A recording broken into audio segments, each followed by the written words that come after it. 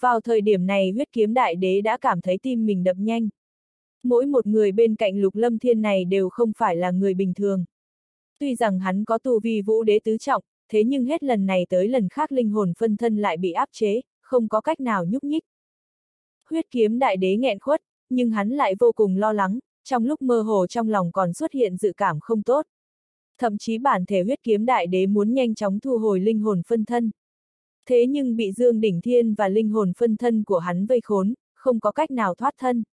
Mà linh hồn phân thân thì đang dãy dụa, vẫn bị áp chế không có cách nào nhúc nhích. Ngao! Không có một chút trì hoãn nào, dưới đạo quang mang trong mi tâm của Tiểu Long, một tiếng long ngâm vang lên, trong quang mang ngập trời có hư ảnh thanh long rít gào. Hư ảnh thanh long mang theo long uy khủng bố, cường hãn vô cùng tiến vào trong huyết kiếm kia. Hư ảnh thanh long xuyên qua, huyết kiếm khổng lồ run lên, dường như linh hồn đang chịu ảnh hưởng cực lớn. Đang đang.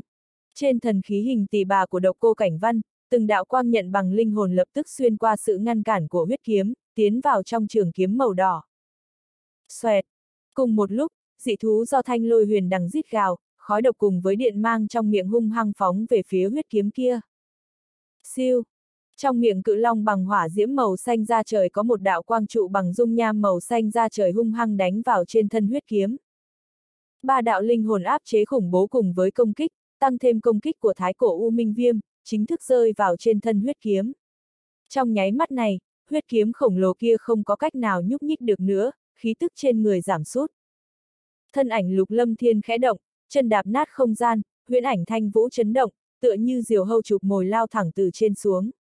Huyết lục dơ lên cao, chẳng biết từ khi nào thuộc tính kim ngập trời cuồn cuộn kéo tới không dứt, tất cả đều tụ tập sau lưng lục lâm thiên. Thân ảnh lục lâm thiên phóng xuống, kim quang lập tức theo đuôi. Trong khoảnh khắc, không gian sau lưng lục lâm thiên gió nổi mây phun, kim quang rực rỡ. Đột nhiên thân ảnh lục lâm thiên xuất hiện trên không trung linh hồn phân thân của huyết kiêm đại đế, huyết lục kéo theo một đường vòng cung huyền ảo, sau lưng gió nổi mây phun, tiếng nổ từ trong huyết lục vang lên, tác động tới năng lượng thuộc tính kim ngập trời trên không trung. Đáng chết, tránh ra cho ta. Linh hồn phân thân cảm thấy tim đập nhanh, bản thể huyết kiếm đại đế hét lớn, muốn đánh về phía lục lâm thiên cứu linh hồn phân thân, bản thân thúc giục thần khí huyết kiếm, không gian chung quanh bị kiếm quang phá hủy. Huyết kiếm, ở trước mặt của ta mà ngươi muốn đi sao? Nằm mơ. Dương Đỉnh Thiên lần nữa hét lớn một tiếng, khí tức bàng bạc trên thân linh hồn phân thân và bản thể tuôn ra, mang theo uy thế kinh người, đáng sợ, không gian chung quanh phong thần tiễn xuất hiện động sâu đen kịt. Vết nứt không gian lộ ra quang mang đen kịt, một bước cũng không cho huyết kiếm thoát khỏi. Huyết kiếm đại đế muốn cứu linh hồn phân thân, Dương Đỉnh Thiên nhìn thấy linh hồn phân thân của huyết kiếm đại đế không ổn, cho nên muốn thừa cơ làm huyết kiếm đại đế trọng thương. ầm ầm. Cho nên giờ phút này công kích của hai người hầu như đều liều mạng, huyết kiếm và phong thần tiễn, hai kiện thần khí này không ngừng ngạnh kháng, không gian bị nghiền nát, cơn lốc năng lượng khủng bố khuếch tán. Cùng lúc đó, ở không gian bên cạnh, Duệ kim hồn đao. Lục lâm thiên hét lớn một tiếng, chân khí thuộc tính kim phô thiên cái địa rót vào trong huyết lục, giờ phút này huyết lục khống chế thuộc tính kim ngập trời, một đạo đao mang bắn ra. Siêu siêu. Đao mang màu vàng vừa xuất ra, cả không gian run lên. Đao mang màu vàng mang theo khí tức sắc bén, lạnh lẽo ẩm ẩm xẹt qua không trung. Bên trong ẩn chứa linh hồn lực vô hình, nhanh như thiểm điện đánh vào trên thân huyết kiếm. Đao mang màu vàng đánh xuống, khí tức sắc bén lạnh lẽo trong nháy mắt phô thiên cái địa bộc phát, huyết kiếm cực lớn cũng không thể chống đỡ được bao lâu, đao mang màu vàng bổ qua, huyết kiếm run lên, lập tức bị phá vỡ. Ken két, huyết kiếm cực lớn tán loạn, hóa thành lực lượng linh hồn cùng với máu tươi ngập trời, giống như pháo hoa màu đỏ, rực rỡ mà tươi đẹp. Khi đám năng lượng này khuếch tán tới một phạm vi nhất định lập tức ngừng lại, lặng lẽ biến mất trong thiên địa. Linh hồn phân thân của huyết kiếm đại đế bị diệt. Ánh mắt chúng đế giả run lên, kinh hãi không thôi. Linh hồn phân thân của huyết kiếm đại đế không ngờ lại bị đám người lục lâm thiên liên thủ tiêu điệt, mấy người này quả thực quá kinh khủng. Phụt! Cùng một thời gian, bản thể huyết kiếm đại đế đang giao thủ với Dương Đỉnh Thiên lập tức phun ra một ngụm máu tươi. Sắc mặt lập tức trắng bệch, toàn thân lảo đảo lui lại. Phanh!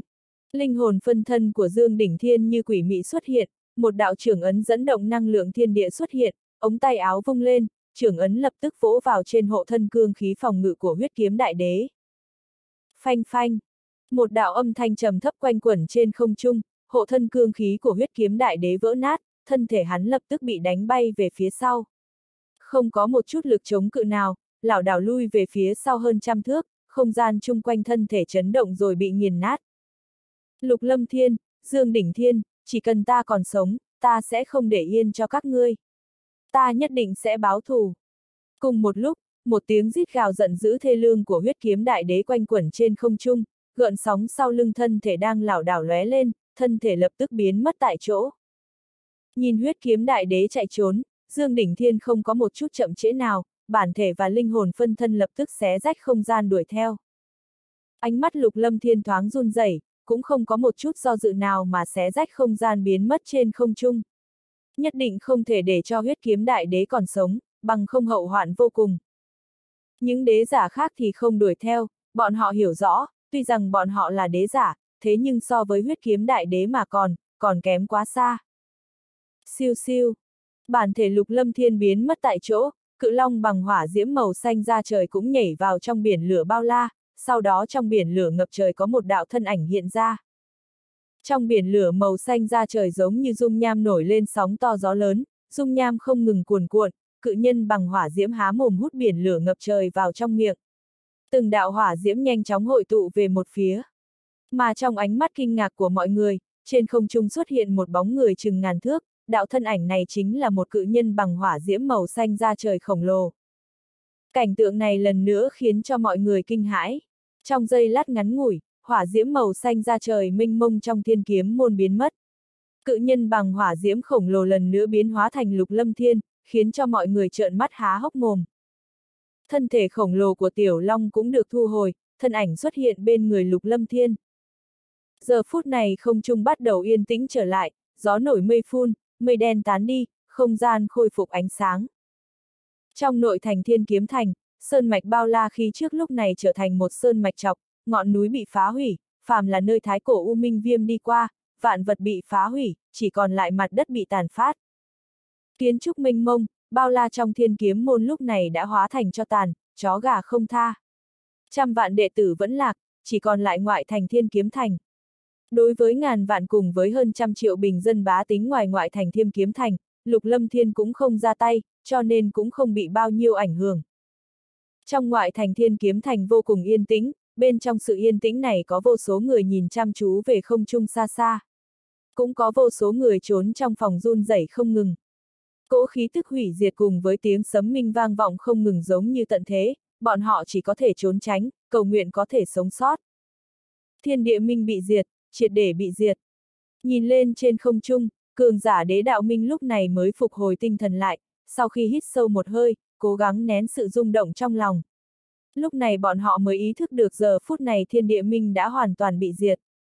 Về sau không còn sự tồn tại của thiên địa minh, mấy ngàn cường giả của thiên địa minh bị đánh chết, tất cả các sơn môn lớn trong thiên địa minh chỉ còn trên danh nghĩa. Đế đạo minh muốn phá hủy mây sơn môn này là chuyện quá dễ dàng, không tốn một chút sức lực nào. Mà cường giả đế đạo minh cũng ý thức được một chuyện, lần chu diệt cả thiên địa minh này bọn họ không ra tay, hoàn toàn chỉ là xem trò vui. Nghiêm túc mà nói, Lục Lâm Thiên dùng sức một mình đánh chết chín đế giả của thiên địa minh. Dường như 10 đế giả tiến vào trong thần khí cũng bị thái cổ U Minh Viêm trên người Lục Lâm Thiên nuốt vào, có lẽ 10 người này cũng lành ít giữ nhiều. Tất cả chuyện này đều là Lục Lâm Thiên làm một mình, dùng sức một người chu sát chúng đế thiên địa minh. Đồ sát mấy ngàn cường giả đỉnh cấp của thiên địa minh, mấy trăm vạn đệ tử thiên kiếm môn.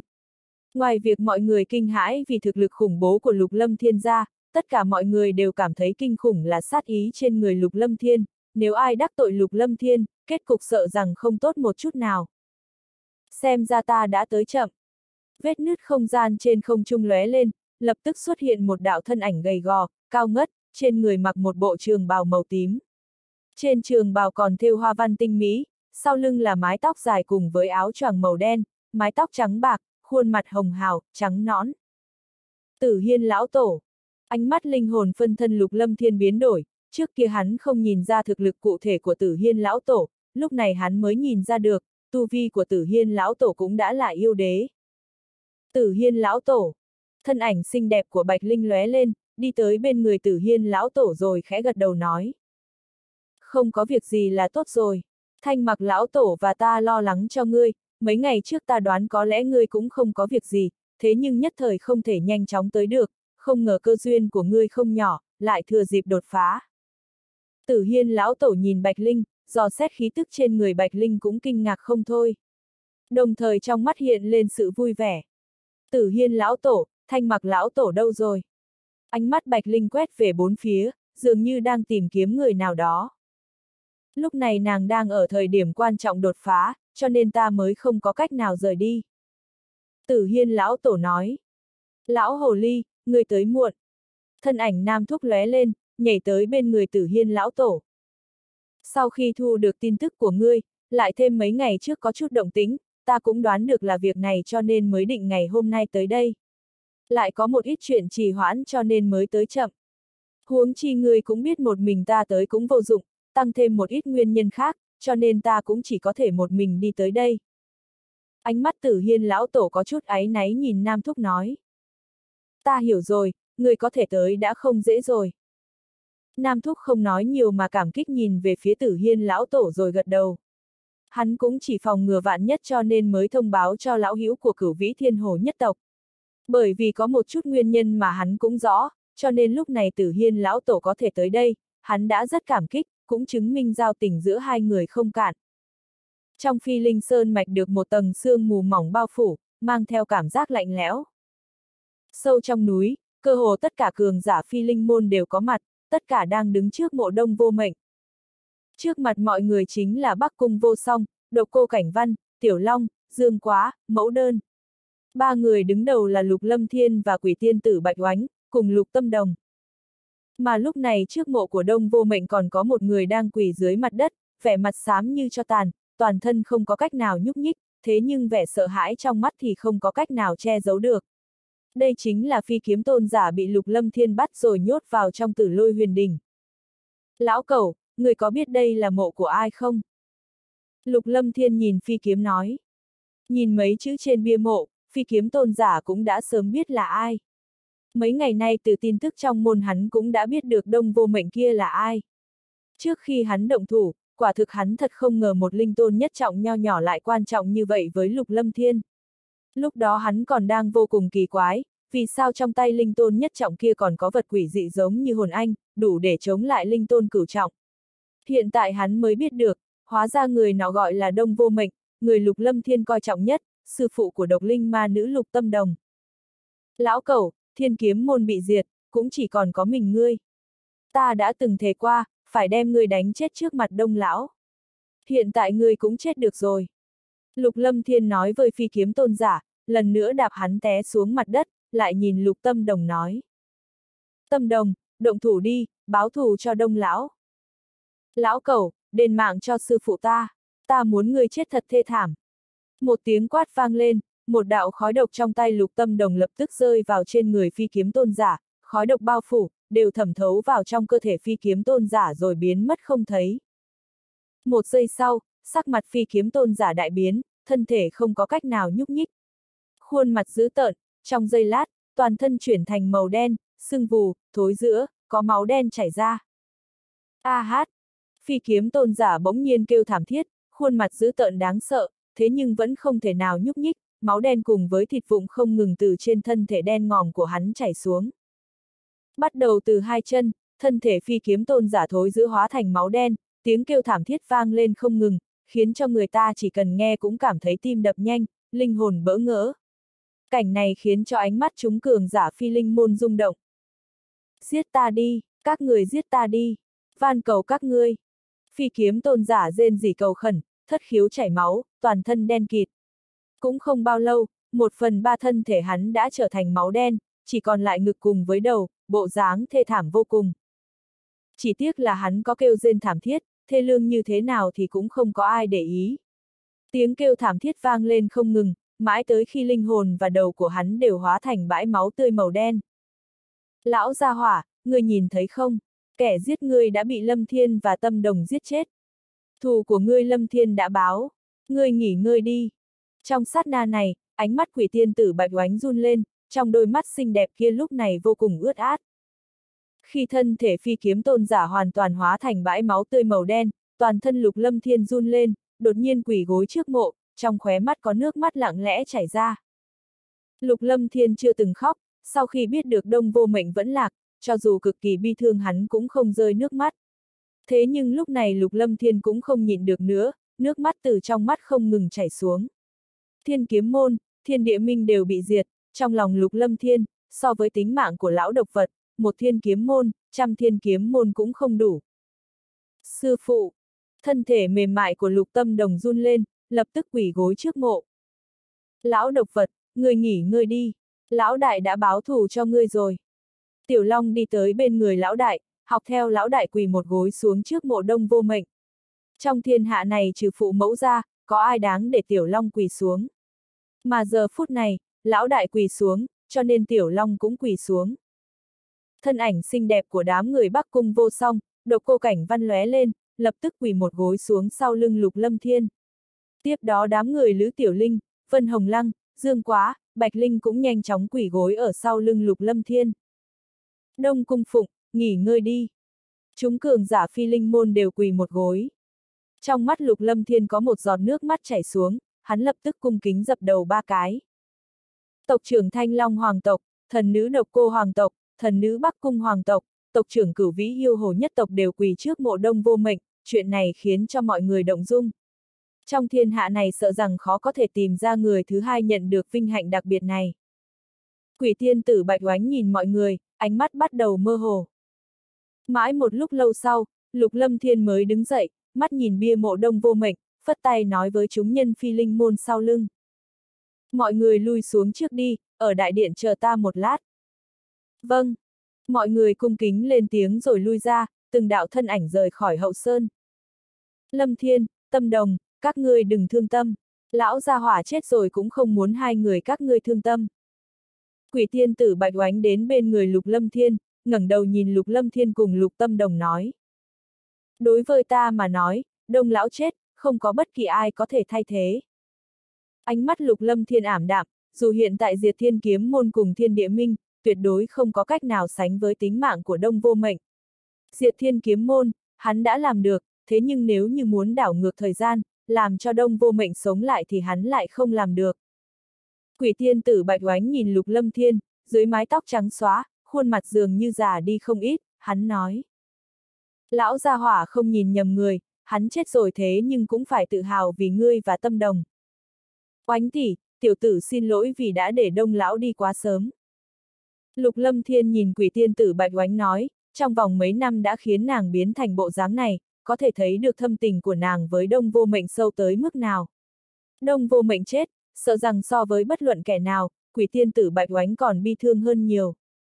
Chuyện này không liên quan tới ngươi, con người ta đều có số mạng của riêng minh, hắn có thể đi tới bước này đã là phúc phận của hắn rồi. Quỷ tiên tử bạch oánh nhìn lục lâm thiên nói. Lâm thiên, bây giờ ngươi cũng đã trở về, hiện tại phi linh môn cũng đã vào guồng, ta cũng muốn lui về phía sau. Lục lâm thiên nghe vậy, ánh mắt run lên, nói. Oánh tỷ, phi linh môn không có tỷ và đông lão cũng không có được ngày này, tỷ đi một mình ta không đảm đương nổi. Ngươi nghiêm trọng rồi, ngươi mới là người quan trọng nhất trong phi linh môn. Chỉ cần ngươi còn, tất cả đều không có vấn đề. Những năm này ta cũng mệt mỏi rồi, phải nghỉ ngơi một đoạn thời gian. Quỷ tiên tử Bạch Oánh nói. Ánh mắt lục lâm thiên khẽ đảo, trong lòng hắn sao không hiểu rõ, những năm này phi linh môn đều nhờ vào đông vô mệnh và quỷ tiên tử Bạch Oánh. Từ đầu cho tới bây giờ hắn luôn phủi tay làm trưởng quầy. Nhiều năm như vậy, đông vô mệnh đi, bi thương bực này, trong lòng quỷ tiên tử Bạch Oánh sao có thể giống như biểu hiện bề ngoài. Ở sâu trong thâm tâm đâu có thể quên nhanh được như vậy, người mệt mỏi nhất trong những năm này chính là quỷ tiên tử Bạch Oánh. Oánh tỷ, vậy thì tỷ cứ nghỉ ngơi đi, để ta phái người tạo một nơi thanh tĩnh ở hậu sơn cho tỷ. Lục Lâm Thiên gật đầu nói. Không cần phiền phức như vậy, ta định trở lại Bạch Vân Hạp, vừa vặn lần này trở về đó xem xét một chút. Dường như quỷ tiên tử Bạch Oánh đã cân nhắc qua chuyện này. Oánh tỷ, tỷ đi thật sao? Oánh tỷ, ở lại đi. Sư mẫu, người ở lại đi, con sẽ nhớ người.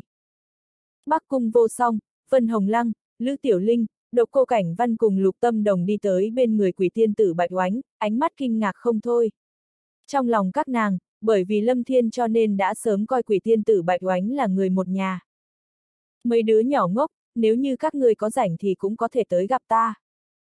Quỷ tiên tử bạch oánh khẽ mỉm cười nhìn mấy nữ tử bên người, trên khuôn mặt xuất hiện sự vui vẻ đã biến mất từ lâu.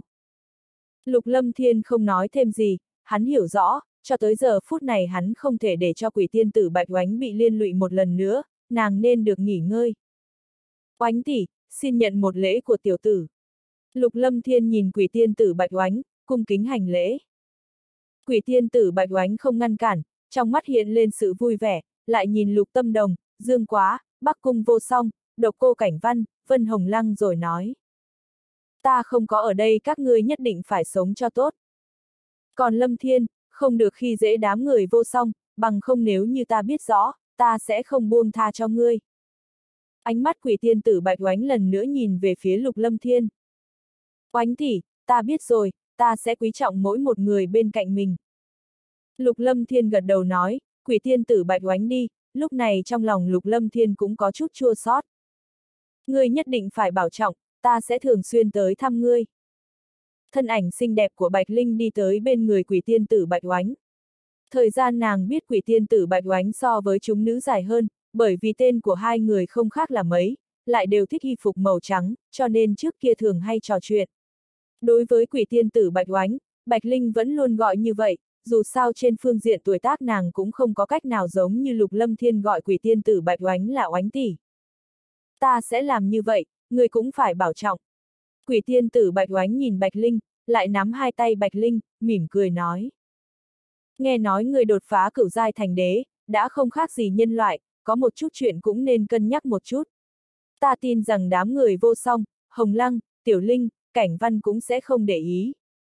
Ngươi nên đi sớm đi. Bạch Linh trừng mắt nhìn quỷ tiên tử Bạch Oánh nói, khuôn mặt đỏ ửng. Được rồi, mọi người đừng có không vui như vậy, không phải ta đi mà không trở lại. Quỷ tiên tử Bạch Oánh nhìn Bạch Linh mỉm cười, lại quay đầu nhìn vẻ mặt trầm mặt của mọi người, ánh mắt khẽ đảo, nhìn qua Lục Lâm Thiên nói. Lâm Thiên, mau chóng xử lý tốt chuyện của phi linh môn, sư phụ thánh thủ linh đế tiền bối của ngươi có lẽ cũng có chuyện muốn tìm ngươi. Vâng. Lục Lâm Thiên khẽ gật đầu, thế nhưng trong lòng lại nghi hoặc, sư phụ thánh thủ linh đế vừa rồi cũng đã thông báo cho hắn, bảo hắn một lát nữa đi tới hậu sơn. Tiểu Long, có người tới, đệ đi trước đi, một lát nữa ta sẽ qua. Sau khi Lục Lâm Thiên gật đầu, ánh mắt lập tức nhảy lên, có chút vui vẻ nói với Tiểu Long. Trong tâm thần dò xét, ngoài phi linh môn, đại công chúa Long Bích Hàm của Thanh Long Hoàng tộc cùng với huyền hạo đã tới. Lúc ở thiên kiếm môn, trong tâm thần dò xét lục lâm thiên cũng có thể cảm nhận ra được không ít khí tức quen thuộc cùng với khí tức lạ lẫm mà cường đại. Cường đại tới mức khiến cho hắn khó có thể dò xét triệt để. Bởi vậy Lục Lâm Thiên cũng không dò xét quá nhiều. Động tĩnh như vậy có người tới xem náo nhiệt cũng là chuyện bình thường. Là mẫu thân và phụ thân tới, lão đại, đệ đi trước. Lúc này Tiểu Long cũng cảm nhận khí thức ngoài phi linh môn, trong mắt hiện lên sự mừng rỡ. Quang mang lóe lên, thân ảnh đã biến mất tại chỗ không thấy. Lục Lâm Thiên khẽ ngẩng đầu, trong lòng có chút lo lắng. Ngày hôm qua hắn và Dương Đỉnh Thiên của Vân Dương Tông còn chưa đuổi kịp bản thể của huyết kiếm đại đế, muốn đánh chết huyết kiếm kia cũng không phải là chuyện rất dễ dàng. Huống chi tới cấp độ kia, chỉ cần muốn chạy trốn, càng khó có thể đối phó.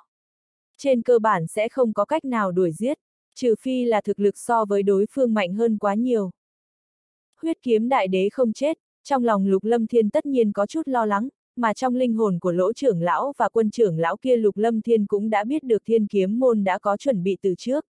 Có không ít đệ tử thân truyền trẻ tuổi của thiên kiếm môn theo đường hầm không gian rời khỏi thiên kiếm môn. Trong đó có Nguyên Nhược Lan và đám người cổ kiếm phong. Về phần đích tới, dường như ngay cả lỗ trưởng lão và quân trưởng lão cũng không biết. Mà khi tìm thấy đường hầm không gian trong thiên kiếm môn, đường hầm không gian đã bị người ta phá hủy. Có lẽ có người biết động tĩnh trong thiên kiếm môn, cho nên cố ý phá hủy đường hầm không gian. Trong lúc nhất thời cũng khó có thể tìm được nơi thiên kiếm môn ẩn thân, càng không có cách nào đuổi theo được huyết kiếm đại đế kia. Bởi vậy Lục Lâm Thiên cũng chỉ có thể về phi linh môn. Chỉ để lại một ít cường giả sắp xếp tất cả mọi thứ trong thiên kiếm môn mà thôi. Mấy thời thần sau, trong đại điện phi linh môn, cường giả phi linh môn cùng đường chủ sáu đường có mặt, chúng trưởng lão cũng tiến vào trong đại điện. Giờ phút này, Lục Lâm Thiên cùng với chúng cường giả phi linh môn trở về, ánh mắt chúng cường giả nhìn Lục Lâm Thiên vô cùng cung kính. Trưởng môn bọn họ bá tuyệt vô song, hiện tại trong lòng chúng cường giả phi linh môn còn đang vô cùng hưng phấn.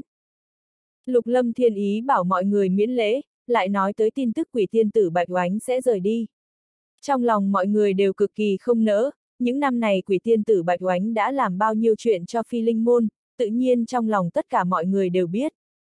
Quỷ tiên tử Bạch Oánh rời khỏi phi linh môn, phó trưởng môn khấu phi yến và đông vô mệnh vẫn lạc trong đại chiến, tạm thời không có ai có thể khống chế toàn cục.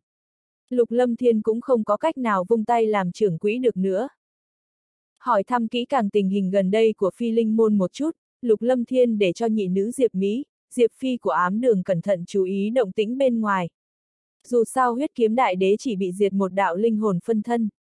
Bản thể còn chưa bị đánh chết, thiên kiếm môn kia còn chưa chính thức bị diệt trừ, chuyện xấu rất có thể sẽ xảy ra bất kỳ lúc nào. Công tử, vạn thú tông cùng thiên kiếm môn bị diệt. Hiện tại thiên địa minh cũng chỉ còn trên danh nghĩa. Kế tiếp chúng ta nên làm thế nào? Lục Tiểu Bạch nói. Ánh mắt Lục Lâm Thiên nhảy lên, nói. Vạn thú tông nên phái người toàn diện tiếp thu. Những sơn môn khác nên dùng tốc độ nhanh nhất diệt trừ. Tất cả cường giả chia nhau ra hành động. Nếu như đi chậm, ta sợ không cần các ngươi ra tay thì người khác đã ra tay rồi. Nếu như ra tay chậm một chút, sợ rằng những sơn môn khác đã ra tay, lợi không tới phiên chúng ta. Lục Tiểu Bạch hiểu ý, diệt từ một sơn môn nhận được chỗ tốt không phải bình thường, đi chậm đương nhiên sẽ không còn gì. Vậy mau chóng xuất phát đi, không thể đi chậm. Trên mặt cực lạc tam quỷ hiện lên sự vui vẻ, loại chuyện này chính là chuyện bọn họ muốn làm nhất. Cơ hồ tất cả cường giả phi linh môn lúc này đều vô cùng kích động. Loại chuyện như diệt trừ các sơn môn lớn có rất nhiều chỗ tốt, đương nhiên bọn họ sẽ không bỏ qua cơ hội này. Giờ phút này Lục Lâm Thiên lại cực kỳ khó xử. Các sơn môn lớn trong thiên địa minh không ít, tuy rằng cường giả phi linh môn cũng rất nhiều, nhưng vẫn khó có thể sắp. Huống chi loại chuyện dườm già như vậy, Lục Lâm Thiên cảm thấy đau đầu.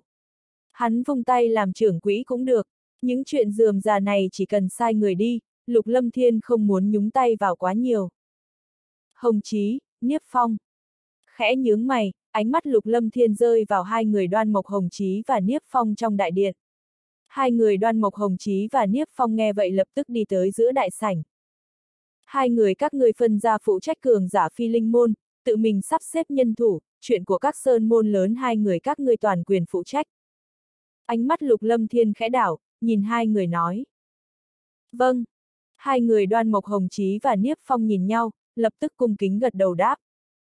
Phù. Lục Lâm Thiên thở dài một hơi, khóe miệng nở nụ cười. Trong một không gian khác, chiều tối, ánh mặt trời dáng đỏ, từng dãy núi trang nghiêm, lại có chút lạnh lẽo. Trên ngọn núi, thân ảnh xinh đẹp của Lăng Thanh Tuyền đứng đó, mái tóc màu xanh rũ xuống eo tựa như thác nước chảy xuống vòng eo nhỏ nhắn. Cái đùi ngọc thon dài, bờ mông tròn lẳn, tư thái mê người. Giờ phút này trên khuôn mặt tinh xảo của Lăng Thanh Tuyền xuất hiện vẻ ngưng trọng. Thanh Tuyền, không tìm thấy du thược, có lẽ nó không ở trong giới. Thân ảnh Lăng Thanh Tuyệt phá không rơi vào bên người Lăng Thanh Tuyền. Có lẽ nó đã đi ra ngoài rồi. Lăng Thanh Tuyền cúi đầu, ánh trời chiều dạng đỏ chiếu vào mái tóc màu xanh giống như nhuộm đỏ mái tóc nàng, sợi tóc tung bay trong gió, vô cùng vũ mị. Khó trách ngày trước muội nhiều lần không đánh chết Lục Lâm Thiên. Hóa ra du thực lại là huyết mạch của Lục Lâm Thiên. Kim Hoàng khí, Linh Vũ song tu, một hơi đạt tới Vũ Tôn, Linh Tôn bát trọng. Suốt cuộc muội cũng không giấu giếm được. Lăng Thanh Tuyệt nhìn Lăng Thanh Tuyền nói. Lăng Thanh Tuyền không nói gì, trong mắt hiện lên sự chấn động. Phụ thân truyền tới tin tức, phụ thân cũng đã biết chuyện của Du Thược. Lăng Thanh Tuyền nói. Phụ thân nói thế nào? Lăng Thanh Tuyền không quay đâu lại mà chỉ khẽ hỏi. Phụ thân không nói gì, chỉ bảo tạm thời chúng ta không nên ra ngoài. Chuyện bên ngoài chúng ta không nên nhúng tay vào. Lăng Thanh Tuyệt nói. Một lát sau Lăng Thanh Tuyền mới quay đầu lại nhìn Lăng Thanh Tuyệt nói muội đi ra ngoài một chuyến, tìm Du Thược. Chẳng lẽ Du Thược đã biết rõ? Lăng Thanh Tuyệt biến sắc, trong giới đã sớm có mệnh lệnh nghiêm cấm nhắc chuyện này trong giới, có một ít chuyện Du Thược cũng không rõ ràng. Vẫn chưa có người nào nói cho Du Thược, có lẽ nó không biết. Lăng Thanh Tuyền vừa mới dứt lời, ánh mắt biến hóa, thân ảnh biến mất trên ngọn núi. Phi Linh Môn, trong đình viện ở thác nước phía sau núi. Đại công chúa Long Bích Hàm, Huyền Hạo, Tiểu Long, Bắc Cung Vô Song, Độc Cô Cảnh Văn, Mẫu Đơn, Vân Hồng Lăng, Lữ Tiểu Linh, Lục Tâm Đồng, Dương Quá đều có mặt ở bên trong. Mà ngay cả Vân Hàm lúc này cũng ở trong phi linh môn, lúc này cũng ở trong đình viện trong hậu sơn. Lúc này chúng cường giả yêu thú trong tổ yêu lâm dưới sự xuất lĩnh của Vân Hàm tới đây tương trợ, nhưng mà cuối cùng bọn họ cũng không có cơ hội ra tay. Lúc này Vân Hàm ở lại trong phi linh môn là muốn ở lại chơi vài ngày. Những cường giả yêu thú bách tộc khác đã rời khỏi đây, trở về tổ yêu lâm. Trong đình viện, Tiểu Long nhìn thấy phụ thân đã khôi phục, trong lòng cao hứng không thôi. Lúc này đang cùng với Huyền Hạo và Long Bích Hàm nói chuyện trong hư không bí cảnh. Bá phụ, bá mẫu. Lục Lâm Thiên tới đỉnh viện trong hậu sơn, hắn đã sớm cảm giác được Huyền Hạo khôi phục, trong lòng cũng âm thầm cao hứng thay cho Tiểu Long và Huyền Hạo. Lâm Thiên, tốt lắm, xem ra đại nạn không chết tất có hậu phúc a. À. Huyền Hạo nhìn qua đạo thân ảnh màu xanh trước mặt, ánh mắt rung động không thôi. Ngoài thiên kiếm môn, tuy rằng hắn và Long Bích Hàm không có mặt, thế nhưng đều nhận được tin tức. Hiện tại tin tức đã lan truyền khắp ngang cùng ngõ hẻm, các loại phiên bản đều có, mà Lục Lâm Thiên đã sớm được mọi người coi là thần thoại. Lục Lâm Thiên mỉm cười, lại nói chuyện phiếm với huyền hạo và đại công chúa Long Bích Hàm vài câu. Tiếp đó lập tức rời khỏi đình viện, đi tới chỗ đám người sư phụ thánh thủ linh đế đặt chân. Một lát sau, sắc trời tối dần, thân ảnh lục lâm thiên xuất hiện bên ngoài đình viện. Trong đình viện, thánh thủ linh đế, nam thúc, tử hiên lão tổ, hàn băng đại đế, thánh linh lão tổ, kim lang đại đế, bạch long đại đế đều có mặt. Kim huyền và sát phá quân, hắc vũ đều đã đi hỗ trợ những người khác. Thiên địa minh sụp đổ, diệt trừ tất cả các sơn môn lớn. Hiện tại phi linh môn vô cùng cần người cho nên đám người kim huyền cũng phải đi hỗ trợ. Sau khi lục lâm thiên chào mấy người, lập tức nhìn qua sư phụ thánh thủ linh đế và nghĩa phụ nam thúc, trong mắt có chút nghi hoặc. Lâm thiên, chuyện kinh vân có lẽ con cũng đã biết. Thánh thủ linh đế nhìn lục lâm thiên, nhíu mày nói. Không phải kinh vân đang bế quan sao? Ánh mắt lục lâm thiên nhảy lên, lần này hắn không nhìn thấy kinh vân. Từ trong miệng quỷ tiên tử bạch oánh hắn đã biết được kinh vân vừa vặn bế quan. Giờ phút này nghe thấy sư phụ nhắc tới chuyện này, hắn lập tức cảm thấy chuyện này không bình thường. Sắc mặt đại biến, hắn lập tức hỏi. Sư phụ, chẳng lẽ Kinh Vân gặp chuyện không may? Con đừng vội, Kinh Vân rất tốt. Thánh thủ linh đế vội vàng nói. Lục lâm thiên nghe vậy, lúc này mới hít sâu một hơi. Nội tâm căng cứng vừa rồi bình tĩnh lại. Nếu như Kinh Vân cũng gặp chuyện không may, nếu như là tình huống xấu nhất, hắn không tưởng tượng được mình sẽ tiếp nhận chuyện này ra sao. Lâm Thiên, người cũng biết chuyện người thuộc tính đại thành, huyết mạch lục gia đều được thiên địa chiếu cố, tu vi tăng vọt. Có được kim hoàng khí, huyết mạch càng gần ngươi thì tu vi tăng càng mạnh, kim hoàng khí cũng càng cao. Nam Thúc hỏi Lục Lâm Thiên. Việc này con cũng biết rõ một ít, tu vi tăng vọt không biết có nguy hại với căn cơ hay không. Lục Lâm Thiên hỏi, đối với chuyện Lục gia Lục Lâm Thiên cũng đã biết được không ít. Mà ngay cả mẫu thân hắn cũng có thể đạt tới vũ tôn, chuyện này khiến cho Lục Lâm Thiên sau khi biết được cũng phải giật mình. Nhưng trong lòng Lục Lâm Thiên lúc này cũng vô cùng lo lắng, tăng vọt tu vi khủng bố như vậy, có thể ảnh hưởng tới căn cơ hay không, căn cơ mới là thứ quan trọng nhất. Bằng không các sơn môn lớn hoàn toàn có thể để cho tu vi của đệ tử có thiên phú không tồi trong sơn môn mình tăng vọt tới tình trạng khủng bố. Tu vi hơn xa tuổi tác rất nhiều. Thế nhưng cơ hồ tất cả các sơn môn đều để cho đệ tử khống chế việc dùng ngoại lực làm tu vi tăng vọt, dù sao tự mình đột phá mới là tốt nhất. Đối với căn cơ, Lục Lâm Thiên hiểu rõ nhất, cho nên lúc này cũng vô cùng lo lắng cho toàn bộ người Lục gia. Chuyện này ngươi không cần lo lắng quá, thuộc tính đại thành, cơ hồ tất cả huyết mạch Lục gia đều được thiên địa chiếu cố. Tu vi tăng vọt, đây đều là năng lượng tinh thuần nhất từ trong thiên địa, đối với căn cơ có chỗ tốt vô cùng. Chỉ có một chút ảnh hưởng trên phương diện lĩnh ngộ không bằng tu vi mà thôi chỉ cần có thời gian bế quan cho tốt, vấn đề khác sẽ không quá lớn. Nam Thúc nói với Lục Lâm Thiên, ánh mắt khẽ đổi, nói. Hôm nay ta muốn nói với ngươi một chuyện có quan hệ tới kim hoàng khí của ngươi. Ngươi có biết tu vi của đứa nhỏ kinh vân hiện tại như thế nào không? Có lẽ chỉ tới xuất cấp đỉnh phong, hoặc là vương cấp A. Sau khi suy nghĩ một lát, Lục Lâm Thiên phỏng đoán, dùng thiên phú của kinh vân và tác dụng của âm dương linh vũ quyết, chỉ cần cố gắng tu luyện là có thể đạt tới xuất cấp hoặc là vương cấp. Nhưng trong lòng hắn vô cùng nghi hoặc, chuyện này thì có liên quan gì tới kim hoàng khí của hắn? Kinh vân hiện tại đã là vũ tôn cửu trọng và linh tôn cửu trọng.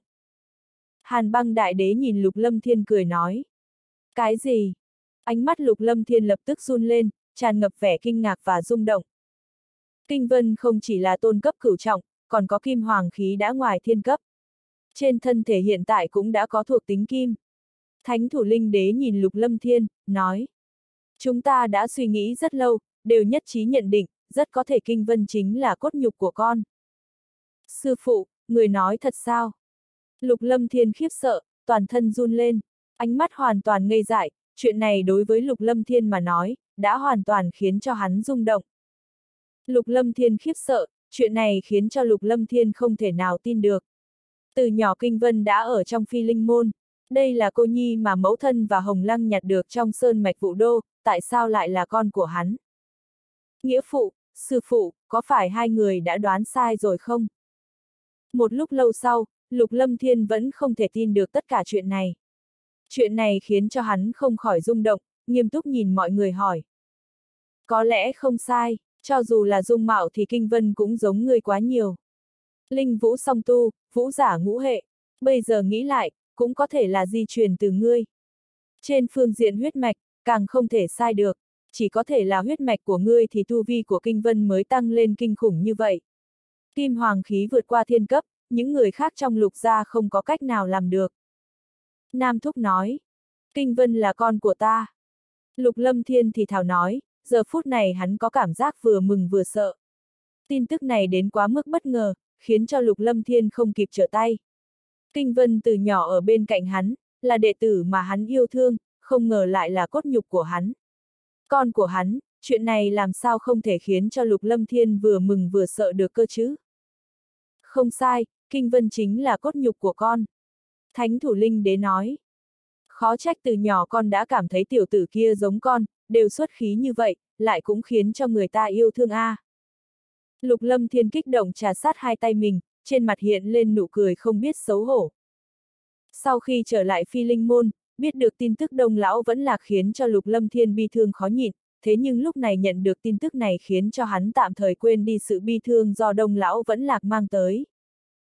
Tiểu tử nhà ngươi, thật đúng là, ai?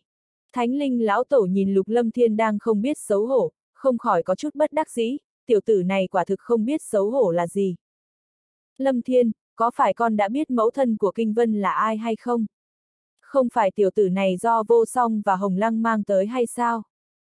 Thánh thủ linh đế nhìn lục lâm thiên, bọn họ cũng đoán ra được lục kinh vân không thể là con của đám người vô song.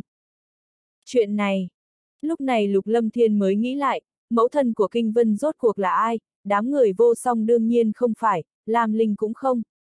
Kinh Vân đã 15 tuổi rồi. Chẳng lẽ ngay cả tiểu tử ngươi cũng không biết? Nhìn biểu hiện của Lục Lâm Thiên, Nam Thúc sững sờ, chúng đế cũng ngạc nhiên không thôi. Dường như ngay cả Lục Lâm Thiên cũng không biết mẫu thân của Kinh Vân là ai. Quả thực con không biết.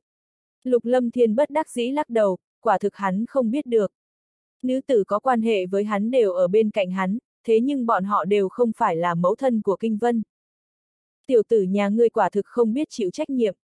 Thánh linh lão tổ nhìn Lục Lâm Thiên, cũng không có một chút khách khí nào với Lục Lâm Thiên, lại nhìn qua thánh thủ linh đế, ánh mắt dường như muốn nói, sư phụ nào thì đệ tử như thế.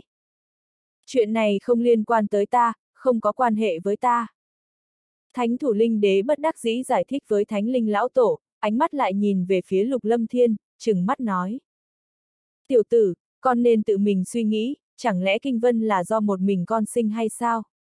Bản thân làm gì chẳng lẽ con còn không rõ? Lăng thanh tuyền, hai mắt lục lâm thiên đột nhiên sáng lên, ở trong tử vong thâm uyên, lăng thanh tuyền đã từng nói nàng có con với hắn, lúc trước hắn còn bán tín bán nghi, có cảm giác không thể tin được. Mà lúc này mấy vấn đề hợp lại với nhau, trong lòng lục lâm thiên run lên. Trong mọi người cũng chỉ có Lăng Thanh Tuyền, 15 năm trước, trong phân đà của Linh Vũ Giới ở Đông Hải. Ở trong mật thất đi, dưới sự trả thù của hắn, hắn đã lưu lại cốt nhục của mình trong bụng lăng thanh tuyền. Ở trong tử vong thâm uyên lăng thanh tuyền cũng không có gạt hắn, tất cả những lời nàng nói đều là thật. Giờ phút này trong đầu Lục Lâm Thiên nhớ tới khuôn mặt yêu nhã, đạo thân ảnh xinh đẹp kia khiến cho Lục Lâm Thiên có cảm giác đau đớn. Con nghĩ con đã biết rõ một chút, Kinh Vân là cốt nhục của con, chuyện này không sai. Lục Lâm Thiên nói, giờ phút này hắn hận không thể lập tức tìm Lăng Thanh Tuyền hỏi cho rõ ràng. Tuy rằng có thể đoán ra Kinh Vân chính là cốt nhục của mình, thế nhưng trong lòng Lục Lâm Thiên, giờ phút này còn rất nhiều nghi vấn. Từ nhỏ Kinh Vân đã ở trong phi linh môn, chẳng lẽ chuyện này cũng do Lăng Thanh Tuyền cố ý sắp xếp sao? Người biết là tốt rồi, tự mình đi tìm hiểu cho rõ. Con cũng đã có, mặc kệ là vì con hay là vì bản thân ngươi. Ta muốn ngươi cũng nên phụ trách với mẫu thân của nó. Thánh linh lão tổ nói với Lục Lâm Thiên. Vâng, sư mẫu, con sẽ làm vậy. Lục Lâm Thiên cung kính nói. Đừng xưng hồ bừa, ta và sư phụ ngươi không có quan hệ gì. Thánh linh lão tổ lập tức phủi sạch quan hệ với Lục Lâm Thiên. Dù sao cũng giống nhau. Lục Lâm Thiên sững sờ, lập tức mỉm cười, thánh thủ linh đế thì bất đắc dĩ, có chút vui vẻ. Sư phụ, nghĩa phụ, con đi xem kinh vân. Trong lòng Lục Lâm Thiên kích động, cảm giác vừa mừng vừa sợ khiến cho trong lòng hắn không thể bình tĩnh được nữa. Kinh Vân đang bế quan, ngươi không nên đi quấy rầy nó. Ngươi cần làm gì thì làm đi. Nam Thúc khẽ quát một tiếng với Lục Lâm Thiên, nói.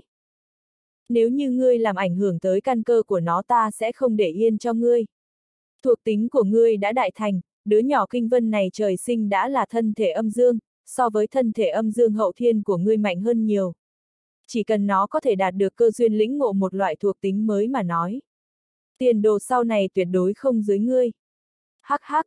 Lục lâm thiên mỉm cười, quả thực hắn đã nóng vội. Kinh vân còn đang bế quan, hắn cũng không vội. Về phần tu vi và tiền đồ, lục lâm thiên cũng không lo lắng là bao. Coi như sau này nhi tử mạnh hơn mình thì trong lòng lục lâm thiên cũng vô cùng cao hứng và tự hào. Việc này con nên xử lý cho tốt, tốt nhất nên quan tâm tới cảm nhận của Kinh Vân. Nếu như xử lý không tốt, đối với tu vi của Kinh Vân sau này sẽ bị ảnh hưởng. Thánh thủ linh đế nói với Lục Lâm Thiên. Lục Lâm Thiên gật đầu, ý tứ của sư phụ hắn hiểu rõ. Kinh Vân cũng không còn nhỏ, đột nhiên nói cho nó biết sư phụ nó chính là phụ thân ruột của nó. Chuyện này sẽ như thế nào, ngay cả bản thân Lục Lâm Thiên cũng không biết. Nếu như Kinh Vân hỏi mẫu thân mình, hắn nên trả lời thế nào? Nhớ tới chuyện này, trong lòng Lục Lâm Thiên cũng có chút lo lắng. Còn chuyện huyết kiếm đại đế kia người tính thế nào? Người này chưa diệt, khó có thể khiến cho lòng người yên tâm. Nam Thúc nghiêm túc nói với Lục Lâm Thiên, hai hàng lông mày nhíu lại. Lục Lâm Thiên thu hồi tâm tư, chuyện huyết kiếm đại đế kia quả thực khiến cho hắn phiền muộn. Dùng tu vi cùng với thực lực của huyết kiếm đại đế kia, nếu như điên lên, đến lúc đó đại lục này sẽ không yên bình. Đặc biệt là phi linh môn sợ rằng sẽ phải đứng mũi chịu sào. Nếu như huyết kiếm đại đế muốn trả thù, người thứ nhất hắn muốn trả thù chính là phi linh môn. Vân Dương Tông cùng với tất cả cường giả trong các sơn môn lớn đều chú ý, một khi có tin tức sẽ thông báo tới phi linh môn. Lục Lâm Thiên nói, lần này huyết kiếm đại đế bị trọng thương, trong khoảng thời gian ngắn sợ rằng sẽ phải trốn đi chữa thương. Muốn tìm được hắn cũng không dễ. Nam Thúc nói, dùng tu vi của huyết kiếm đại đế, nếu như muốn ẩn thân sợ rằng tuyệt đối khó có thể tìm được. Người này khó đối phó, chỉ có thể cố gắng nghĩ biện pháp khác. Lục Lâm Thiên hiểu rõ, tu vi thực lực của người này quá mạnh mẽ. Nếu như muốn chạy trốn giữ mạng, trừ phi thực lực cường hãn hơn hắn nhiều, hoặc là có chuẩn bị, bằng không sẽ không làm gì được người này. Nếu không, dùng tu vi của huyết kiếm đại đế, một khi tự bạo có lẽ không có ai chịu đựng nổi. Đây cũng là nguyên nhân mà Dương Đỉnh Thiên của Vân Dương Tông không ép huyết kiếm đại đế quá mức.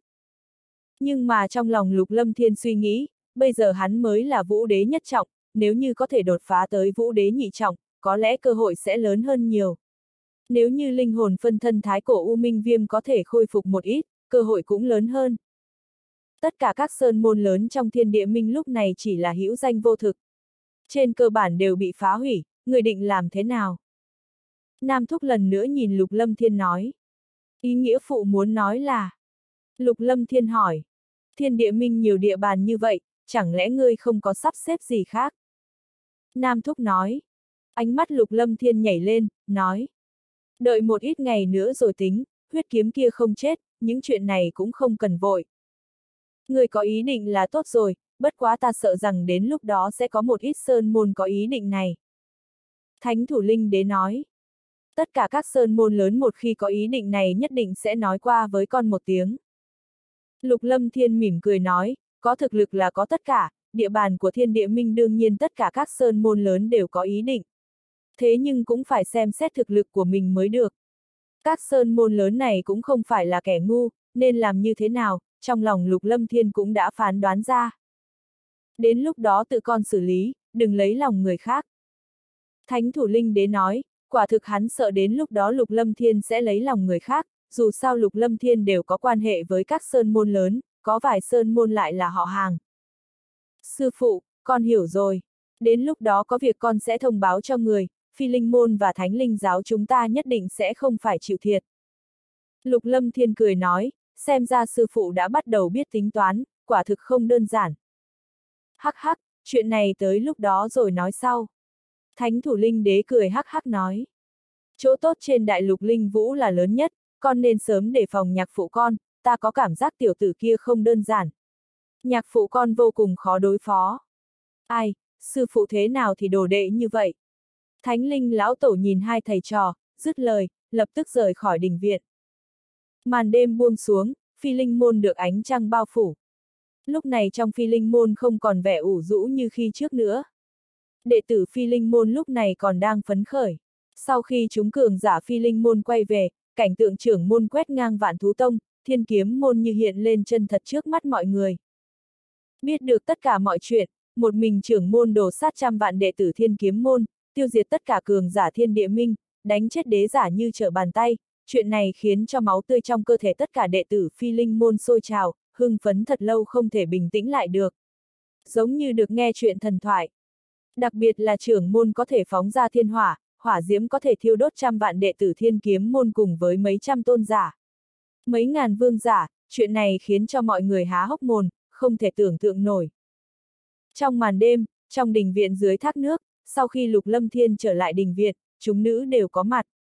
Mọi người đang nói chuyện với quỷ tiên tử Bạch Oánh, quỷ tiên tử Bạch Oánh sắp rời đi. Chúng nữ đều hy vọng quỷ tiên tử Bạch Oánh có thể ở lại. Giờ phút này trong đình viện, Long Bích Hàm và Huyền Hạo cùng với Tiểu Long cũng có mặt ở bên trong. Lâm Thiên, biết rõ chuyện của Kinh Vân chưa? Nhìn thấy vẻ mặt của Lục Lâm Thiên, quỷ tiên tử Bạch Oánh nhìn Lục Lâm Thiên rồi hỏi. Tiểu tử đã biết.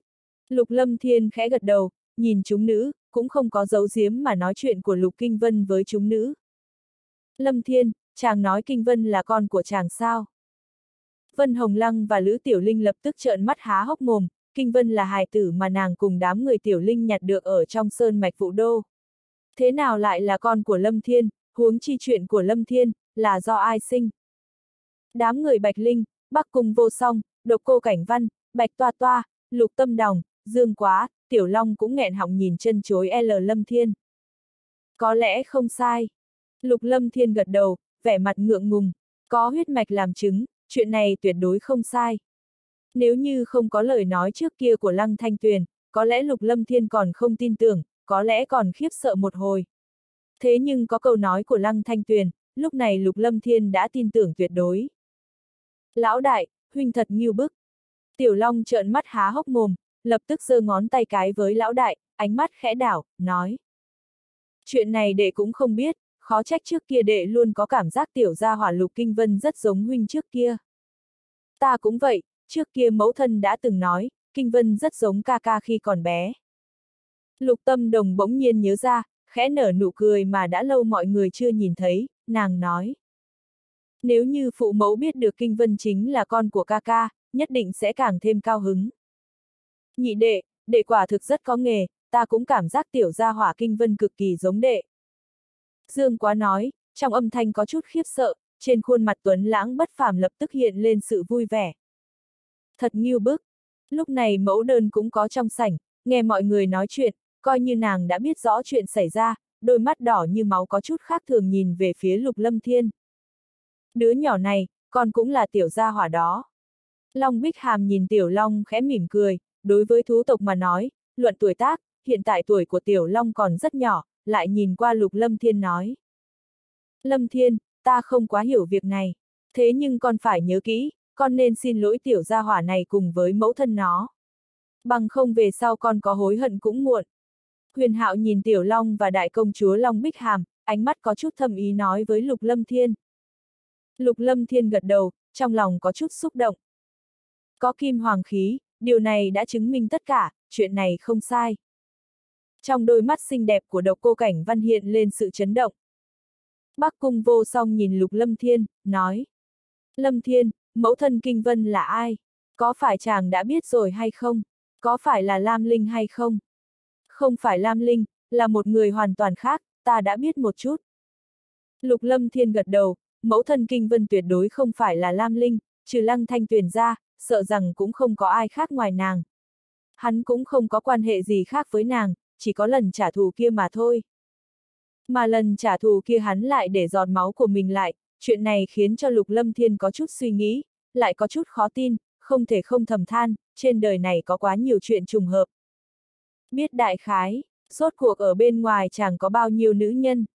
Hai mắt Lữ Tiểu Linh lập tức nhìn hằm hằm vào trên người Lục Lâm Thiên, đường cong mê người hiện ra, nói. Trước tiên thiếp sẽ không tính sổ với chàng chuyện chàng có bao nhiêu nữ nhân bên ngoài.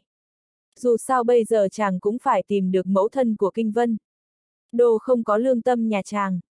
Ca ca, việc này Tiểu Linh tỷ nói đúng. Việc quan trọng nhất hiện tại là tìm được mẫu thân của Kinh Vân. Lục tâm đồng nhìn ca ca, nói. Đợi sau khi Kinh Vân xuất quan, sợ rằng chuyện này cũng khó mà giấu được Kinh Vân. Lâm Thiên, mẫu thân Kinh Vân là ai? Độc cô cảnh văn nhìn Lục Lâm Thiên, im lặng một chút rồi nói. Vậy cũng là một chuyện vui, nhiều năm như vậy mà chàng cũng không nói chuyện bên ngoài, chúng ta cũng không hỏi nhiều. Kinh Vân hiện tại cũng đã lớn như vậy, thiếp thấy chàng cũng nên có một câu trả lời thỏa đáng cho mẫu thân của Kinh Vân. Băng không chúng ta sẽ không tha cho chàng. Hẳn là Lăng Thanh Tuyền, chỉ là hiện tại ta cũng không tìm thấy nàng ta. Lục Lâm Thiên nói với chúng nữ. Ồ, là nàng. Lục Lâm Thiên vừa mới nói ra, khiến cho mọi người trợn mắt. Lăng Thanh Tuyền là ai? Người ở đây, ngay cả đại công chúa Long Bích Hàm cũng biết, người này là ai hắn không cần phải nhiều lời. Mọi người đều biết quan hệ của phi linh môn và linh vũ giới, đặc biệt là Tiểu Long và đám người Lữ Tiểu Linh, Vân Hồng Lăng, Bắc Cung vô song. Mọi người đều biết mỗi một lần Lục Lâm Thiên và Lăng Thanh Tuyền gặp mặt đều động thủ, không chết không thôi. Lúc này nghe thấy Lục Lâm Thiên nói ra tên Lăng Thanh Tuyền, chuyện này khiến cho mọi người không có cách nào bình tĩnh được. Lão đại, huynh thật nghiêu, ngay cả đệ cũng không biết. Tiểu Long không khỏi bội phục lão đại của mình, chuyện này ngay cả một chút manh mối cũng không có, ngay cả hắn cũng mơ mơ màng màng. Lâm Thiên, chàng nói thật sao? Vân Hồng Lăng kinh ngạc đứng dậy, đôi mắt xinh đẹp mở to ra, nàng nhớ rõ lúc đại hội tam tông tứ môn cùng với thi đấu chọn ra thập đại cường giả trẻ tuổi, Lục Lâm Thiên và Lăng Thanh Tuyền hầu như là gạch đá cùng tan, hung hăng trà đạp lẫn nhau. Giống như ta đang nói đùa sao? Lục Lâm Thiên nheo mắt, hít sâu một hơi rồi nói. Lúc này nói ra rất dài dòng, đợi sau này rồi nói đi. Mau chóng tìm Lăng Thanh Tuyền, Kinh Vân không biết khi nào mới xuất quan, người định làm thế nào? Quỷ tiên tử Bạch Oánh nói. Ta cũng không biết. Trong lòng Lục Lâm Thiên vừa mừng vừa sợ, thế nhưng đối mặt với chuyện này như thế nào lại khiến cho tâm hắn loạn như ma. Một lát sau, trong phòng, Bắc Cung vô song cùng với Lục Lâm Thiên có mặt, chúng nữ hiểu ý cười cười rời đi. Chuyện của Kinh Vân có lẽ nên nói với phụ mẫu A, ngày mai bọn thiếp cùng với tâm đồng định tới Lục gia thăm mẫu thân. Trong phòng, Bắc Cung vô song nói với Lâm Thiên. Các nàng cứ quyết định là được rồi, dù sao mẫu thân sớm muộn cũng sẽ biết. Lục Lâm Thiên cười khổ, không biết sau khi mẫu thân biết rõ chuyện này sẽ như thế nào. Ngày mai chàng muốn đi cùng bọn thiếp tới lục gia hay không? Bắc cung vô song gật đầu, lại nhìn qua lục lâm thiên rồi hỏi. Có lẽ ta không có thời gian, gần đây có nhiều chuyện phải sắp xếp, các nàng đi trước đi. Lục lâm thiên nói. Được. Bắc cung vô song gật đầu, nhìn nam tử trước mắt rồi nói. Phía lăng thanh tuyền thiếp tin chàng sẽ sắp xếp tốt. Lục lâm thiên không nói gì, nhìn Bắc cung vô song nói. Ta sẽ làm vậy, cảm ơn nàng. Giữa chúng ta còn phải nói lời cảm ơn sao? Bắc cung vô song nhẹ nhàng tiến lên, khẽ tựa vào ngực lục lâm thiên nói. Ta biết ngay hư không bí cảnh không trói buộc được chàng. Thế nhưng lần sau cũng đừng quá mạo hiểm, trung quy sẽ khiến cho người ta lo lắng. Mạng của ta rất lớn, không dễ dàng chết được đâu. Lục lâm thiên cười cười, nhẹ nhàng ôm nữ tử động lòng người này vào trong ngực. Đúng rồi, Lam Linh khôi phục thế nào rồi? Bắc cung vô song hỏi. Phải cần một ít thời gian, muốn khôi phục cũng không dễ dàng. Nhớ tới Lam Linh, trong lòng Lục Lâm Thiên vẫn còn có chút đau đớn, 8 năm đau đớn a. À. Nhất định Lam Linh sẽ không có việc gì, chàng không nên suy nghĩ nhiều. Bắc cung vô song cảm nhận cánh tay Lục Lâm Thiên ngày càng siết chặt cho nên ngẩng đầu nhìn Lục Lâm Thiên nói. Về sau ta sẽ không để cho bất luận một người nào trong các nàng chịu tổn thương, ta thề. Lục Lâm Thiên nói, người bên cạnh hắn tuyệt đối không thể bị thương tổn, cho nên phải mau chóng tìm ra huyết kiếm đại đế, nếu không hậu quả sẽ không thể tưởng tượng nổi. Chúng ta cũng không dễ dàng bị thương tổn như vậy đâu. Bắc cung vô song cười nói, bằng vào tu vi vào thủ đoạn của nàng, lời này tuyệt đối không phải khoác loác. Lục lâm thiên nhìn nữ tử trước mắt, gần đây có quá nhiều chuyện xảy ra, đông vô mệnh rời đi khiến cho lục lâm thiên hiểu được, những năm này hắn vùi đầu vào trong tu luyện, thời gian ở cạnh mọi người quá ít, cho nên hắn đã bỏ qua rất nhiều thứ. Về sau, ít nhiều hắn cũng phải ở bên cạnh người thân nhiều hơn. Muốn làm gì vậy? Bắc cung vô song dịu dàng cười, nụ cười khuynh thành. Lục lâm thiên không nói gì, ôm nữ tử này vào trong ngực, nhìn đôi mắt sáng ngời như ngôi sao kia, lập tức nâng khuôn mặt tuyệt mỹ kia lên rồi cúi đầu khẽ hôn cặp môi đỏ mọng của nàng. Đôi mắt xinh đẹp của Bắc Cung vô song nhắm lại, khẽ ngẩng đầu, trên đôi môi truyền đến xúc cảm mềm mại, hai cái lưỡi cuốn lấy nhau. Một lát sau, trên giường, thân thể trắng như tuyết của Bắc Cung vô song hiện lên trước mặt Lục Lâm Thiên, khiến cho Lục Lâm Thiên có cảm giác khô nóng, máu tươi bắt đầu sôi sục. Hai người lập tức dây dưa, triền miên không ngừng. Một đêm trôi qua, sáng sớm trong phi linh sơn mạch còn được phủ lên một tấm lụa mỏng, sương lạnh tràn ngập mặt đất. Keng! Lúc này trong sơn mạch yên tĩnh truyền đến tiếng đàn du dương, truyền đàn truyền tới, tựa như âm thanh của thiên nhiên, rơi vào trong tay của tất cả mọi người trong phi linh môn giống như có thể khiến cho linh hồn tỉnh lại. Trong phòng, Lục Lâm Thiên đang khoanh chân ngồi đột nhiên mở mắt ra, âm thanh động lòng người này tràn ngập sự bồi hồi, ý tứ sâu sắc khiến cho Lục Lâm Thiên không cần suy nghĩ nhiều cũng biết là ai đang đánh đàn. Tiếng đàn hay quá! Bắc cung vô song mở hai mắt a, tiếng đàn động lòng người này khiến cho tâm thần nàng run lên. Chúng ta đi nhìn xem. Lục Lâm Thiên dứt lời, thân ảnh đã rời khỏi phòng. Lục Lâm Thiên theo tiếng mà đi, khi thân ảnh đi tới trước mộ đông vô mệnh, lúc này Bạch Toa Toa đã ở trước mộ, mà trước Bạch Toa Toa còn có một thân ảnh màu trắng xinh đẹp đang khoanh chân ngồi. Trước người có một chiếc bệ đá, trên mặt bệ đá đặt một chiếc đàn cổ xưa, đây chính là chiếc thái huyền cầm duy nhất trên đời này. Mười ngón tay của nữ tử này khẽ gảy nhẹ, lúc nhanh lúc chậm, tiếng đàn truyền ra, lúc giống như cô độc, lúc giống như nước chảy róc rách, ý cảnh biến ảo không ngừng, khiến cho người ta bất chi bất giác chìm vào bên trong. Siêu siêu. Trong nháy mắt này, trong hậu sơn có không ít thân ảnh rơi vào bên người lục lâm thiên. Đám người lục tâm đồng, độc cô cảnh văn, dương quá, vân hồng lăng, lữ tiểu linh, long bích hàm, huyền hạo, kim huyền đều nhìn vào thân ảnh xinh đẹp mặc y phục màu trắng kia. Dưới tiếng đàn, hai mắt mọi người khép hờ, cẩn thận lắng nghe âm thanh này, giống như đang đắm chìm trong tiếng đàn. Trên ngọn núi xa xa, đám người thánh thủ linh đế, nam thúc bị kinh động, thân ảnh xuất hiện trên ngọn núi, tiếng đàn này khiến cho mọi người cảm thán, nghe mà động lòng người. Từng tiếng đàn du dương uyển chuyển truyền ra, tiếng đàn xa xưa, cổ xưa mà trang nhã. Một âm thanh mềm mại, hàm xúc lập tức vang lên. Ngọn đèn dầu vì sao, tiếng người xa ngút ngàn dặm xa ngút ngàn dặm, ca vô cùng loạn thế gió lửa, vài lần luân hồi, mấy đời ngoái đầu nhìn lại, rốt cục vì cái kia một thân giang nam mưa bụi, che thiên hạ, cho hoa tạ về sau, nhưng mà một hồi, nửa đời ngựa chiến. Luân hồi muôn đời, xuân đi hồng nhan già nua, hoa rơi người chết không ai biết. Nửa đời phiêu bạt, ly biệt ảm đạm, kết thúc một đời, mê luyến trần gian, ai có thể tỉnh lại. Nửa chén rượu nhỏ, có Phật làm bạn, ánh trăng song hành, cả cuộc đời giống như một khúc ca. Không sợ hồng nhan tang thương, chỉ sợ hoa rơi đàn đứt dây không có ai lắng nghe. Một khúc đàn không quấn quanh hán phú nguyên khúc, một bà tỳ bà, mờ mịt thơ đường tống tử, nghiêng ôm tàn tiêu, lưu luyến si mê thanh minh vũ, phồn hoa mất hết, ai có thể hứa ta một khúc vĩnh viễn sánh cùng thiên địa. Một chữ cuối cùng thốt ra, tiếng đàn từ từ chấm dứt, tiếng đàn quanh quẩn trên không trung. Giờ phút này tất cả mọi người khép hờ hai mắt, đắm chìm trong ý cảnh thoát tục. Chẳng biết từ khi nào, dưới tiếng đàn này trong hậu sơn có vô số chím chóc tụ tập, tất cả đều si mê tiếng đàn này. Âm thanh thật động lòng người. Đôi mắt đỏ tươi của mẫu đơn mở ra, trong mắt hiện lên sự rung động. Tiếng đàn này giống như có một loại ma lực xuyên thấu qua linh hồn, khiến cho nàng có cảm giác, dư âm tiếng đàn đang quanh quẩn trong đầu nàng. Đẹp quá! Hai mắt bạch linh mở ra, trong đôi mắt lạnh lùng, yêu mị hiện lên sự rung động thật sâu. Giống như là thần âm vậy. Bài từ này quả thực hoàn mỹ tới tận cùng, động lòng người tới cực hạn, oánh muội muội, đáng lẽ ta phải biết muội sớm hơn. Nữ tử mặc y phục màu trắng này chậm rãi quay đầu lại, mái tóc trắng búi cao, tuy rằng khuôn mặt nhìn như không còn trẻ tuổi, thế nhưng đôi mắt vô cùng xinh đẹp. Người mặc bộ váy dài màu trắng tới tinh khiết, hoàn mỹ.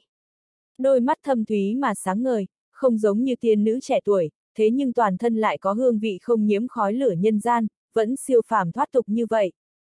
Oánh tỷ! Ánh mắt lục lâm thiên biến ảo, giờ phút này trên người oánh tỷ như có một vầng sáng. Giống như thời điểm đầu tiên hắn nhìn thấy nàng ở trong bạch vân hạp, khiến cho người ta động lòng người, khí chất bất phàm.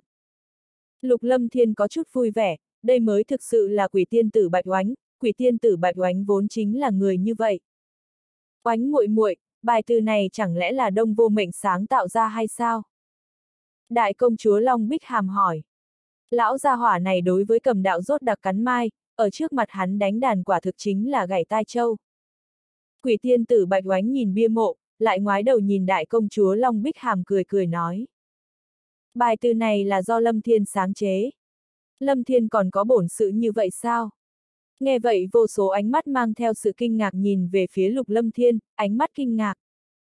Lâm Thiên, bài từ này là do ngươi để lại Bạch Vân Hạp cho ta lúc trước. Hiện tại ta rời đi cho nên lưu lại bài từ này cho ngươi và lão gia hỏa. Về sau các ngươi bảo trọng. Quỷ tiên tử Bạch Oánh nói. Oánh tỷ, tỷ phải bảo trọng. Lục Lâm Thiên biết rõ mình giữ cũng vô dụng, hắn làm sao có thể nhẫn tâm để cho quỷ tiên tử Bạch Oánh chịu khổ. Lục Lâm Thiên tiến lên bên người quỷ tiên tử Bạch Oánh, ánh mắt nhìn về phía quỷ tiên tử Bạch Oánh nói. Tỷ cầm lấy thứ này, cũng mang theo hung khôi, để cho ta an tâm, bằng không ta sẽ không yên tâm để cho tỷ rời đi. Dứt lời, trong tay Lục Lâm Thiên xuất hiện một kiện nhẫn chữ vật, bên trong có thần khí thượng cổ và thân thể đế giả.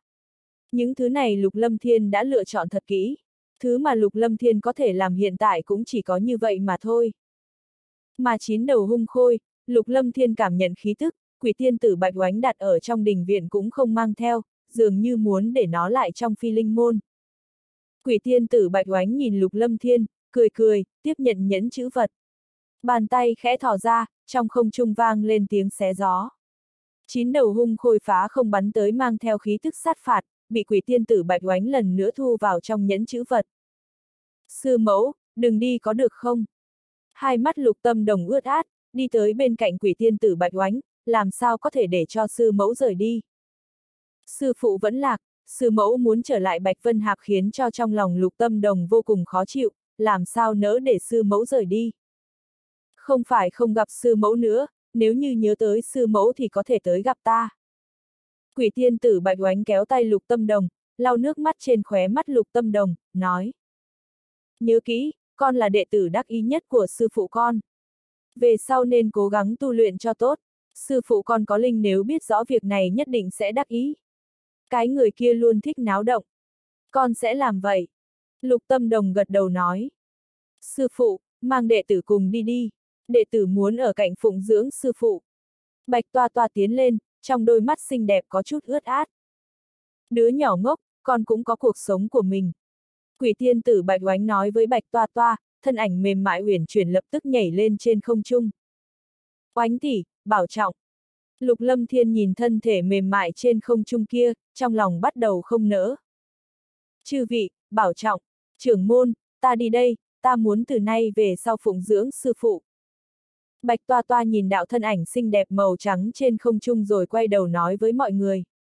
Dứt lời, thân ảnh lóe lên, nhảy lên trên không trung. Sư phụ, bảo trọng. Nhị nữ Diệp Mỹ, Diệp Phi lập tức quỳ xuống đất, nhị nữ dưng dưng tiễn biệt. Không biết sau lần từ biệt này phải bao lâu nữa hai người mới có thể gặp lại sư phụ. Nhìn hai đạo thân ảnh trên không trung xa xa, lục lâm thiên khẽ than, đông lão vẫn lạc, quỷ tiên tử bạch oánh rời đi, phi linh môn hiện tại giống như thiếu đi linh hồn vậy.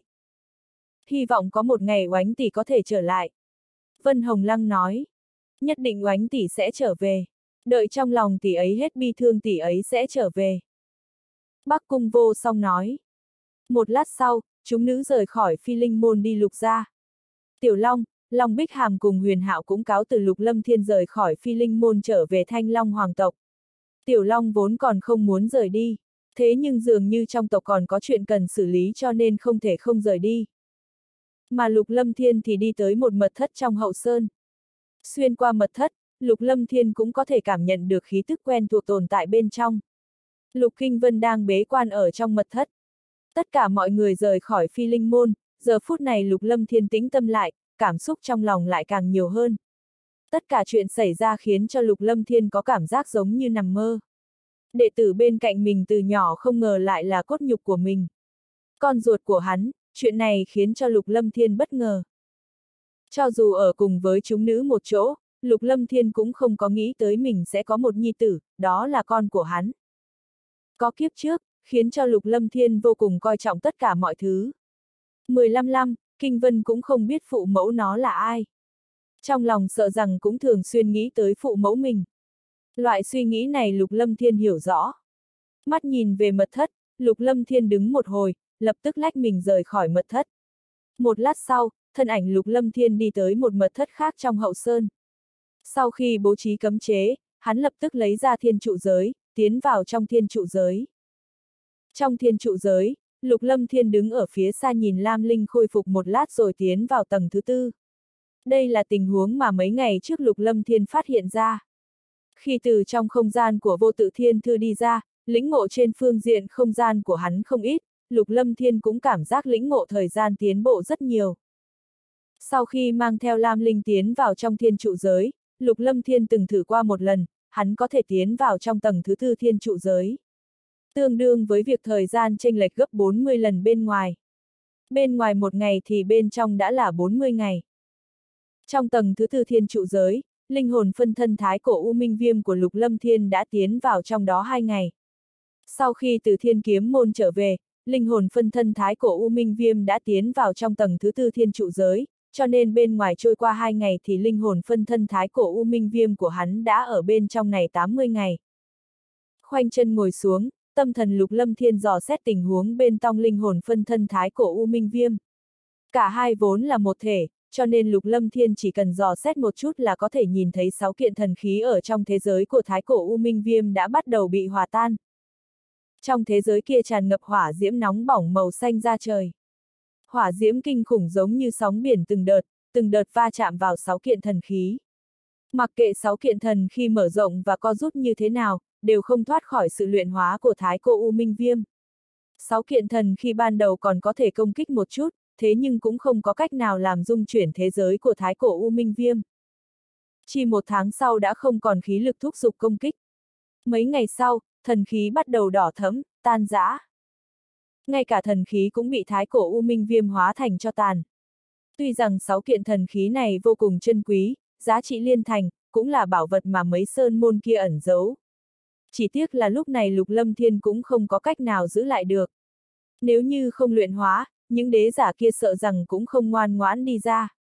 Những người này nhất định không thể giữ lại. Huống chi giờ phút này Lục Lâm Thiên cũng biết những đế giả này đều có tác dụng, vừa vặn để cho âm dương linh vũ quyết thôn phệ. Sáu kiện thần khí đang tan rã. Trong thế giới của Thái Cổ U Minh Viêm trải qua 80 ngày, thần khí không có cách nào tiếp tục chống đỡ. Bản thể Lục Lâm Thiên nhíu mày, lập tức hóa thành một đạo lưu quang, tiến vào trong thế giới của Thái Cổ U Minh Viêm.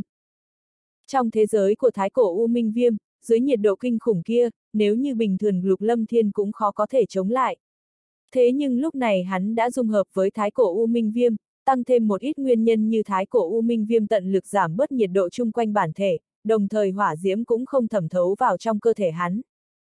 Bởi vậy lúc này Lục Lâm Thiên ở trong thế giới của Thái Cổ U Minh Viêm cũng không có bao nhiêu ảnh hưởng, cũng không cảm giác được áp bách và khó chịu. Nhìn sáu kiện thần khí đã bắt đầu tan rã, Lục Lâm Thiên nhíu mày, tâm thần khẽ động, linh hồn phân thân lập tức giảm bớt nhiệt độ chung quanh năm kiện thần khí. Tập trung nhiệt độ vào một kiện thần khí quỷ dị hình kiếm, làm tăng tốc độ quá trình tan rã của nó. Trong thế giới này, hỏa diễm màu xanh ra trời không ngừng rít gào, nhiệt độ khủng bố tới tình trạng thiên địa ghen ghét. Dưới nhiệt độ như vậy, sau mấy thời thần sau, thần khí tan rã, từng giọt chất lỏng kim loại rơi xuống, lập tức bị hòa tan trong thế giới của thái cổ U Minh Viêm. Phanh! Trong nháy mắt thần khí này nổ tung, làm cho dung nham màu xanh ra trời bắn tứ tung giống như pháo hoa rực rỡ từ trên không trung chút xuống. Trong rực rỡ mang theo năng lượng hủy diệt. Đồng thời một đạo thân ảnh từ trong thần khí bắn ra. Đây chính là một lão giả mặc trường bào màu vàng chừng bảy chục tuổi. Đây chính là đế giả đi cùng với ảnh long đại đế của Nguyệt Long Các, tu vi vũ đế nhị trọng. Vũ đế nhị trọng kia vừa mới chật vật xuất hiện, nhìn thấy không gian tràn ngập hỏa diễm màu xanh ra trời, sắc mặt người này lập tức trắng bệch, toàn thân không có cách nào nhúc nhích. Lục phủ ngũ tạng trong cơ thể toát ra nhiệt khí, linh hồn dường như cũng bắt đầu héo rút. Vũ đế nhị trọng này ở trong thần khí cũng sắp không chịu đựng được. Dưới nhiệt độ kinh khủng khiến cho thần khí tan giã kia hắn đã không có cách nào chống đỡ được. Cho dù dùng hết toàn lực cũng chỉ có thể giữ lại nửa cái mạng, giờ phút này hắn không ngờ nhiệt độ ở bên ngoài so với trong thần khí còn khủng bố hơn. Ở trong thần khí kia hắn có cảm giác giống như mình sắp bị hòa tan. Siêu! Vũ đế nhị trọng này còn chưa kịp phản ứng, một đạo thân ảnh đột nhiên lóe lên trước mặt hắn, một đạo cấm chế lập tức đánh vào trên thân thể. Cấm chế rơi xuống, hắn bị người khác nắm vào trong tay. Lúc này hắn mới nhìn rõ, người này chính là Lục Lâm Thiên kinh khủng kia. Lục Lâm Thiên, rốt cuộc ngươi muốn thế nào? Nhìn qua đạo thân ảnh này, linh hồn lão giả này cảm thấy run rẩy, từ sâu trong linh hồn cảm thấy sợ hãi. Lục Lâm Thiên này không phải đáng sợ bình thường. Nguyệt Long các ngươi không nên năm lần bảy lượt trêu chọc ta. Rơi vào kết cục như hiện tại cũng là do các ngươi gieo gió gặt bão. Chết đi! Lục Lâm Thiên lạnh lùng nói, trường bào màu xanh un lên, trong lòng bàn tay lập tức xuất hiện vòng xoáy chân khí. Lão giả kia nhìn vòng xoáy chân khí trong tay Lục Lâm Thiên, dường như bên trong có hấp lực ngập trời. Trong sát na, trong lòng hắn đột nhiên cảm thấy tim đập nhanh. Trong mắt Lục Lâm Thiên hiện lên hàn ý, năm ngón tay cong lại thành chảo, đặt vào trên đầu vũ đế nhị trọng kia. Tới cấp độ đế giả, Lục Lâm Thiên biết rõ muốn đột phá rất khó khăn. Đặc biệt đối với âm dương linh vũ quyết mà nói, nếu chỉ tu luyện bình thường, Lục Lâm Thiên không đoán được bao nhiêu lâu hắn mới có thể đột phá. Lúc này hắn chỉ là vũ đế và linh đế nhất trọng mà thôi. Từ vũ đế nhất trọng tới vũ đế cửu trọng còn có một con đường dài rằng rặc. Lục Lâm Thiên chưa từng dám nghĩ qua, đột phá tới đế giả đã khiến cho hắn thỏa mãn lắm rồi. Vị chủ nhân mà tổ tiên lục gia thờ phụng khi đó nghe nói chính là vũ đế cửu trọng. Đã có người có thể đạt tới độ cao kinh khủng kia. Lục Lâm Thiên cũng không định dừng lại ở cấp độ vũ đế nhất trọng. Cấp độ vũ đế nhất trọng đối với cường giả bình thường mà nói, thậm chí là cường giả tôn cấp cùng với cường giả chuẩn đế đều là một cái hào rộng khó có thể vượt qua, thế nhưng đối với Lục Lâm Thiên mà nói, còn xa không đủ. Giữa đế giả và đế giả cũng có khác biệt cực lớn. Cho nên Lục Lâm Thiên hiện tại cũng không định dừng lại ở vũ đế và linh đế nhất trọng. Vị cường giả vũ đế cửu trọng mà tổ tiên lục gia phụng dưỡng khi trước cũng có thể bị người ta vây công, cho dù là vũ đế cửu trọng thì cũng không thoát chết. Giờ phút này trong lòng lục lâm thiên chỉ có bốn chữ vô tự thiên thư. Đồn rằng có được đủ chín bản, là có thể biết được bí mật phá toái hư không. Chuyện này khiến cho lục lâm thiên có chút chờ mong, phá toái hư không đại biểu cho việc gì, mà sau đế cấp sốt cuộc còn có tầng thứ nào.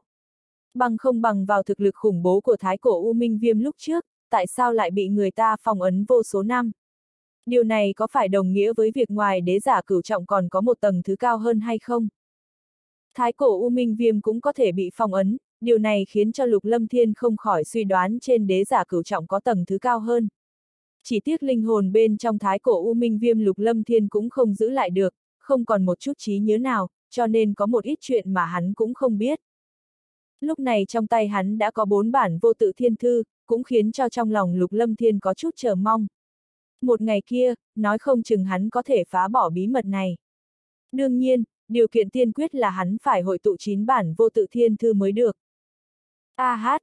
Từng tiếng kêu thảm thiết vang lên, lão giả này run rẩy, chân khí trong cơ thể không theo sự khống chế của hắn mà bị cắn nuốt. Mười thời thần sau, vụ đế nhị trọng kia đã hóa thành thây khô. Hồn anh và linh hồn trong đầu hắn cùng với linh hồn phân thân đều tiến vào trong đầu lục lâm thiên, bị đại hồn anh thôn phệ. Lúc này đại hồn anh có cảm giác ăn không tiêu, dù sao đại hồn anh chỉ có thực lực vô hạn tiếp cận đế giả mà thôi, không có cách nào so sánh với đế giả chính thức. Mà giờ phút này thôn vệ chân khí của một vũ đế nhị trọng, tuy rằng đan điền lục lâm thiên có cảm giác no đủ, thế nhưng cũng chỉ là cảm giác mà thôi. Muốn no đủ chính thức còn chênh lệch rất xa, tựa như một người bình thường ăn uống vậy, có cảm giác no bụng, thế nhưng nếu có thức ăn thì sợ rằng có thể tiếp tục ăn uống. Tiếp tục, lục lâm thiên do dự một chút, đại hồn anh đã không thể tiếp tục thôn phệ linh hồn lực, lúc này đã tới tình trạng bành trướng. Tâm thần khẽ động, một đạo lưu quang màu tím trong mi tâm hắn lóe lên, để cho đại hồn anh rời khỏi thế giới của thái cổ U Minh Viêm, khoanh chân ngồi trong tầng thứ tư thiên trụ giới, bắt đầu luyện hóa linh hồn lực bàng bạc. Linh hồn phân thân và hồn anh của vũ đế nhị trọng cực kỳ đậm đặc và cường hãn. Bản thể lục lâm thiên tiếp tục ở trong thế giới của thái cổ U Minh Viêm, tiếp tục chỉ điểm cho thái cổ U Minh Viêm luyện hóa một kiện thần khí khác. Mấy thời thần sau, một kiện thần khí của Lan Lăng Sơn Trang nổ tung. Lập tức có quân lăng đại đế cùng với một vũ đế nhất trọng của Lan Lăng Sơn Trang nhảy ra. Hai người kinh hãi, sắc mặt trắng bệch, dưới cỗ nhiệt độ khủng bố cùng với sóng lửa ngập trời, trong giây lát, hai người lập tức bị cấm chế. Quân lăng đại đế cùng với vũ đế nhất trọng kia bị cấm chế, nhanh chóng nhìn thấy khuôn mặt sát thần của lục lâm thiên, sắc mặt hai người lập tức khó coi. Lúc này hai người bị cấm chế, trên người cũng không còn uy phong của đế giả, chật vật không thôi. Ánh mắt sợ hãi, linh hồn run rẩy. Nam tử mà lúc trước bọn họ không để vào trong mắt lúc này lại là người quyết định tính mạng của bọn họ. A hát!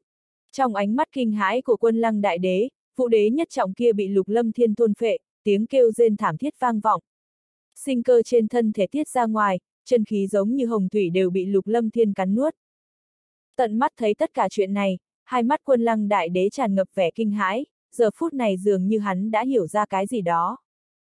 Mấy thời thần sau, vụ đế nhất trọng kia bị cắn nuốt sạch sẽ, đan điền khí hải của lục lâm thiên lúc này cực kỳ no đủ, nhưng mà còn chưa tới tình trạng cực hạn. Về phần linh hồn phân thân và hồn anh của người này, không có đại hồn anh trong đầu cho nên đã bị tiểu hồn anh hấp thu. Thế nhưng kim đao màu vàng lại tham lam, cướp đoạt hơn phân nửa chỗ tốt linh hồn. Sau khi lần lượt được kim đao màu vàng cứu mạng, bây giờ đối với kim đao màu vàng, lục lâm thiên tuyệt đối không keo kiệt, thậm chí hắn còn hy vọng kim đao màu vàng hấp thu nhiều linh hồn lực một chút. Để xem cuối cùng sẽ có phản ứng gì. Trong lúc mơ hồ lục lâm thiên còn có thể cảm giác được, kim đao màu vàng hấp thu, thôn phệ linh hồn lực đều xảy ra biến hóa rất nhỏ. Loại biến hóa này coi như dùng tu vi của hắn hiện tại, nếu không phải có kim đao màu vàng trong đầu, hắn khó có thể phá hiện ra. Cảm nhận chân khí no đủ hơn không ít trong đan điền, thế nhưng cũng còn chưa tới cực hạn. Chuyện này khiến cho Lục Lâm Thiên khiếp sợ, cũng mừng rỡ không thôi. Dường như sau khi hắn đột phá đế giả, huyết lục tấn chức, đan điền lần nữa khổng lồ hơn không ít, cũng chứng minh so với người có tu vi đồng cấp, hắn mạnh hơn rất nhiều. Nhưng mà Lục Lâm Thiên cũng hiểu rõ, sợ rằng sau này hắn muốn đột phá sẽ khó hơn rất nhiều. Suy tư một lát, Lục Lâm Thiên khẽ cắn môi, dưới ánh mắt kinh hãi của quân lăng đại đế, bàn tay ngưng tụ thành chảo. Hơn 10 thời thần sau, quân lăng đại đế kia cũng hóa thành thây khô, hồn anh cùng với linh hồn phân thân đều bị đều bị tiểu hồn anh và kim đao màu vàng thôn phệ. Đương nhiên, chỗ tốt về linh hồn mà tiểu hồn anh đạt được, còn xa không bằng kim đao màu vàng. Sau khi thôn phệ quân lăng đại đế xong, lục lâm thiên thu thủ ấn lại, khuôn mặt đỏ bừng vì cố gắng chống đỡ. Sau khi thôn vệ quân lăng này xong, hai vũ đế nhị trọng, một vũ đế nhất trọng đã khiến cho lục lâm thiên có cảm giác không chịu đựng nổi, lập tức khoanh chân ngồi trong thế giới của thái cổ U Minh Viêm, bắt đầu luyện hóa. Người khác ở trong thế giới của thái cổ U Minh Viêm muốn sinh tồn cũng khó có khả năng, căn bản không thể tu luyện trong nơi này. Thế nhưng Lục Lâm Thiên lại không giống vậy, trong thế giới này Lục Lâm Thiên đã sớm phát hiện ra thái cổ U Minh Viêm còn có thể tiếp tục khiến cho thân thể hắn nhận được một ít chỗ tốt. Nếu như kéo dài, nhất định chỗ tốt sẽ còn nhiều hơn. Bởi vậy Lục Lâm Thiên sẽ không bỏ qua cơ hội này, bắt đầu khoanh chân ngồi luyện hóa chân khí minh mông trong cơ thể, dần dà đắm chìm vào bên trong. Về phần bốn kiện thần khí còn lại, Lục Lâm Thiên cũng không sốt ruột luyện hóa, ép mấy đế giả kia ra. Lục Lâm Thiên có chút bận tâm, nếu như mấy đế giả kia bị ép quá, không chừng sẽ tự bạo, đến lúc đó hắn sẽ gặp phiền phức, mà lúc đó hắn cũng không chiếm được chỗ tốt. Cường giả cấp độ đế cấp, bất kể là linh giả hay vũ giả, linh lực và chân khí trong cơ thể vô cùng minh mông. Lãng phí chính là chuyện vô cùng xấu hổ, huống chi muốn tìm một đế giả để thôn phệ cũng không phải là chuyện dễ dàng. Lục lâm thiên tiến vào trong thiên trụ giới tu luyện, thời gian từ từ trôi qua. Mà trên đại lục, tin tức thiên địa minh bị diệt kinh người cũng đã truyền ra. Trận chiến kinh người kia, lục lâm thiên đồ sát trăm vạn đệ tử thiên kiếm môn, đánh chết tất cả cường giả thiên địa minh, đao bổ mấy đế giả cũng được truyền thành đao bổ hai mươi mấy đế giả. Tin tức này tựa như sấm sét trên chín tầng trời khiến cho tất cả mọi người nghẹn họng nhìn chân chối. Sau khi được người thêm mắm thêm muối, chuyện càng sinh động giống như thật. Tất cả mọi người đều tin tưởng không chút nghi ngờ, bởi vì thiên địa minh hiện tại quả thực đã bị diệt. Trên đại lục, ba chữ lục lâm thiên cũng trở thành thần thoại tuyệt đối, trong khoảng thời gian ngắn, vô số người tụ tập tới phi linh môn, muốn gia nhập phi linh môn. Đội ngũ dài nườm nượp, chật như nêm. Mà trong khoảng thời gian này, cả đế đạo minh đều xuất động cường giả tiến hành tiêu diệt cơ hồ tất cả các sơn môn trong thiên địa minh. Từng sơn môn bị nhổ cỏ tận gốc, đặc biệt là Nguyệt Long Các, huyễn hồn môn, quy nguyên môn. Không có đại trận hộ sơn, căn bản không thể ngăn cản cường giả đế đạo minh. Những sơn môn khác có đại trận hộ sơn, thế nhưng cũng không trèo chống được bao lâu. Lần hành động tiêu diệt này dường như tất cả các sơn môn lớn đều đạt được sự ăn ý với nhau, không có đế giả xuất hiện, đều là đệ tử trong môn ra tay. Đều tạo cơ hội rèn luyện cho đệ tử trong môn. Từng đại thành bị quét qua, những nơi cường giả đế đạo minh đi qua, đệ tử thiên địa minh hơn phân nửa bị đánh chết. Cả đại lục triệt để dung chuyển, lòng người khắp nơi bàng hoàng. Những chuyện này chỉ xảy ra trong khu vực của thiên địa minh. Đối với tất cả các sơn môn lớn trong đế đạo minh đều không có bất kỳ sự ảnh hưởng nào. Trên lan lăng sơn trang, một màn sáng cực lớn bao phủ cả lan lăng sơn trang. Trên màn sáng, quang mang trói mắt quanh quẩn, ngoài đại trận lúc này có cường giả phi linh môn đang vây công. Ngoài lan lăng sơn trang, cường giả phi linh môn tràn ngập. Trên không trung có một mảng lớn mây đen chập chờn, nếu như nhìn kỹ không khó phát hiện ra đây không phải là mây đen là một đám yêu thú phi hành đông nghịt. Bên trong có không ít yêu thú bát dai, còn có cường giả phi linh môn cũng tới. Yêu thú phi linh môn cùng với đệ tử tinh anh ngoại đường, vũ đường lúc này đứng thẳng trước lan lăng sơn trang, thanh thế mạnh mẽ lan tràn. Từng cỗ chân khí linh lực, yêu nguyên tuôn ra, hội tụ thành khí thế tràn ngập không trung. Bên trong còn có sát khí ngập trời, cả không trung phong vân biến sắc, những ngày này chúng cường giả cùng với yêu thú, linh thú phi linh môn đều từ giết chóc mà kéo tới đây, toàn thân tràn ngập sát khí, mùi máu tươi, càng khó có thể đối phó. Trên không trung phong vân biến sắc, giống như là dấu hiệu trước bão tố. Đám yêu thú, linh thú khổng lồ giống như mây đen bao phủ bầu trời, từng đạo sát khí che khuất bầu trời khiến cho tất cả mọi người kinh hãi. Người phi linh môn đánh tới, chạy mau. Có gì mà phải trốn? Người phi linh môn không giết bình dân. Chúng ta không cần trốn. Phi linh môn chỉ giết đệ tử Lan Lăng Sơn Trang mà thôi. Đại địa vương giả Niếp Phong đã nói, chỉ cần không phải là đệ tử Lan Lăng Sơn Trang thì không phải là đối tượng phi linh môn đổ sát. Chúng ta cũng không phải là người của Lan Lăng Sơn Trang. Trong đại thành bên ngoài Lan Lăng Sơn Trang, mọi người run sợ, bối rối không thôi. Nhìn Lan Lăng Sơn Trang to lớn phía xa, trước kia nơi này chính là thánh địa trong lòng tất cả mọi người, kiến trúc to lớn kia cao không thể chạm tới, thế nhưng lúc này lại bị cường giả phi linh môn gắt gao vây khốn. ầm ầm, ngoài màn sáng cực lớn, lúc này cường giả phi linh môn liên tiếp đánh ra thủ ấn. Từng đạo chân ca hí cùng với linh lực từ trong cơ thể bắn ra. Yêu thú, linh thú khổng lồ cũng hung hăng ngưng tụ công kích. Không ngừng cưỡng ép phá trận, khiến cho cả màn sáng lung lay sắp đổ, ầm ầm vang vọng. Chỉ là có nhiều cường giả như vậy thế nhưng trong lúc nhất thời cũng khó có thể phá vỡ đại trận chắc chắn này. Niếp phong thiếu gia, liệu chúng ta có thua hồng chí thiếu gia hay không? Ngoài đại trận cực kỳ rắn chắc, âm quỷ bộ dáng mập mạp bên người Niếp Phong khẽ nói. Âm quỷ bá bá, các người không cần gọi tiểu tử là thiếu gia. Cứ gọi là Niếp Phong là được. Niếp Phong bất đắc dĩ nói với âm quỷ. Niếp phong thiếu gia, người và nhị thiếu gia đều kính trọng chúng ta. Ba huynh đệ chúng ta cũng đã rất cảm kích, người là đại đệ tử của nhị thiếu gia, đương nhiên chính là thiếu gia của chúng ta.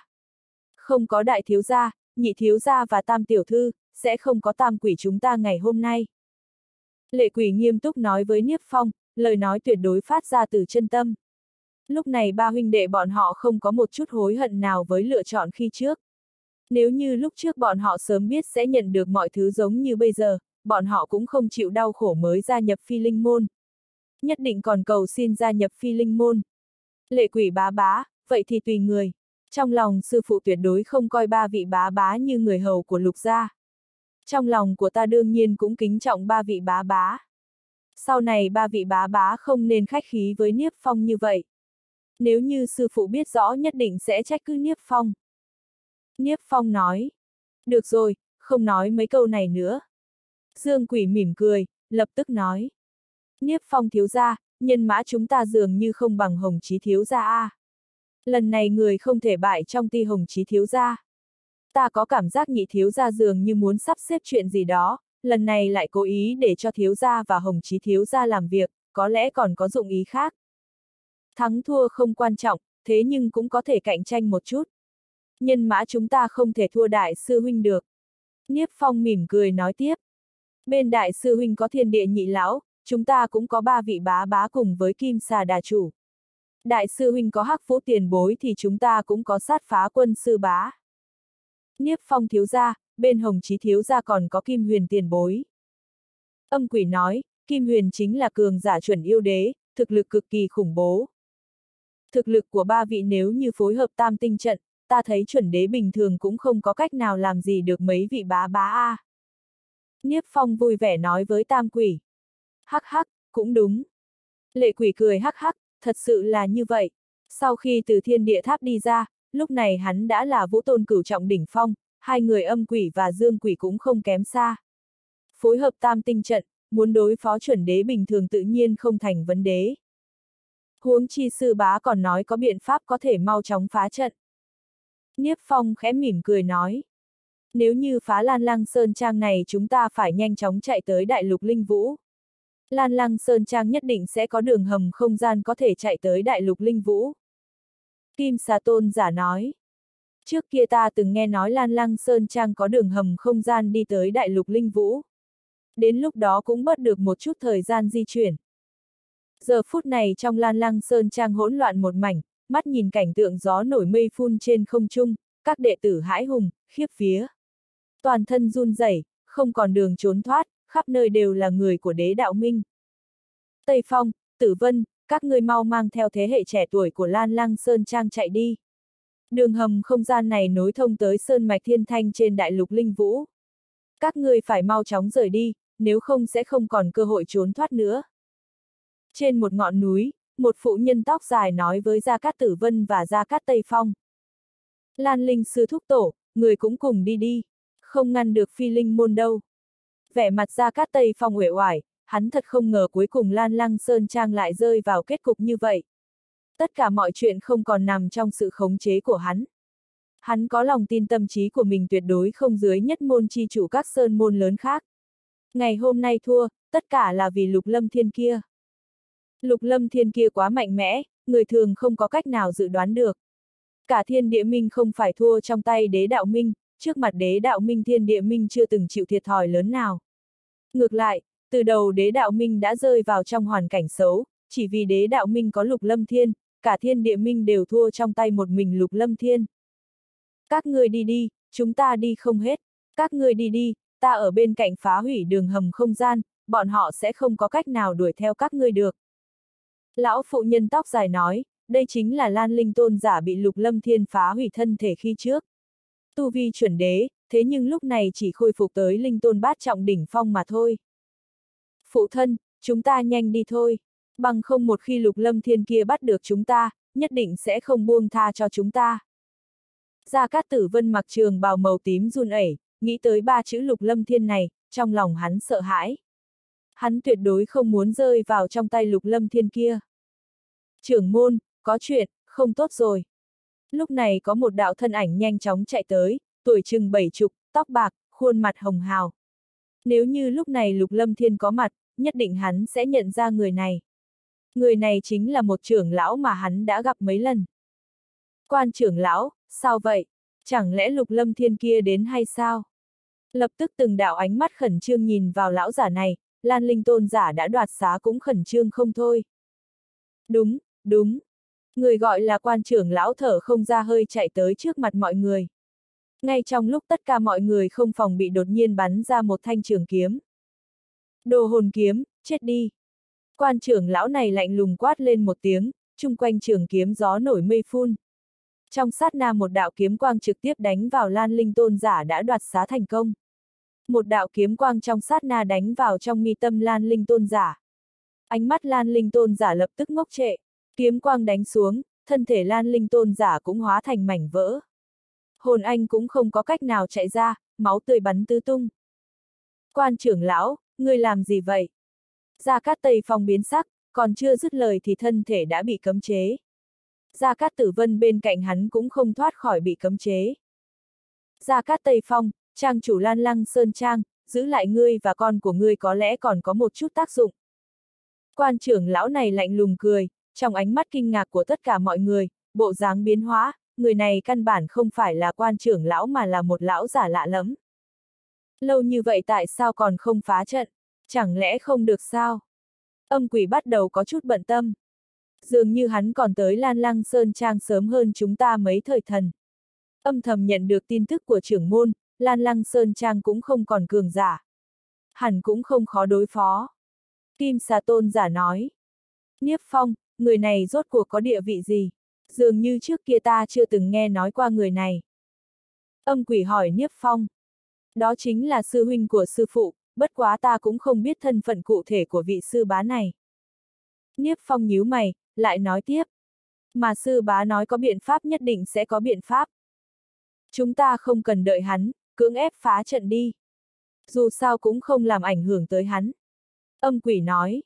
Cũng tốt, chúng ta bày trận, chuẩn bị cưỡng ép phá trận. Ta cũng không tin không phá nổi trận pháp này. Mái tóc trên đầu lệ quỷ tung bay, miệng khẽ quát một tiếng, thân ảnh lập tức nhảy lên trên không trung. Siêu siêu. Lệ quỷ nhảy lên trên không trung, hai tiếng xé gió vang lên. Hai người âm quỷ và dương quỷ cũng lướt lên không trung. Ba người đứng ở ba phương vị khác nhau, có chút huyền ảo. Tam tinh trận. Thủ ấn biến hóa, ba người hét lớn một tiếng, từng đạo quang trụ bằng chân khí từ trong cơ thể ba người tuôn ra, cuối cùng hợp lại. Trong chớp mắt, trên không trung có một trận pháp khổng lồ xuất hiện trước mắt mọi người. Thủ ấn lần nữa biến hóa, từng đạo quang trụ bằng chân khí khủng bố trong cơ thể ba người bắn ra, dẫn theo năng lượng thiên địa khiến cho không gian ẩm ẩm run rẩy. Năng lượng ngập trời hội tụ, tràn ngập uy năng khủng bố. ầm ầm, trong sát na ngắn ngủi, không gian run run, trong không gian xuất hiện hư ảnh một nhân loại cực lớn, chừng hơn ngàn thước. Uy áp lan tràn, khí thế tràn ngập thiên địa, khí tức ngút trời. Phá cho ta! Hư ảnh hình người hét lớn một tiếng, cánh tay cực lớn tựa như trụ trống trời đánh ra một đạo quyền ấn. Trước quyền ấn, không gian bị nghiền nát, hiện ra động sâu đen kịt. Lập tức đánh tới màn sáng cực lớn phía trước. Đạo quyền ấn khủng bố này trong giây lát hung hăng va chạm vào trên màn sáng cực lớn kia. Phanh! Năng lượng khủng bố của một quyền mang theo sóng xung kích hủy diệt hung hăng khuếch tán ra chung quanh. Khiến cho trên màn sáng xuất hiện khe nứt, chỉ là cuối cùng cũng không bị nghiền nát. Đại trận thật mạnh.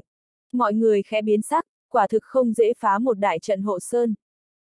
Cực lạc tam quỷ, phá trận phải dùng đầu óc, dùng sức lực làm cái rắm. Nhưng vào lúc này có một đạo âm thanh ung dung từ trong đại trận truyền ra. Màn sáng cực lớn run rẩy. Ngay sau đó thanh ma trầm thấp vang vọng trên màn sáng. Màn sáng lập tức bị dạn nứt rồi nghiền nát, trong khoảnh khắc tiêu tán. Mà ngay lúc đó có một đạo thân ảnh nhảy ra, trong tay là Gia Cát Tử Vân và Gia Cát Tây Phong đang uể oải, vẻ mặt xám như cho tàn. Người này chính là bách biến tôn giả khiên bách biến. Ồ, có chút bổn sự. Nhìn đạo thân ảnh trên không trung kia, cực lạc tam quỷ khẽ nhíu mày. Các hạ dường như rất quen thuộc, không biết có phải chúng ta đã gặp ở nơi nào rồi không? Kim xà tôn ra nhìn bách biến tôn giả khiên bách biến, trung quy hắn vẫn có cảm giác người này hắn có chút quen biết. Kim xà, trước kia đương nhiên ngươi nhận ra ta. Bách biến tôn giả khiên bách biến khẽ mỉm cười, nhìn chúng nhân rồi nói. Ta cũng không ngại nói cho các ngươi biết, danh hiệu của ta gọi là bách biến tôn giả, khiên bách biến. Bách biến tôn giả. Cực lạc tam quỷ ngạc nhiên, bọn họ tuyệt đối đã nghe nói qua người này. Bách biến tôn giả, không phải ngươi đã chết rồi sao? Kim xà tôn giả lập tức biến sắc, hắn vẫn cho rằng ban đầu ở trong thành cự giang bách biến tôn giả này đã bị trưởng môn đánh chết. Nói thì dài dòng, trước tiên đối phó với Lan Lăng Sơn Trang này a, à. Ta còn phát hiện ra một đường hầm không gian đi tới thẳng đại lục linh vũ. Bách biến tôn giả khiên bách biến nói. Đệ tử phi linh môn nghe lệnh, giết, huyết tẩy Lan Lăng Sơn Trang. Giết không tha. Trong phi linh môn, từng đạo âm thanh mang theo sát khí ngập trời vang vọng, hóa thành sóng âm kinh người quanh quẩn trên không trung. Đại trận hộ sơn của Lan Lăng Sơn Trang bị nghiền nát, cường giả và yêu thú trong Lan Lăng Sơn Trang cùng với linh thú phá không phóng vào. Giết! Cường giả phi linh môn không chỉ hoãn một chút nào mà xông vào. Bắt đầu đổ sát, đại quân yêu thú hóa thành bản thể khổng lồ, ít gào liên tục. Miệng rít gào dữ tợn, khí thế kinh người khiến cho cả không trung rung chuyển. Lan Lăng Sơn Trang không còn cường giả, giờ phút này cường gia phi linh môn phóng vào, lập tức bị tàn sát. Tiếng kêu thảm thiết vang vọng không ngừng, tiếng yêu thú rít gào hội tụ thành âm thanh giống như sấm sét vang vọng trên không trung. A, à, cứu mạng! Trốn, chạy mau! Trong giây lát ngắn ngủi, trong lan lăng sơn trang tựa như địa ngục. Từng tiếng kêu thảm thiết vang lên không dứt bên tai, từng kiến trúc trong lan lăng sơn trang sụp đổ, máu chảy thành sông. Trong tầng thứ tư thiên trụ giới, thời gian đã trôi qua 4 tháng. Không biết từ khi nào khí tức trên người tiểu hồn anh theo luyện hóa hồn anh đế giả kia đang không ngừng kéo lên. Tu vi của đại hồn anh không có đẳng cấp rõ ràng, hoàn toàn là thôn phệ luyện hóa, tăng vọt, không có bất kỳ bình chướng nào. Giờ phút này, đại hồn anh ở trong thiên trụ giới luyện hóa, chẳng biết từ khi nào năng lượng trong thiên địa biến hóa, có cảm giác giống như gió nổi mây phun. Khí tức trên người đại hồn anh càng ngày càng mạnh, động tính cũng càng lúc càng lớn. Tới cuối cùng, động tính này thậm chí còn phong vân biến sắc, thế nhưng lại có chỗ khác biệt. Một lát sau, sau khi đại hồn anh luyện hóa năng lượng linh hồn bàng bạc rốt cuộc mọi thứ lại trở nên yên tĩnh. Mà lúc này khí tức trên người đại hồn anh đã đạt tới một trình độ cực kỳ đáng sợ. Siêu! Tất cả yên tĩnh trở lại, đại hồn anh mở hai mắt ra, trong hai mắt lan tràn ra tinh quang. Thân thể do tàn hồn, sát khí ngưng tụ ngày càng ngưng thực. Khí tức trên người giờ phút này tuyệt đối đã đạt tới cấp độ đế giả, uy thế khủng bố khiến cho lòng người rung động. Ánh mắt khẽ đảo, đại hồn anh nhìn qua linh hồn phân thân thái cổ U Minh Viêm cách đó không xa, lập tức tiến vào trong mi tâm. Phù! Trong thế giới của thái cổ U Minh Viêm, Lục Lâm Thiên đang khoanh chân ngồi trong thế giới tràn ngập hỏa diễm màu xanh ra trời đột nhiên mở hai mắt ra. Tinh quang màu vàng từ trong hai mắt bắn ra, khí tức trên người lần nữa cường hãn hơn không ít. Thân hình đại hồn anh cũng nhanh chóng xuất hiện trong thế giới này. Lúc này nhiệt độ nóng bỏng trong thế giới này cũng không công kích đại hồn anh. Thế nhưng đại hồn anh thân là thân thể hồn anh, trời sinh đã bị áp chế trong thế giới của thái cổ U Minh Viêm. Cũng đạt tới đế giả. Cảm nhận khí tức trên người đại hồn anh, ánh mắt bản thể lục lâm thiên có chút kinh ngạc, lập tức mừng rỡ không thôi. Thực lực của đại hồn anh rốt cuộc cũng đạt tới một độ cao khác. Mà thực lực đại hồn anh tăng lên hoàn toàn không có bình chướng. Chỉ cần có đủ năng lượng là thực lực có thể tăng lên, điều này quả thực khiến cho lục lâm thiên ghen ghét. Nếu như đổi lại là vũ giả và linh gia mà nói, không cần lĩnh ngộ cùng với tu luyện tâm cảnh, chỉ cần có đầy đủ năng lượng là có thể tăng tiến tu vi quả thực là một chuyện vô cùng khủng bố. Trong thế giới của thái cổ U Minh Viêm, đại hồn anh trời sinh đã bị uy áp. Lục Lâm Thiên nhanh chóng thu đại hồn anh vào trong đầu. Trong vòng 4 tháng hắn cũng đã đem chân khí của hai vũ đế nhị trọng cùng một vũ đế nhất trọng luyện hóa hoàn toàn. Sau khi bỏ đi tạp chất, chân khí chuyển vào trong đan điền còn chưa đạt tới tình trạng khiến cho hắn đột phá. Tới đế cấp muốn đột phá vô cùng khó khăn, huống chi đối với người có đan điền khổng lồ như Lục Lâm Thiên mà nói, càng thêm khó khăn. Tiếp tục, ánh mắt Lục Lâm Thiên lần nữa nhìn về phía thần khí hình dạng giống như chiếc chuông kia. Tâm thần khẽ động, hỏa diễm màu xanh ra trời phô thiên cái địa lập tức cuồn cuộn, nhiệt độ khủng bố lập tức phá hủy thần khí hình chiếc chuông lớn kia. Phanh! Thần khí nổ tung, vô số bọt khí nóng bỏng màu xanh ra trời bắn tứ tung. Dung nham màu xanh ra trời cuồn cuộn, nổ tung tạo thành một đám mây hình nấm. Hai đạo thân ảnh lập tức xuất hiện trong biển hỏa diễm màu xanh ra trời bao la, còn chưa lấy lại tinh thần thì đã bị lục lâm thiên cấm chế. Sau đó trong không gian tràn ngập hỏa diễm bao la này truyền đến tiếng kêu thảm thiết. Có ưu thế thời gian gấp 40 lần bên ngoài trong tầng thứ tư thiên trụ giới, lục lâm thiên cũng không cần gấp gáp. Hắn ở trong này 4 tháng, thế nhưng ở bên ngoài chỉ có 3 ngày mà thôi. Thời gian cũng không dài. Lĩnh ngộ thời gian của lục lâm thiên càng ngày càng mạnh, thì lục lâm thiên càng cảm nhận được sự khủng bố của thiên trụ giới.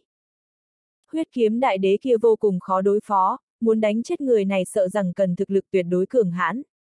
Bởi vậy giờ phút này lục lâm thiên cũng chỉ có thể dùng phương pháp nhanh nhất tăng thực lực của mình lên. Trong thế giới của Thái Cổ U Minh Viêm có 14 đế giả bị vây khốn, cơ hội như vậy Lục Lâm Thiên sẽ không bỏ qua. Thậm chí bản thân Lục Lâm Thiên còn đang hối hận tại sao lúc trước lại đánh chết nhiều cường giả như vậy. Nếu như thôn phệ tất, đối với hắn là chỗ tốt cực kỳ lớn. Lục Lâm Thiên lần nữa thôn phệ, làm tăng trưởng thực lực của mình để đối phó với với huyết kiếm đại đế kia. Huyết kiếm đại đế không chế, Lục Lâm Thiên khó có thể an tâm. Nếu như có thể đột phá vũ đế nhị trọng, trong lòng Lục Lâm Thiên cho rằng tới lúc đó cơ hội của hắn sẽ lớn hơn nhiều. Muốn chặn giết huyết kiếm đại đế cũng dễ dàng hơn. Lục Lâm Thiên tiếp tục chìm đắm trong việc thôn phệ, tu luyện, thời gian lần nữa trôi qua. Bên ngoài gió nổi mây phun, cả đại lục rung động, lòng người bàng hoàng. Trong địa bàn của tất cả các sơn môn lớn trong thiên địa minh đều bị tẩy trừ, cảnh tượng hỗn loạn trong đó không tầm thường một chút nào. Hỗn loạn cực lớn, không có ai có thể ngăn cản triệt để.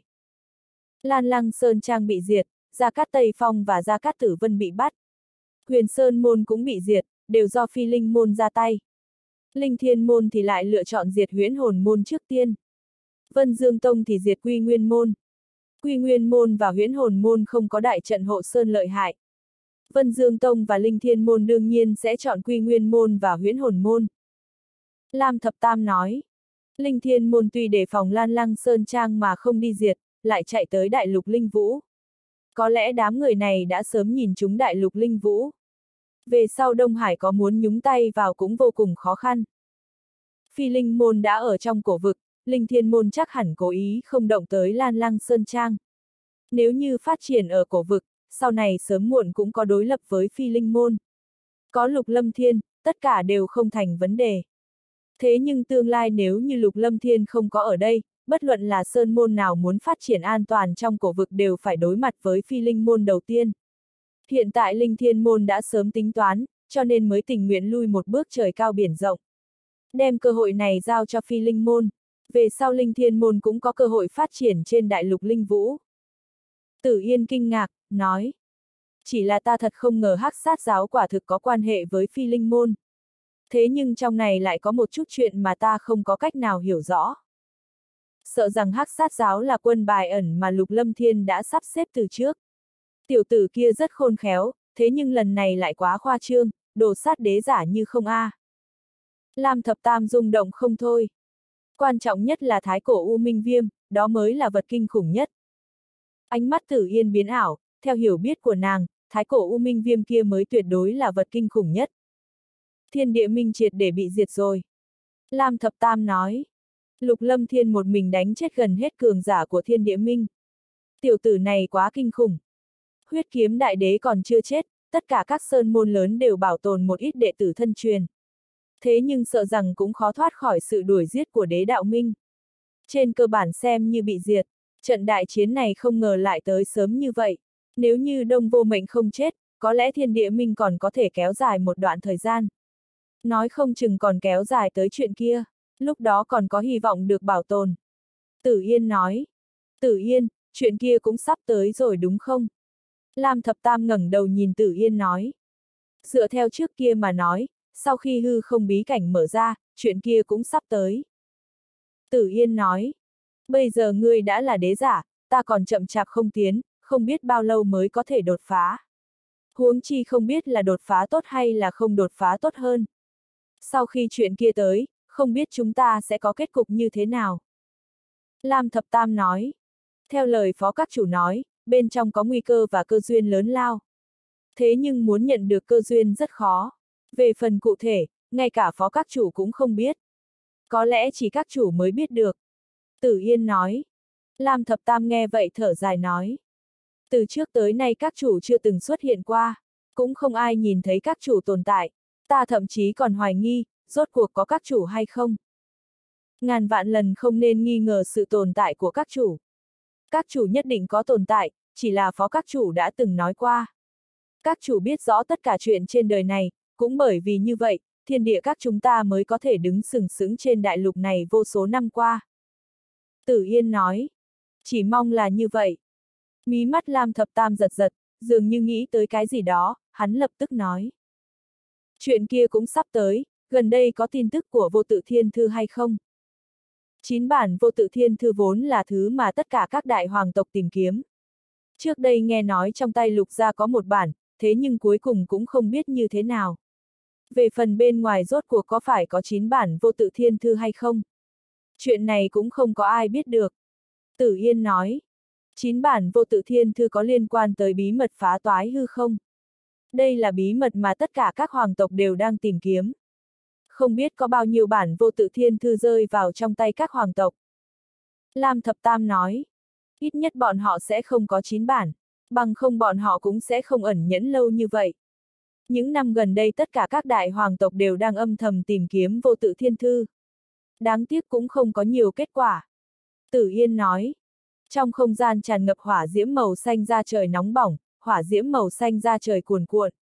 Giờ phút này tất cả thần khí đều không thấy đâu, tất cả đều tan rã dưới nhiệt độ khủng bố. Mà 10 đế giả trong 6 thần khí cũng đã sớm biến mất, không còn một chút xương cốt nào. Dưới nhiệt độ khủng bố, một đạo thân ảnh màu xanh đang khoanh chân ngồi. Quanh thân có kim quang lan tràn, khí thức từ từ kéo lên, cũng không biết hắn đã ở trong không gian này bao lâu.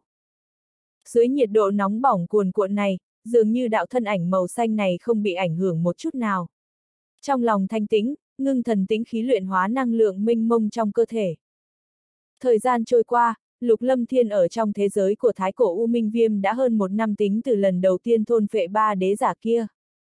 Suốt một năm qua, 10 đế giả trong 6 kiện thần khí, có 7 vũ đế, 3 linh đế, trong đó có 2 vũ đế nhị trọng, 5 vũ đế nhất trọng. Một linh đế nhị trọng và hai linh đế nhát trọng đều bị Lục Lâm Thiên thôn phệ. Linh lực minh mông tràn ngập thân thể, Lục Lâm Thiên còn chưa kịp luyện hóa, mà trước tiên luyện hóa năng lượng chân khí trong cơ thể.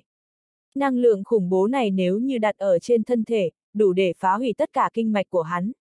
Thế nhưng trong cơ thể Lục Lâm Thiên, cỗ năng lượng này lại không có một chút nguy hiểm nào. Mà lại là vật đại bổ, trải qua sự luyện hóa của âm dương linh vũ quyết, bỏ đi tạp chất sẽ hóa thành chân khí tinh thuần xuyên qua kinh mạch trở về đan điền. Cứ như vậy, dưới luyện hóa, thời gian lần nữa trôi qua. Lần nữa lại trôi qua một năm, đan điền trong cơ thể lục lâm thiên rốt cuộc cũng đạt tới tình trạng no đủ. Trong lúc mơ hồ, đắm chìm trong trạng thái tu luyện lục lâm thiên có thể cảm giác ra được, dường như hắn đã chạm vào bình chướng vũ đế nhị trọng. Hắn có thể cảm nhận được sự tồn tại rõ ràng của nó. Thôn phệ, hấp thu chân khí minh mông của bảy vũ đế. Chân khí trong cơ thể hắn bỗng nhiên tăng mạnh, tuy rằng sau khi đạt tới đế giả, cấp độ chân khí đã không còn là điều kiện quan trọng để đột phá, lĩnh ngộ cùng với nhân tố khác mới là trọng điểm. Bất quá đối với kẻ biến thái như Lục Lâm Thiên mà nói, trên phương diện lĩnh ngộ hắn đã sớm siêu thoát so với người có cùng tu vi cấp độ. Hiện tại hắn chỉ thiếu chân khí mà thôi. Thời gian từ từ trôi qua, Lục Lâm Thiên cũng có thể cảm giác được thái cổ U Minh Viêm đang nhanh chóng khôi phục. Rời khỏi phòng ấn của vô tự thiên thư trong hư không bí cảnh. Linh hồn thái cổ U Minh Viêm có thể khôi phục trong thiên địa. Giống như năng lượng trong thiên địa có thể tương trợ thái cổ U Minh Viêm khôi phục. Mà trăm vạn đệ tử thiên kiếm môn cùng với cường giả vẫn lạc trong thái cổ U Minh Viêm cũng mang đến chỗ tốt cực lớn cho thái cổ U Minh Viêm. Những cường giả cùng với đệ tử vẫn lạc, năng lượng trên người thoát ra thiên địa. Đối với nhân loại mà nói không có bất kỳ tác dụng nào. Thế nhưng đối với thái cổ U Minh Viêm, thì đó lại là chỗ tốt cực lớn. Có thể thôn phệ vào trong cơ thể. Ban đầu ở trong hư không bí cảnh, thái cổ U Minh Viêm để cho mẫu đơn hấp dẫn người ta tới hố sâu trong lòng đất là hy vọng nhận được một lượng lớn năng lượng để khôi phục. Chỉ cần có người chết trong đó là hắn có thể nhận được chỗ tốt cực lớn. Giờ phút này đại hồn anh ở trong đầu bản thể, vẫn đang tiếp tục luyện hóa hồn anh và linh hồn phân thân của đế giả trong người. Một lần nữa thôn phệ hồn anh và linh hồn phân thân mấy đế giả, chỗ tốt còn thừa mới để cho kim đao màu vàng và tiểu hồn anh thôn phệ. Đại hồn anh lần nữa thôn phệ không ít hồn anh và linh hồn phân thân đế giả. Sợ rằng muốn luyện hóa cũng mất một đoạn thời gian khá lâu. Cho nên đại hồn anh hiện tại luôn ở trong bản thể luyện hóa. Trong lúc khí tức trên người lục lâm thiên và linh hồn phân thân từ từ kéo lên, thời gian lần nữa trôi qua. Không biết từ khi nào, quanh thân bản thể lục lâm thiên có năng lượng kỳ dị chấn động, bắt đầu lan tràn ra, không ngừng nhộn nhạo quanh thân. Siêu siêu. Cùng một thời gian này, cũng không biết từ nơi nào có năng lượng thiên địa kéo tới. Ở trong thế giới của thái cổ U Minh Viêm rít gào, tạo thành tiếng vang lớn. Năng lượng thiên địa cuồng bạo giống như một tấm lụa như thực chất, hội tụ ở không gian chung quanh lục lâm thiên. Mở toang hỏa diễm màu xanh ra trời chung quanh. Năng lượng thiên địa cuồng bạo nhanh chóng xoay quanh thân lục lâm thiên, sau đó điên cuồng tiến vào trong người lục lâm thiên. Năng lượng thiên địa khủng bố không ngừng thẩm thấu, lục lâm thiên ở trong thế giới của thái cổ U Minh Viêm giống như bàn thạch không bị dung chuyển. Tùy ý để cho năng lượng thiên địa cuồng bạo rót vào, thân thể cũng giống như một cái động không đáy, cắn nuốt năng lượng thiên địa minh mông.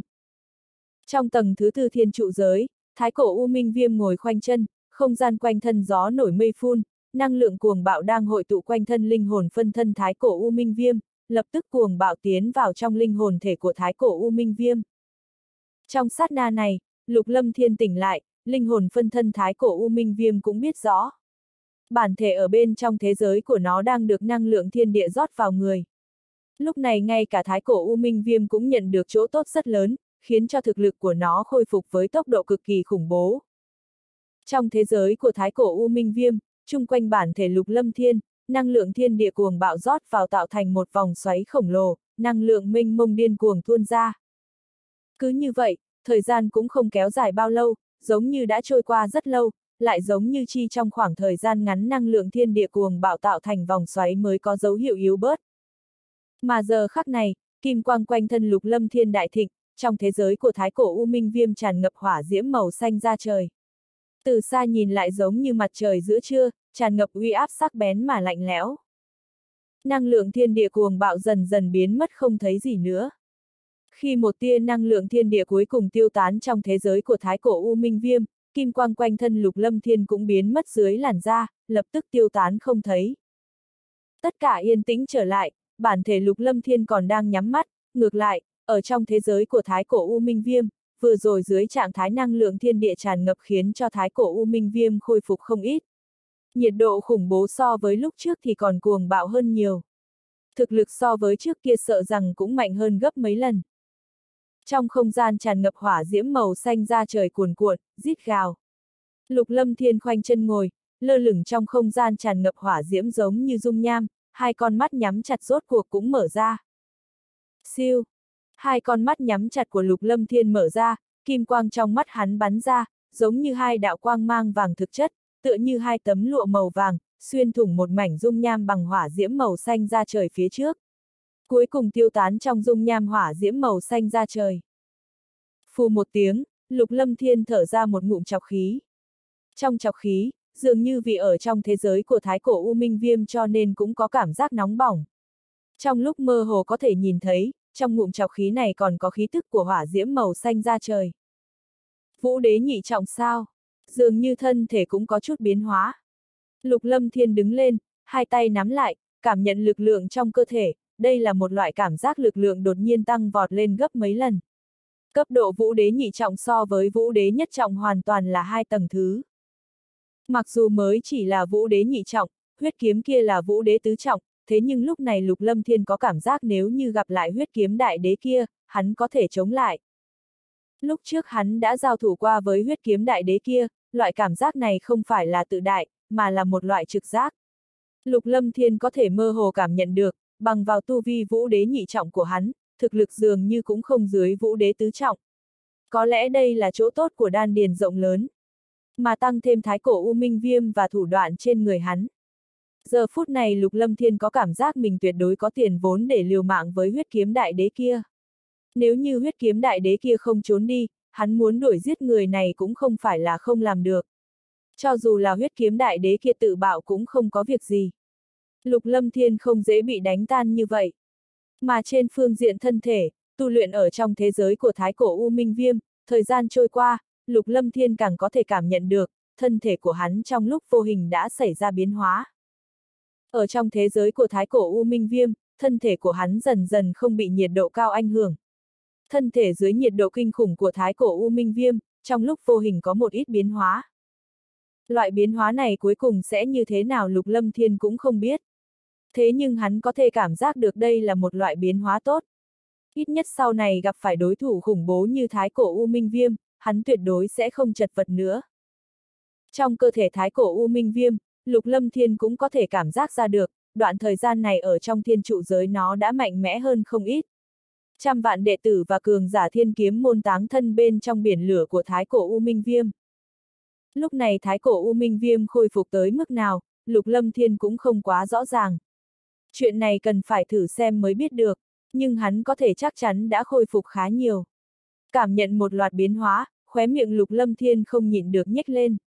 Hắn không ngờ từ vũ đế nhất trọng tới vũ đế nhị trọng chỉ mất một khoảng thời gian ngắn như vậy. Chuyện này phải cảm tạ đám người thiên địa minh kia, bằng không hắn muốn đột phá tuyệt đối không dễ dàng như vậy. Huyết kiếm lão cẩu, lần sau gặp ngươi chính là ngày rỗ năm sau của ngươi. Lục lâm thiên thì thào nói, bản thể cùng với thái cổ U Minh Viêm chặn đánh huyết kiếm, đây không phải là chuyện mà hắn không làm được nữa. Ánh mắt lục lâm thiên biến ảo, năng lượng chân khí của bảy vũ đế trong cơ thể hắn đã bị luyện hóa hết. Thế nhưng trên phương diện linh giả, hắn còn thôn phệ một linh đế nhị trọng và hai linh đế nhất trọng, linh lực minh mông còn chưa bị luyện hóa.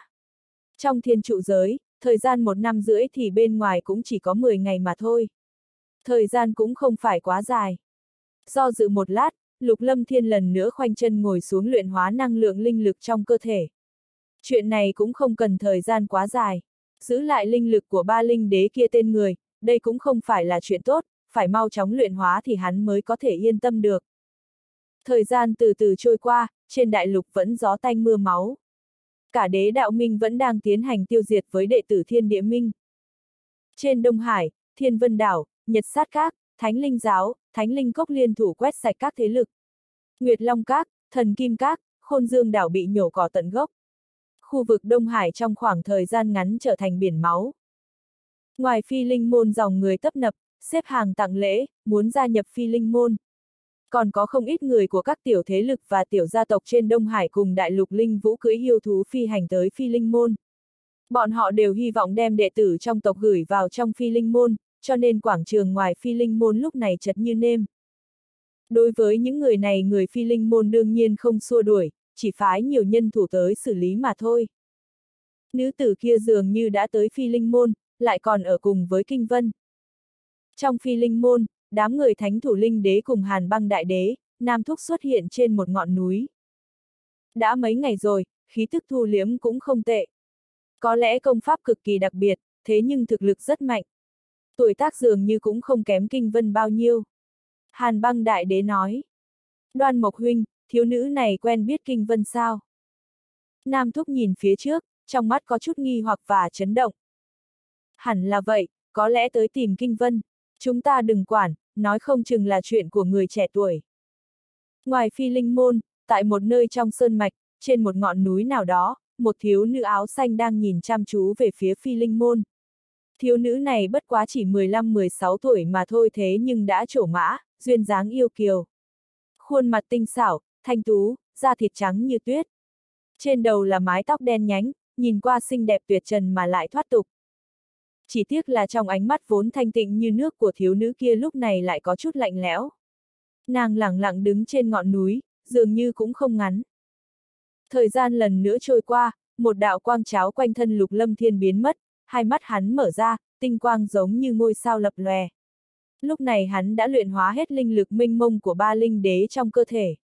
Linh lực minh mông khiến cho lục lâm thiên có thể mơ hồ cảm giác được nếu như hắn muốn đột phá cũng không quá xa vời. Cấp độ vũ giả và linh giả lục lâm thiên đều thi triển âm dương linh vũ quyết thôn phệ để tu luyện và tăng cường thực lực. Thế nhưng muốn đột phá cấp độ linh giả lại dễ dàng hơn không ít. Dù sao không gian linh lực trong đầu tuy rằng khổng lồ hơn người có tu vi đồng cấp nhiều. Thế nhưng lại không khổng lồ tới tình trạng khủng bố như đan điền. Một lần đột phá đơn giản hơn không ít. Lại thôn phệ một linh đế nhị trọng và hai linh đế nhất trọng có lẽ sẽ đột phá. Khóe miệng lục lâm thiên mim cười, thế nhưng kế tiếp hắn cũng không biết nên đi đâu tìm linh đế để thôn phệ. Trên đại lục này cũng không có mấy linh đế để hắn thôn phệ. Cảm nhận linh lực trong cơ thể lần nữa tăng lên không ít, lục lâm thiên vô cùng thỏa mãn, lập tức trao mày, lẩm bẩm nói.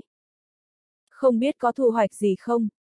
Dứt lời, trong tay lục lâm thiên xuất hiện một đống lớn nhẫn chữ vật, chúng cường giả cùng với chúng đế thiên địa minh vẫn lạc. Nhẫn chữ vật đều rơi vào trong tay lục lâm thiên và thái cổ u minh viêm. Nếu như cộng lại tương đương với toàn bộ nội tình của thiên địa minh, tuyệt đại bộ phận đều rơi vào trong tay mình. Chính vì điểm này lục lâm thiên mới không tự mình ra tay tiêu diệt tất cả các sơn môn lớn trong thiên địa minh. Bởi vì hắn muốn những sơn môn khác trong đế đạo minh nhận được một ít chỗ tốt.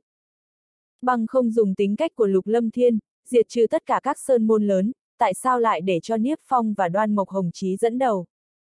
Trong một đống lớn nhẫn chữ vật, Lục Lâm Thiên móc ra tất cả nhẫn chữ vật của đế giả, bắt đầu kiểm kê thu hoạch.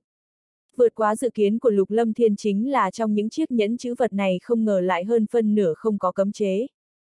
Những đế giả này tuyệt đối tự tin về thực lực của mình, coi như là không địch lại, muốn đánh chết bọn họ, cho dù có tu vi cường hãn hơn cũng khó có thể làm được. Chỉ có những đế giả nhất trọng kia mới bố trí cấm chế trên nhẫn chữ vật của mình. Thế nhưng đối với Lục Lâm Thiên mà nói, muốn cởi bỏ những cấm chế này cũng không phải là chuyện rất khó khăn gì. Bên trong đại bộ phận nhẫn chữ vật đều không có cấm chế, bởi vậy tiện nghi cho Lục Lâm Thiên. Mở từng chiếc nhẫn chữ vật ra khiến cho khuôn mặt Lục Lâm Thiên biến hóa không ngừng, khi thì điên cuồng, khi thì kinh hy. Đúng như trong dự đoán của Lục Lâm Thiên, những đế giả của các sơn môn này cho rằng đặt bảo vật quan trọng của sơn môn ở bất kỳ nơi nào sẽ không quá an toàn, đặt lại trên người bọn họ mới là an toàn nhất. Cho nên nội tình ẩn giấu của tất cả các sơn môn đại bộ phận đều nằm trên người đám người này. Gần 20 chiếc nhẫn chữ vật của đế giả giờ phút này đều bị Lục Lâm Thiên mở ra. Bên trong đều có trọng bảo, thu hoạch của cả thiên địa minh, Lục Lâm Thiên có thể xác định tuyệt đại bộ phận đều rơi vào trong tay hắn. Tăng thêm trọng bảo đạt được trong hư không bí cảnh. Lục Lâm Thiên xác định, sợ rằng nội tình của lục đại nhân hoàng tộc cũng không bằng phi linh môn hắn. Khôi lỗi cửu cấp A, vật bất phàm. Thủ ấn biến hóa, trong tay lục lâm thiên xuất hiện một chiếc nhẫn chữ vật. Giờ phút này có một đầu khôi lỗi xuất hiện. Chiếc nhẫn chữ vật này lục lâm thiên nhớ rõ hắn thu được trong tay một vũ đế của thần Kim Các. Toàn thân khôi lỗi thuần một màu trắng, giống như được mặc một kiện khải giáp màu trắng toàn thân trong lúc mơ hồ lan tràn ra uy áp cuồng bạo. Từ cấp độ nhìn lại, Lục Lâm Thiên biết rõ cấp độ của khôi lỗi này tuyệt đối đạt tới cấp độ cửu cấp sơ giai đỉnh phong. Cũng chính là cường giả đế cấp tam trọng đỉnh phong. Khôi lỗi khủng bố như vậy Lục Lâm Thiên cũng không biết được, khôi lỗi này chính là trọng bảo chấn các của thần Kim Các. Lúc trước một vị tiền bối của thần Kim Các hao phí tất cả nội tình, liên thủ với mấy vị linh đế mới luyện chế ra được. Khôi lỗi cửu cấp sơ giai đỉnh phong, coi như là đế giả tứ trọng bình thường cũng khó có thể đánh nát được nó.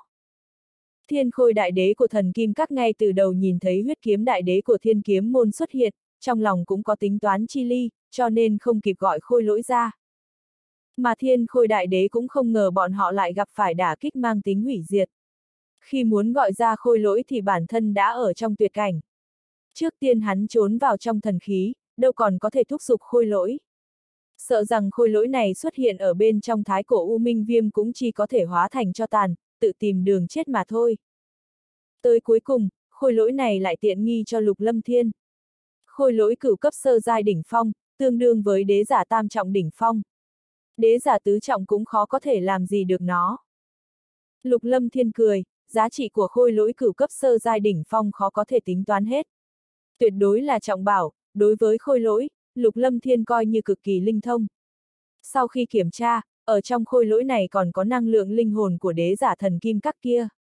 Năng lượng linh hồn của đế giả này không bị xúc động, cho nên khôi lỗi này cũng không bị thúc giục. Nhưng khi Lục Lâm Thiên kiểm tra lại cực kỳ cẩn thận. Nếu như xúc động tới năng lượng linh hồn của đế giả trong khôi lỗi này thì khôi lỗi này sẽ tự động phát động công kích. Đến lúc đó hắn sẽ phải đại chiến một hồi. Lục Lâm Thiên cũng không muốn dùng phương thức này để dò xét thực lực của mình hiện tại đạt tới mức nào. Thủ ấn trong tay Lục Lâm Thiên biến ảo, bắt đầu khống chế khôi lỗi. Khôi lỗi cửu cấp sơ giai đỉnh phong, đồng thời cũng không khác gì vật chết. Sau quá trình dườm già, Lục Lâm Thiên lập tức bao phủ ấn ký linh hồn của đế giả kia trong đầu khôi lỗi. Ấn ký linh hồn đột nhiên bị xúc động, khôi lỗi cửu cấp sơ giai đỉnh phong lập tức mở mắt ra. Ánh mắt hung ác, lạnh lẽo nhìn thẳng về phía Lục Lâm Thiên, khí thức cuồng bạo đột nhiên tuôn ra. Cùng một thời gian, Lục Lâm Thiên lập tức bố trí thủ đoạn trong đầu khôi lỗi cửu cấp sơ giai đỉnh phong này. Dùng thủ đoạn sấm sét đánh nát ấn ký linh hồn của đế giả kia. Sát khí hung ác, bạo ngược từ trong người khôi lỗi cửu cấp sơ giai đỉnh phong lan tràn ra. Khí tức nhanh chóng biến mất, ánh mắt trống rỗng. Phù! Chuyện này khiến cho trong lòng lục lâm thiên không khỏi thở dài một hơi. Trọng bảo chấn các của thần kim các, cấm chế bên trong khôi lỗi cửu cấp sơ giai đỉnh phong so với bên trong khôi lỗi bình thường còn mạnh hơn nhiều. Cũng khó khống chế. Một lát sau, Lục Lâm Thiên dần dần bố trí ấn ký linh hồn cùng với cấm chế của mình. Khống chế. Chỉ còn một bước cuối cùng là có thể thành công, khống chế khôi lỗi cửu cấp sơ giai đỉnh phong, trong lòng Lục Lâm Thiên không khỏi mừng rỡ, có chút kích động. Cố gắng nhịn xuống sự kích động trong lòng, cuối cùng kết xuất một đạo thủ ấn, trong mi tâm có một đạo linh hồn lực lướt vào trong mi tâm của khôi lỗi này. Đạo linh hồn lực này tiến vào trong mi tâm khôi lỗi. Hai con mắt trống rỗng của khôi lỗi cửu cấp sơ giai đỉnh phong chậm rãi xuất hiện một tia sinh cơ như có như không. Trong hai mắt lan tràn ra tinh mang, khí tức cuồng bạo từ trên người khôi lỗi lan tràn A. Khí tức này giống như thủy triều, khí thế từ bên trong khôi lỗi cửu cấp sơ giai đỉnh phong này lan tràn ra, chỉ khí thế cũng khủng bố vô cùng. Khí thế này so với người có tu vi đế giả tam trọng chỉ có mạnh hơn chứ không yếu. Khôi lỗi thật mạnh, phát tài rồi. Lục lâm thiên thỏa mãn cười cười, khống chế khôi lỗi cửu cấp sơ giai đỉnh phong. Không thể nghi ngờ là bên người hắn có một đế cấp tam trọng đỉnh phong, có thể so với đế cấp tứ trọng. Về sau gọi ngươi là thiên khôi đi. Lục lâm thiên nói với khôi lỗi màu trắng trước người. Trên người khôi lỗi này có một vật giống như một tầng khải giáp. Sợ rằng lực phòng ngự vô cùng cường hãn. Vâng, chủ nhân. Khôi lỗi màu trắng cung kính đáp, tinh quang quanh quẩn trong ánh mắt trống rỗng. Lục lâm thiên thu thiên khôi vào trong nhẫn chữ vật, lập tức rời khỏi thế giới của thái cổ U Minh Viêm, thân ảnh xuất hiện trong tầng thứ tư thiên trụ giới. Trong tâm thần dò xét, Lam Linh vẫn đang ở trong tầng thứ nhất thiên trụ giới khôi phục. Chịu đựng 8 năm tra tấn, phục dụng không ít bảo vật cũng khó có thể khôi phục trong thời gian ngắn, lại càng khó có thể khôi phục tất cả. Do dự một chút, Lục Lâm Thiên không có đi quấy rầy Lam Linh. Linh hồn phân thân thái cổ U Minh Viêm ở trong thiên trụ giới khôi phục. Bản thể Lục Lâm Thiên thì rời khỏi thiên trụ giới, bên ngoài gần đây gió tanh mưa máu. Tuy rằng trên danh nghĩa thiên địa minh đã bị diệt, thế nhưng Lục Lâm Thiên lại có chút không yên lòng. Dù sao huyết kiếm đại đế kia vẫn còn sống. Rời khỏi mật thất, Lục Lâm Thiên ở bên ngoài mật thất duỗi cái lưng một cái. Ánh mắt đột nhiên run lên, toàn thân run rẩy không hiểu. Ngoài phi linh môn, trong sơn mạch xa xa có khí tức quen thuộc lan tràn tới. Khí tức này khiến cho Lục Lâm Thiên có cảm giác tuyệt đối có quan hệ với mình. Trong sự liên hệ không hiểu này, Lục Lâm Thiên có thể cảm giác được sự tương liên vô hình của thuộc tính kim, dường như có quan hệ lớn lao với thuộc tính kim trên người hắn. Thân ảnh lóe lên, Lục Lâm Thiên lập tức biến mất tại chỗ. Ngoài phi linh môn, trên ngọn núi, một thiếu nữ áo xanh lẳng lặng đứng, mắt nhìn phi linh môn phía xa, trong mắt hiện lên sự chấn động. Lục lâm thiên kia đã là đế giả, ta mới là vũ tôn, linh tôn bát trọng, có thể giết được hắn hay sao? Hai hàng lông mi trên khuôn mặt tinh xảo của thiếu nữ áo xanh nhíu lại, nàng tự biết lục lâm thiên kia đồn rằng đã tới đế giả. Sợ rằng tuyệt đối không phải là chuyện dễ dàng, hai con mắt sáng ngời có hàn ý lan tràn ra. Nhất định ta sẽ đợi đến lúc hắn đi ra, chắc chắn hắn sẽ không nhận ra ta. Cho dù là đánh lén ta cũng phải giết hắn báo thù cho phụ thân. Nhất định phải giết hắn. Thiếu nữ áo xanh nắm chặt hai tay, lẩm bẩm nói. Siêu. Trên ngọn núi, sau lưng thiếu nữ áo xanh đột nhiên xuất hiện chấn động khó có thể phát giác ra. Chấn động này khiến cho thiếu nữ này hoàn toàn không có một chút cảm giác nào, thân ảnh lục lâm thiên lập tức xuất hiện sau lưng thiếu nữ áo xanh. Lục Lâm Thiên nhìn đạo thân ảnh màu xanh trước người, từ bóng lưng không khó nhìn ra, tuổi cũng chừng 15-16 tuổi, là một thiếu nữ, mái tóc dài màu đen theo gió tung bay, lộ ra khí tức thanh xuân. Nhìn bóng lưng này, ánh mắt Lục Lâm Thiên biến đổi, trong lúc mơ hồ hắn có thể nhìn thấy một ít cảm giác quen thuộc. Giờ phút này trong lòng Lục Lâm Thiên càng thêm rung động. Bởi vì thiếu nữ này thu liếm khí tức cực kỳ huyền ảo, thế nhưng trong cơ thể lại có thuộc tính kim tương liên với hắn. Kim hoàng khí vượt qua thiên cấp, so với phụ thân lục trung và đại bá lục đông cùng với trực hệ lục gia thì kim hoàng khí này còn mạnh hơn rất nhiều.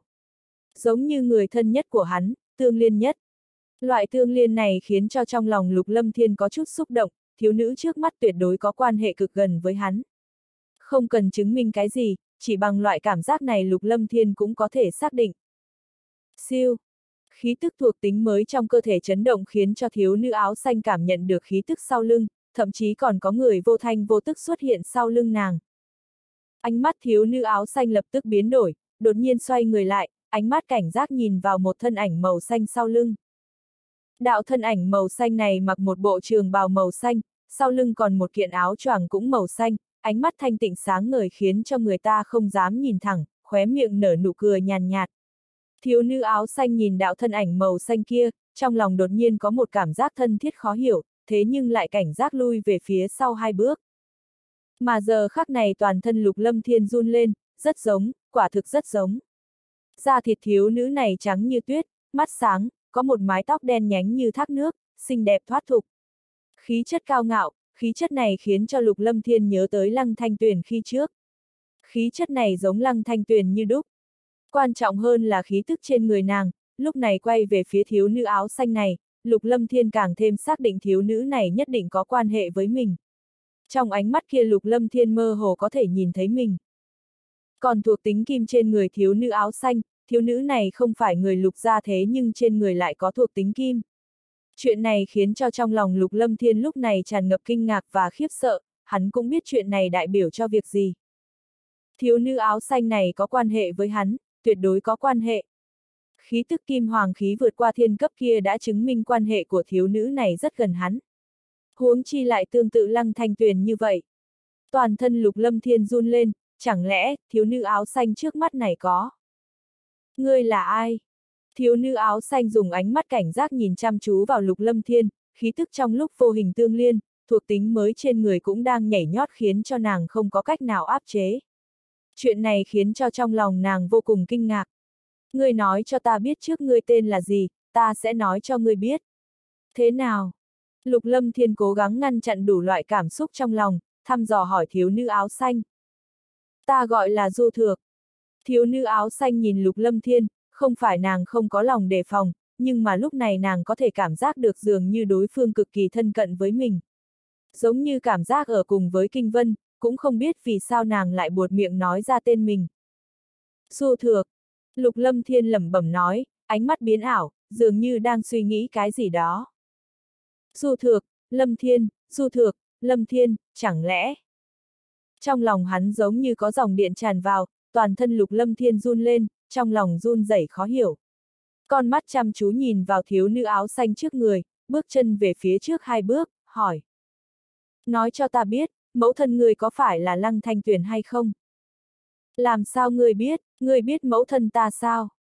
Nhìn thấy nam tử áo xanh trước mắt tiến lên hai bước, bước chân du thực không tự chủ lùi về phía sau hai bước, ánh mắt nhìn lục lâm thiên cực kỳ kinh ngạc, người này không ngờ lại biết rõ tên của mẫu thân nàng. Thật sự, không sai, đúng là. Toàn thân lục lâm thiên kích động run rẩy, kim hoàng khí trên người thiếu nữ áo xanh trước mắt trong lúc vô hình khiến cho hắn có cảm giác giống như huyết mạch tương liên. Khí chất và bộ dáng giống lăng thanh tuyền như đúc, ánh mắt kia giống như hắn.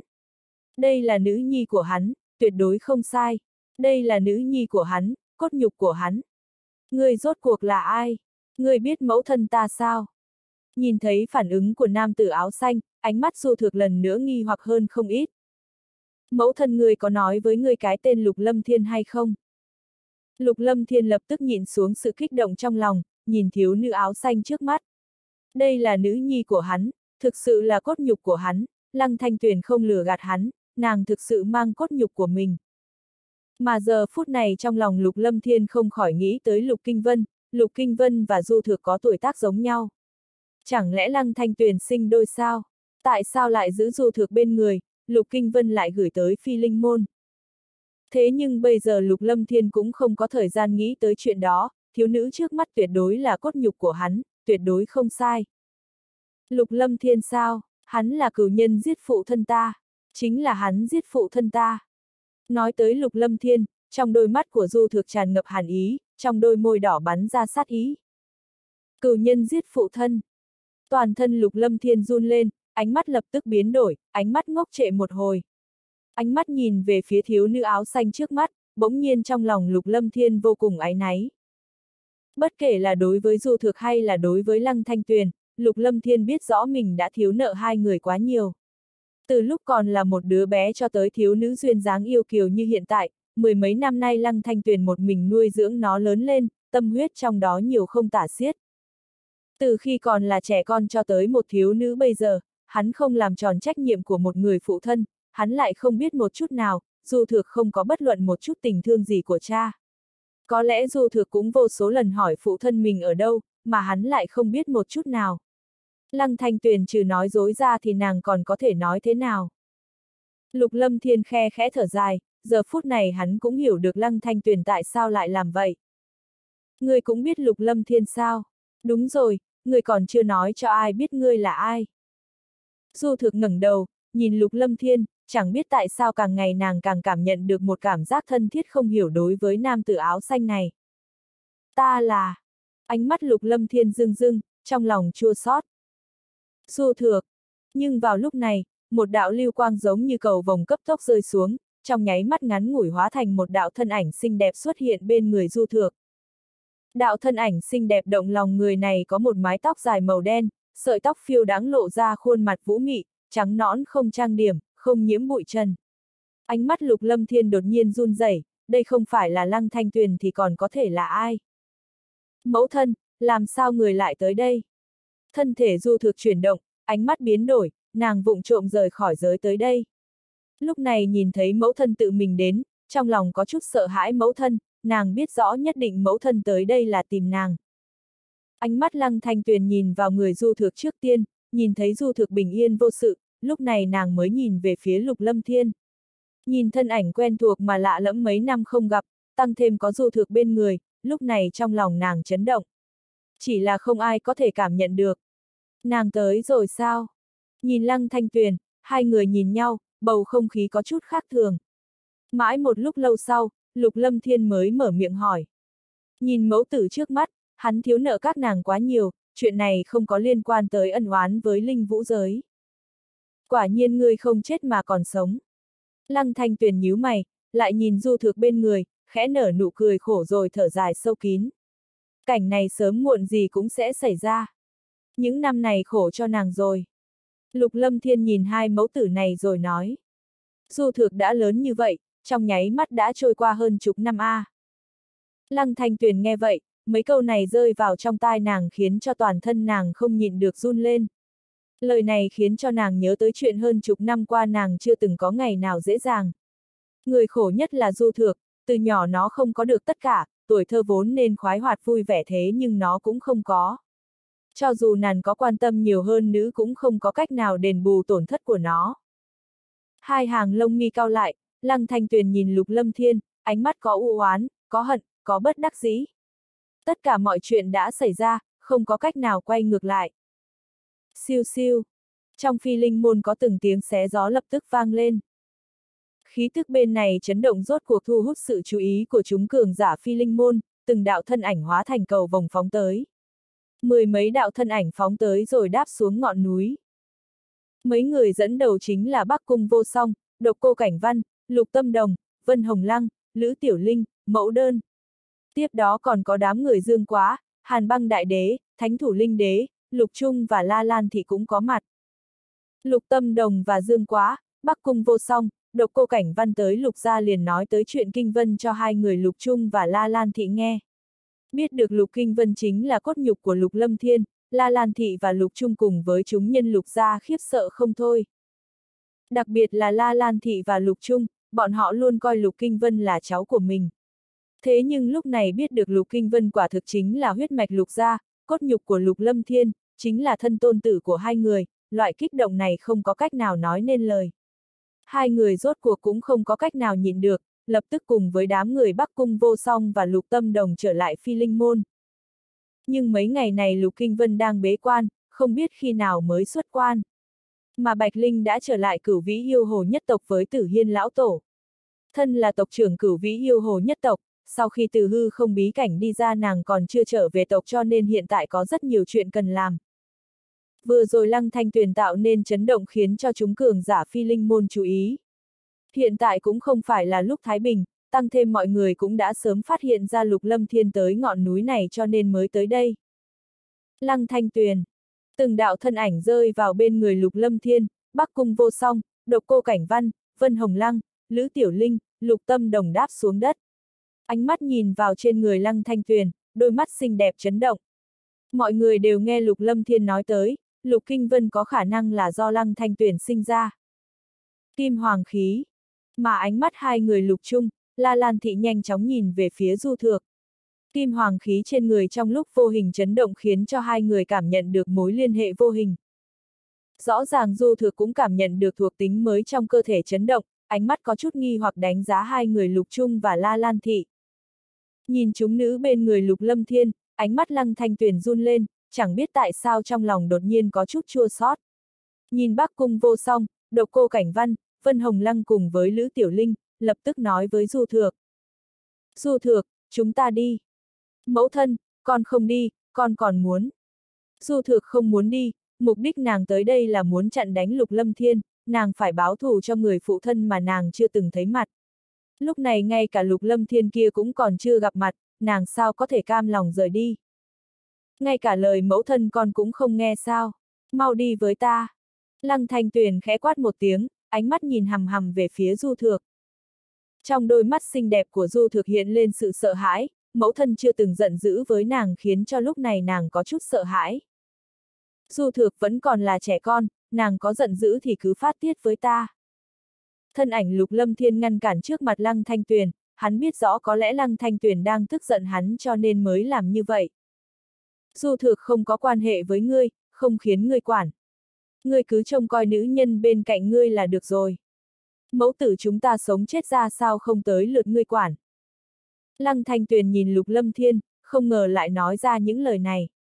Lúc này trong lòng nàng dối như tơ vò, không hiểu sao mình lại nói vậy.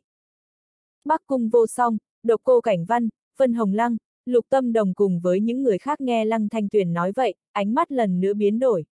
Lăng Thanh Tuyền không phải mẫu thân của Lục Kinh Vân sao? Tại sao lại còn có một nữ nhi tuổi tác không sai biệt lắm với Lục Kinh Vân là bao? Thần thái cơ hồ giống Lăng Thanh Tuyền như đúc, trong lúc mơ hồ không khó nhìn ra được dáng vẻ của Lục Lâm Thiên. Trong sát na mọi người nhìn nhau, trong mắt có chút nghi ngờ. Lời nói của mẫu thân lúc này Du Thừa cũng nghe thấy, nàng cũng cực kỳ nghi hoặc, dường như mẫu thân với nam tử áo bảo xanh này có quan hệ cực sâu. Quả thực ta phải xin lỗi Du Thược và nàng, trước kia ta không biết rõ tình hình.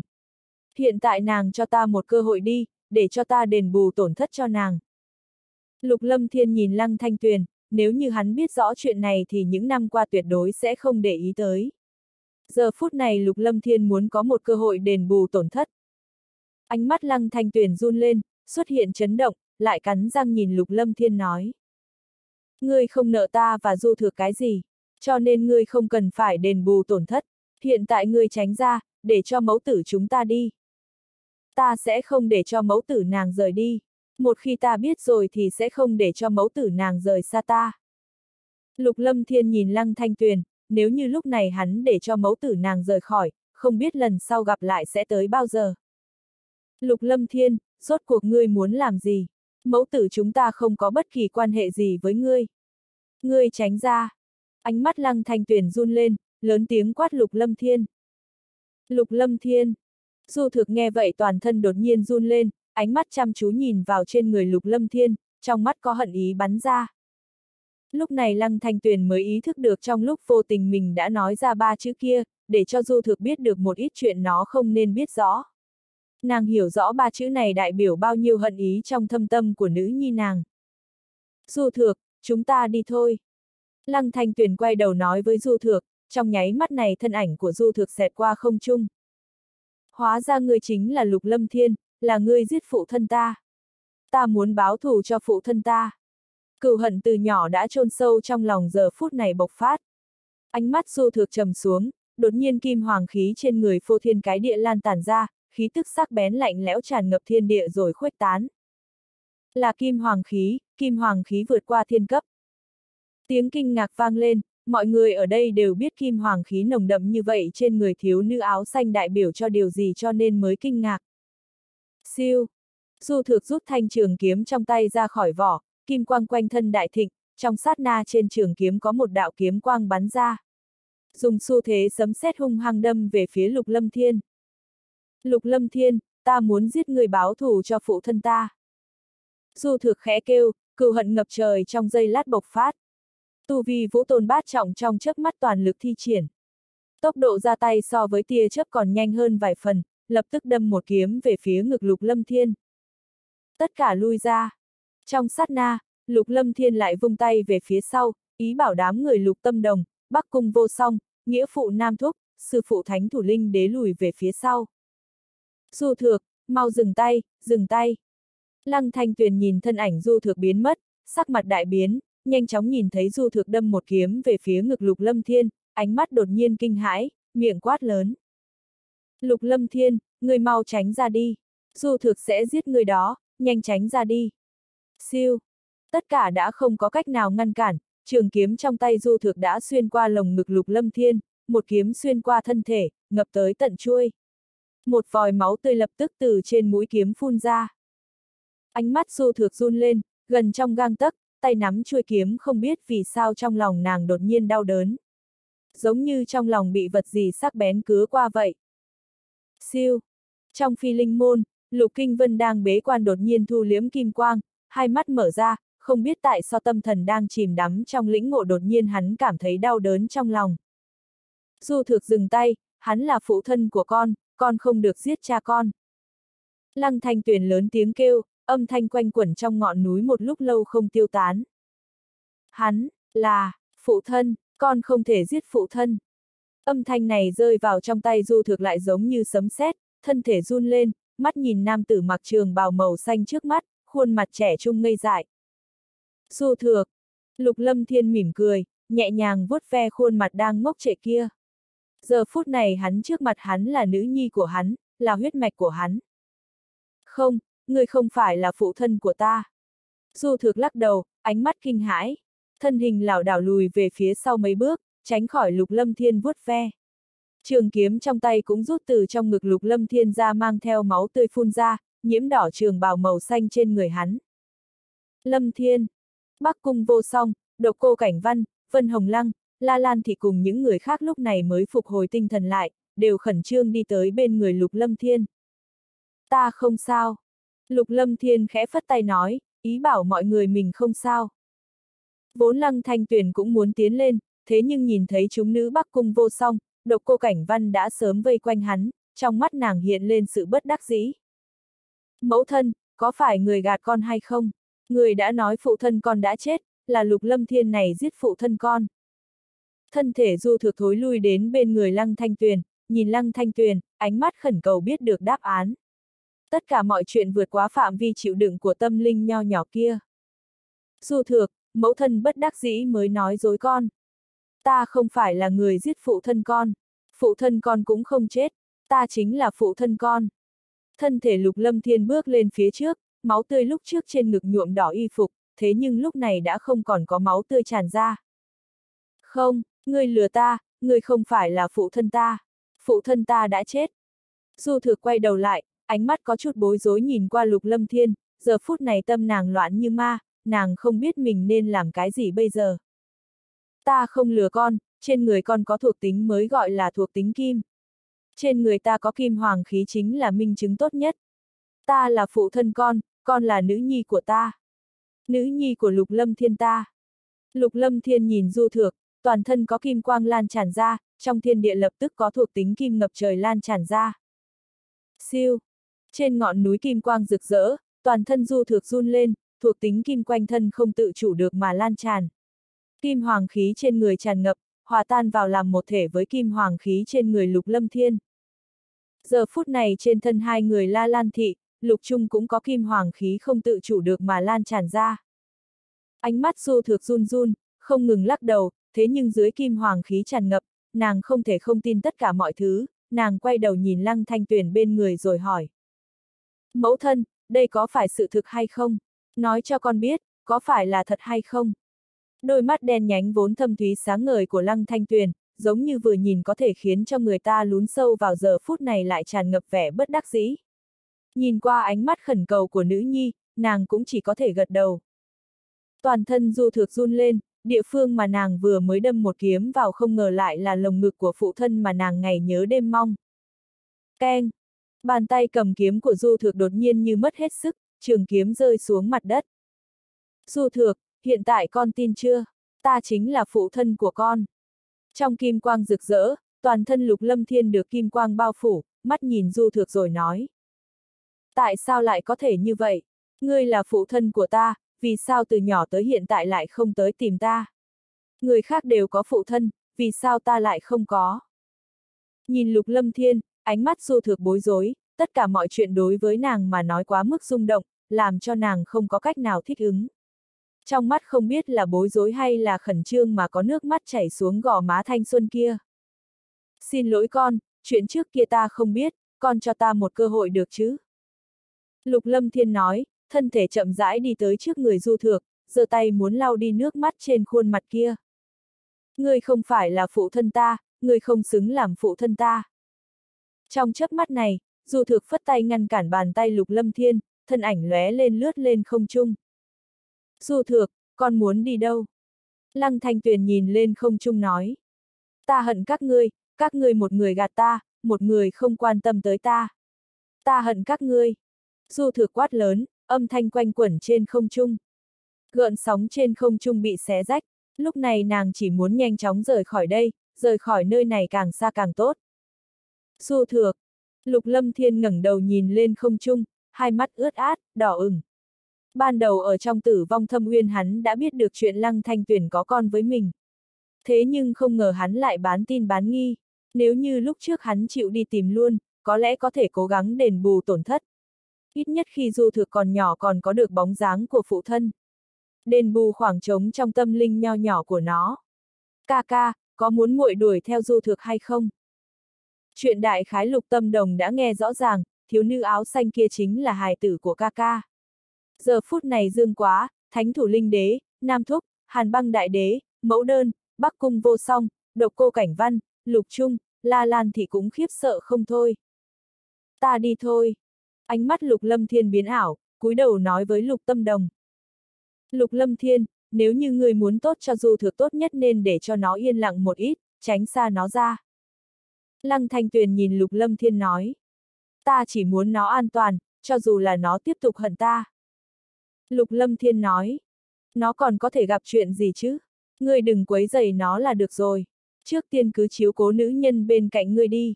Du thực có ta ở đây, sẽ không xảy ra bất luận chuyện gì. Hơn chục năm qua bên người nó chỉ có một mình ta. Cũng không phải vẫn tốt hay sao? Lăng Thanh Tuyền nhìn Lục Lâm Thiên nói. Lục Lâm Thiên nhìn Lăng Thanh Tuyền, những lời này khiến cho trong lòng hắn có chút đau đớn. Thanh Tuyền.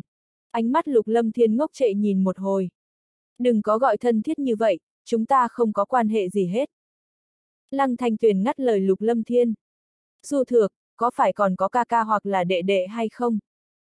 Ánh mắt Lục Lâm Thiên khẽ đổi, bất đắc dĩ nói với Lăng Thanh Tuyền, Lục Kinh Vân và Du Thược đều có tuổi tác giống nhau. Mà hắn chỉ có quan hệ với một mình nàng, trừ nàng ra không có ai khác. Ngươi có ý gì? Lăng Thanh Tuyền nhìn Lục Lâm Thiên, khẽ cắn cặp môi đỏ mỏng, nói. Ngươi cho rằng ta cũng giống như ngươi sao? Ngươi đừng quá phận. Không phải ta có ý kia, ý của ta là du thực có phải có một bào ca ca hoặc là bào đệ đệ hay không? Lục Lâm Thiên giải thích, sợ Lăng Thanh Tuyền sẽ hiểu sai ý mình. Lăng Thanh Tuyền nhìn Lục Lâm Thiên, ánh mắt trầm xuống nói. Ta thấy ngươi không chỉ có một đứa con là du thực A. Ngay cả ngươi cũng không rõ, cũng không biết là nữ tử nào lại bị ngươi trà đạp. Du thực không nhận ngươi là báo ứng của ngươi. Lục Lâm Thiên, ngươi không nên quấy rầy du thực, không có ngươi nó sẽ tốt hơn, nó cũng không cần của ngươi thứ gì. Dứt lời, quang mang màu trắng dưới chân lăng thanh tuyển lóe lên, lập tức bắn lên trên không trung rồi biến mất không thấy. Kinh Vân, sao con lại tới đây? Âm thanh tràn ngập sự kinh ngạc của La Lan Thị vang lên, trên ngọn núi, thân ảnh Lục Kinh Vân không biết từ khi nào đã lặng lẽ xuất hiện trên ngọn núi. Mọi người vừa rồi đều bị rung động cho nên không ngờ lại không có ai phát hiện ra. Lục Lâm Thiên vốn muốn nói với Lăng Thanh Tuyền vài câu, nghe thấy La Lan Thị lên tiếng lập tức quay đầu lại nhìn.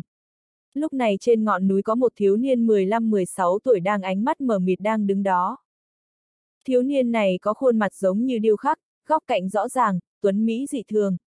Mái tóc đen nhánh mà rậm rạp, đôi mắt vốn cuồng ngạo dưới mày kiếm lúc này lại mờ mịt, ngơ ngác nhìn về phía Lục Lâm Thiên. Nhìn Lục Lâm Thiên và Lục Kinh Vân, ánh mắt Bắc Cung vô song biến ảo, lập tức biến mất tại chỗ, độc cô cảnh văn do dự một chút cũng theo Bắc Cung vô song rời đi. Ánh mắt biến ảo, Lục Lâm Thiên lần nữa nhìn lên không trung, lập tức cúi đầu nhặt thanh trường kiếm của Du Thược lên trong tay.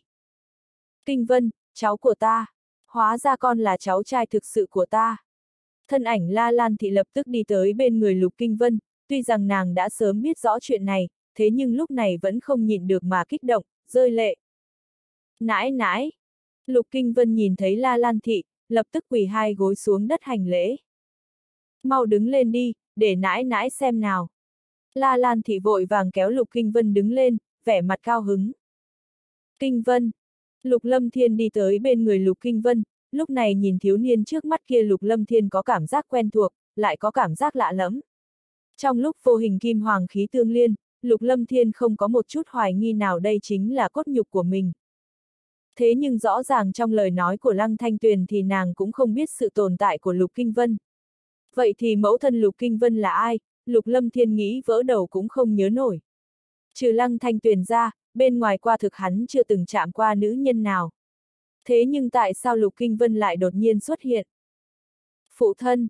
Lục Kinh Vân nhìn sư phụ trước mắt, ánh mắt thâm thúy sáng ngờ kia lúc này chấn động không thôi, mãi một lúc lâu sau mới mở miệng kêu một tiếng phụ thân. Con cũng biết rồi sao? Lục Lâm Thiên ngẩng đầu, tiếng phụ than này khiến cho trong lòng Lục Lâm Thiên run lên. Con đã nghe được, con cũng có thuộc tính mới giống du thực như đúc. Đều là kim hoàng khí, đây là minh chứng tốt nhất. Lục Kinh Vân nhìn Lục Lâm Thiên, quỳ xuống đất hành lễ. Kinh Vân bái kiến phụ thân. Mau đứng lên đi, ta quả thực phải xin lỗi con. Giờ phút này hai mắt Lục Lâm Thiên run lên, có chút ươn ướt, lập tức ôm thanh niên trước mặt vào trong ngực. Ai? Trên ngọn núi, mọi người khẽ than thở. Mẫu đơn ở bên cạnh thì nhíu mày, có chút nghi hoặc. Không biết từ lúc nào đã đi cạnh bối nhi, dường như quan hệ của hai người cũng không tệ lắm. Trên không trung sơn mạch, hai đạo thân ảnh xinh đẹp phá không bay ra, lập tức ngăn cản trước người Lăng Thanh Tuyền. Lăng Thanh Tuyền nhìn hai người đột nhiên ngăn cản trước mắt, nhị nữ Bắc Cung vô song, độc cô cảnh văn nàng đều biết. Vô luận là thực lực hay là dung mạo của nhị nữ đều không dưới nàng. Thực lực giờ phút này đã đột phá đế cấp, nàng lại càng không thể so sánh được. Các ngươi có ý gì? Lăng Thanh Tuyền nhìn Bắc Cung vô song cùng với độc cô cảnh văn đang ngăn cản trước người, mái tóc đen nhánh rũ xuống, nhìn qua giống như tiên tử không nhiễm bụi trần, khuôn mặt tuyệt mỹ, ngũ quan tinh xảo. Nhìn qua nhu nhược mà yêu nhã, giờ phút này ánh mắt trong lúc vô hình chuyển thành vẻ lạnh lùng giống như cự tuyệt người khác ngoài ngàn dặm. Khiến cho người ta có cảm giác toàn thân lạnh lẽo. Lăng cô nương, chúng ta không có ác ý gì. Bắc cung vô song nhìn lăng thanh tuyền rồi nói. Chúng ta tới đây chỉ là xin lăng cô nương cho Lâm Thiên một cơ hội. Để cho Lâm Thiên sau này chiếu cố mẫu tử các ngươi. Khanh khách. Lăng thanh tuyền nghe vậy, có chút bất ngờ, không khỏi nhẹ giọng cười cười, nhìn độc cô cảnh văn và bắc cung vô song nói. Các ngươi quá tốt, lại không nói gì hắn. Hào phóng như vậy quả thực khiến cho ta cảm thấy ngạc nhiên. Lăng cô nương, ta không biết ngươi và Lâm Thiên đã xảy ra chuyện gì, thế nhưng chuyện đã tới nước này, Du Thược cũng là con của Lâm Thiên, bất kể như thế nào, vì Du Thược, hy vọng ngươi nên suy nghĩ nhiều hơn. Độc cô cảnh văn nói. Ánh mắt lăng thanh tuyền chớp động một hồi, nhìn nhị nữ nói. Du Thược không có hắn sẽ tốt hơn. Có lẽ ngươi cũng nhìn ra Du Thược rất để ý tới việc này. Du Thược cũng còn nhỏ, hy vọng lăng cô nương sẽ vì Du Thược mà cân nhắc. Ta đoán Lâm Thiên nợ lăng cô nương không ít, hoặc là làm tổn thương lăng cô nương. Bất quá ta chân thành hy vọng lăng cô nương có thể cho Lâm Thiên một cơ hội. Có lẽ chuyện này đối với Du Thược, đối với lăng cô nương, đối với Lâm Thiên mà nói là kết quả tốt nhất. Bắc cung vô song nhìn lăng thanh tuyền nói, tất cả mọi chuyện nàng chỉ có thể suy đoán, chuyện khác nàng cũng không biết, cảnh ngày hôm nay hiện tại nàng vẫn cảm thấy một chút điểm đáng ngờ. Hắn làm tổn thương ta, ta sẽ không tha thứ cho hắn dễ dàng như vậy. Du Thược cũng sẽ không tha thứ cho hắn. Hiện tại ta muốn đuổi theo Du Thược, các người còn định tiếp tục ngăn cản ta sao? Ánh mắt lăng thanh tuyền run lên, thân ảnh nhảy lên, hóa thành một đạo cầu vòng phá không rời đi. Vô song tỷ, tạm thời thế thôi, có đuổi theo cũng vô dụng. Độc cô cảnh văn nhìn Bắc Cung vô song còn muốn nói gì đó, lập tức giữ chặt Bắc Cung vô song. Ai? Bắc Cung vô song nhíu mày, đôi mắt xinh đẹp nhìn qua bóng lưng lăng thanh tuyền, có chút bất đắc dĩ. Bắc Cung vô song lập tức nói. Không biết giữa Lâm Thiên và nàng xảy ra chuyện gì. Mọi chuyện có chút không tầm thường, hận ý của nàng ta cũng không ít. Vô song tỷ, có lẽ đây không phải là hận ý mà là ủy khuất. Nàng ta chịu quá nhiều ủy khuất, chúng ta khó có thể tạo thành một chút tác dụng. Cởi chuông cần người buộc chuông, cần Lâm Thiên đi đối mặt mới được. Độc cô cảnh văn mỉm cười, vốn dung mạo tuyệt mỹ, khí chất cao nhã lúc này mỉm cười càng thêm xinh đẹp. Đôi mắt xinh đẹp biến ảo, nhìn Bắc Cung vô song nói. Vô song tỷ, Kinh Vân dường như cũng không phải cốt nhục của nàng ta, vậy thì là của ai? Ta cũng không biết, việc này sợ rằng chỉ có Lâm Thiên mới biết được. Bắc Cung vô song nói. Trong đình viện hậu Sơn Phi Linh Môn, giờ phút này vô cùng hài hòa, đặc biệt là La Lan Thị và Lục Trung cao hứng không thôi. Kinh Vân, con thật sự không trách phụ thân sao? Lục Lâm Thiên nhìn Lục Kinh Vân rồi hỏi. Kinh Vân sao lại trách phụ thân chứ? Từ nhỏ con đã lớn lên trong phi linh môn, có phụ thân và nãi nãi yêu thương, tâm đồng cô cô và dương quá đại bá và các nương thân yêu thương, tuy rằng không biết mẫu thân mình là ai, thế nhưng con thấy có một ngày con chắc chắn sẽ biết được. Lục Kinh Vân nhìn Lục Lâm Thiên, khóe miệng nhếch lên nở nụ cười tà. Trong đôi mắt đen nhánh tràn ngập vẻ vui mừng. Hóa ra sư phụ là cha hắn, chuyển biến bực này cũng không làm ảnh hưởng bao nhiêu tới hắn. Khó trách từ nhỏ tới lớn hắn có thể cảm giác được mình đặc biệt thân thiết với sư phụ. Hiện tại ta cũng không biết mẫu thân con là ai, bất quá nhất định ta sẽ tìm được. Lục lâm thiên hơi xấu hổ, đến bây giờ không ngờ ngay cả mẫu thân của hài tử là ai hắn cũng không biết. Vốn hắn còn tưởng rằng là lăng thanh tuyền, nhưng mà hiện tại xem ra lại là người khác. Lục lâm thiên lại không nhớ nổi một chút nào. Trong mắt lục kinh vân hiện lên sự bất đắc dĩ, bờ môi đỏ mỉm cười khiến cho người ta hoa mắt. Khí tức đã ổn định ở cấp độ vũ tôn cửu trọng và linh tôn cửu trọng. Căn cơ xem như dần dần ổn định lại. Lục lâm thiên cũng có chút kỳ quái, vì sao Du Thược và Lục Kinh Vân đều là cốt nhục của hắn, thế nhưng tại sao tu vi của Kinh Vân lại là tôn cấp cửu trọng mà Du Thược chỉ là bát trọng đỉnh phong? Cân nhắc một lát, Lục Lâm Thiên lập tức hiểu ra, từ lúc Du Thược xuất thủ hắn có thể thấy được căn cơ của Du Thược cũng không vững chắc như Kinh Vân, cho nên tu vi mới tăng trưởng kém như vậy. Dựa vào điểm này là có thể nhận ra sự quan trọng của căn cơ. Phụ thân, Du Thược muội muội không sao chứ? Có cần đi tìm muội ấy hay không? Lục Kinh Vân hỏi Lục Lâm Thiên, từ trong miệng Du Thược khi trước mà hắn biết được Du Thược nhỏ hơn hắn mấy ngày tuổi. Hai ngày nữa ta sẽ đi tìm nó. Lục Lâm Thiên khẽ than nói, vừa rồi hắn cũng từ trong miệng Lục Kinh Vân mà biết được Du Thược nhỏ hơn Lục Kinh Vân mấy ngày tuổi. Nếu tính toán hẳn là muội muội của Lục Kinh Vân. Chuyện này khiến cho trong lòng Lục Lâm Thiên càng thêm nghi hoặc. Trước khi hắn và Lăng Thanh Tuyền xảy ra chuyện trong mật thất kia thì dường như hắn cũng không có bất kỳ quan hệ với nữ nhân nào. Lúc ấy hắn vẫn còn ở trên Đông Hải. Lục Lâm Thiên nhíu mày, chẳng lẽ Lăng Thanh Tuyền cố ý lừa gạt hắn hay sao? Thế nhưng cũng không giống, nếu như là song bào thai thì cùng sinh ra, không có lý nào lại cách nhau mấy ngày a. À. Trên người Lục Kinh Vân khi trước còn có thời gian sinh. Lâm Thiên, nhất định còn phải sớm tìm được du thược, cũng không để cho một mình nó ở bên ngoài. La Lan Thị nói với Lục Lâm Thiên, chuyện đại khái nàng đã hiểu rõ trong lòng, thế nên trong lòng nàng lúc này cũng vô cùng lo lắng. Con biết rõ rồi mẫu thân. Lục Lâm Thiên gật đầu. Hai cô nương kia cũng không dễ dàng, con không nên phụ lòng các nàng. Nếu không đưa hai người trở về ta sẽ không tha cho con. La Lan Thị nhìn Lục Lâm Thiên nói. Nếu như con chọc giận thanh tuyển cô nương kia, vậy thì phải cúi đầu nhận lỗi với nó. Vâng. Lục Lâm Thiên lại gật đầu. Lâm Thiên, thương thế của chàng không sao chứ? Vân Hồng Lăng cùng với Lữ Tiểu Linh hỏi Lục Lâm Thiên. Một kiếm của Du Thực xuyên qua lồng ngực Lục Lâm Thiên, trong sát na đó sắc mặt các nàng trắng bệch. Nhưng mà cũng may ban đầu ở trong thiên kiếm môn, bọn họ cũng đã nhìn thấy qua một màn kinh khủng kia cho nên lúc này mới yên tâm một chút. Ca ca, vết thương trên người huynh không sao chứ?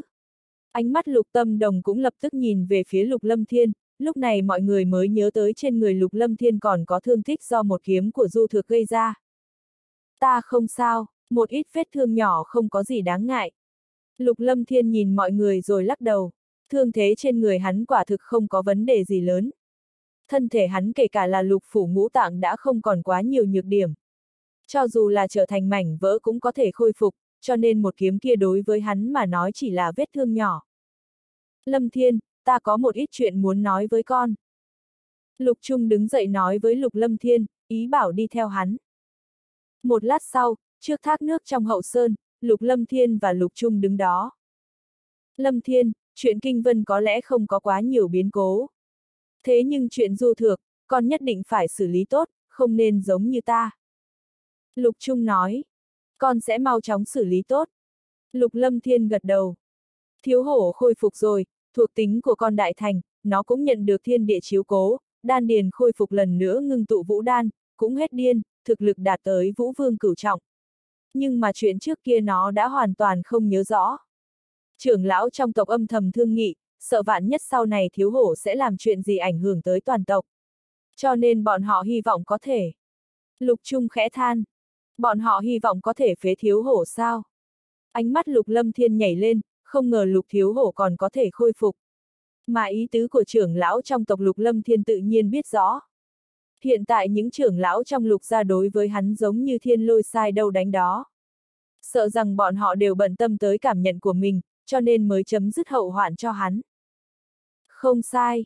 Lục Trung khẽ gật đầu, ánh mắt có chút ảm đạm, ngẩng đầu nhìn Lục Lâm Thiên nói.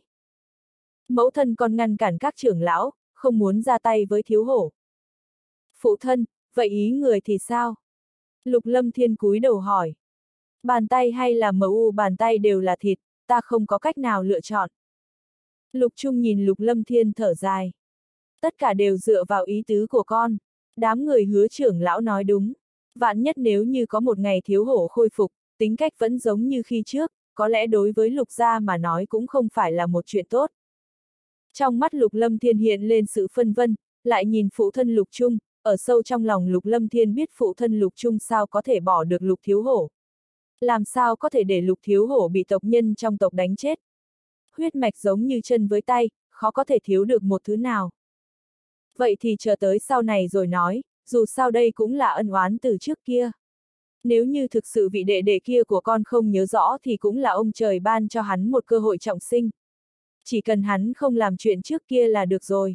Nếu như còn nhớ rõ chuyện lúc trước thì con cũng chỉ có thể để cho hắn làm một người bình thường. Ít nhất con có thể bảo đảm hắn sẽ sống một cuộc sống yên bình hết quãng đời còn lại. Lục Lâm Thiên nhìn Lục Trung nói. Ta thay thiếu hổ cảm ơn con.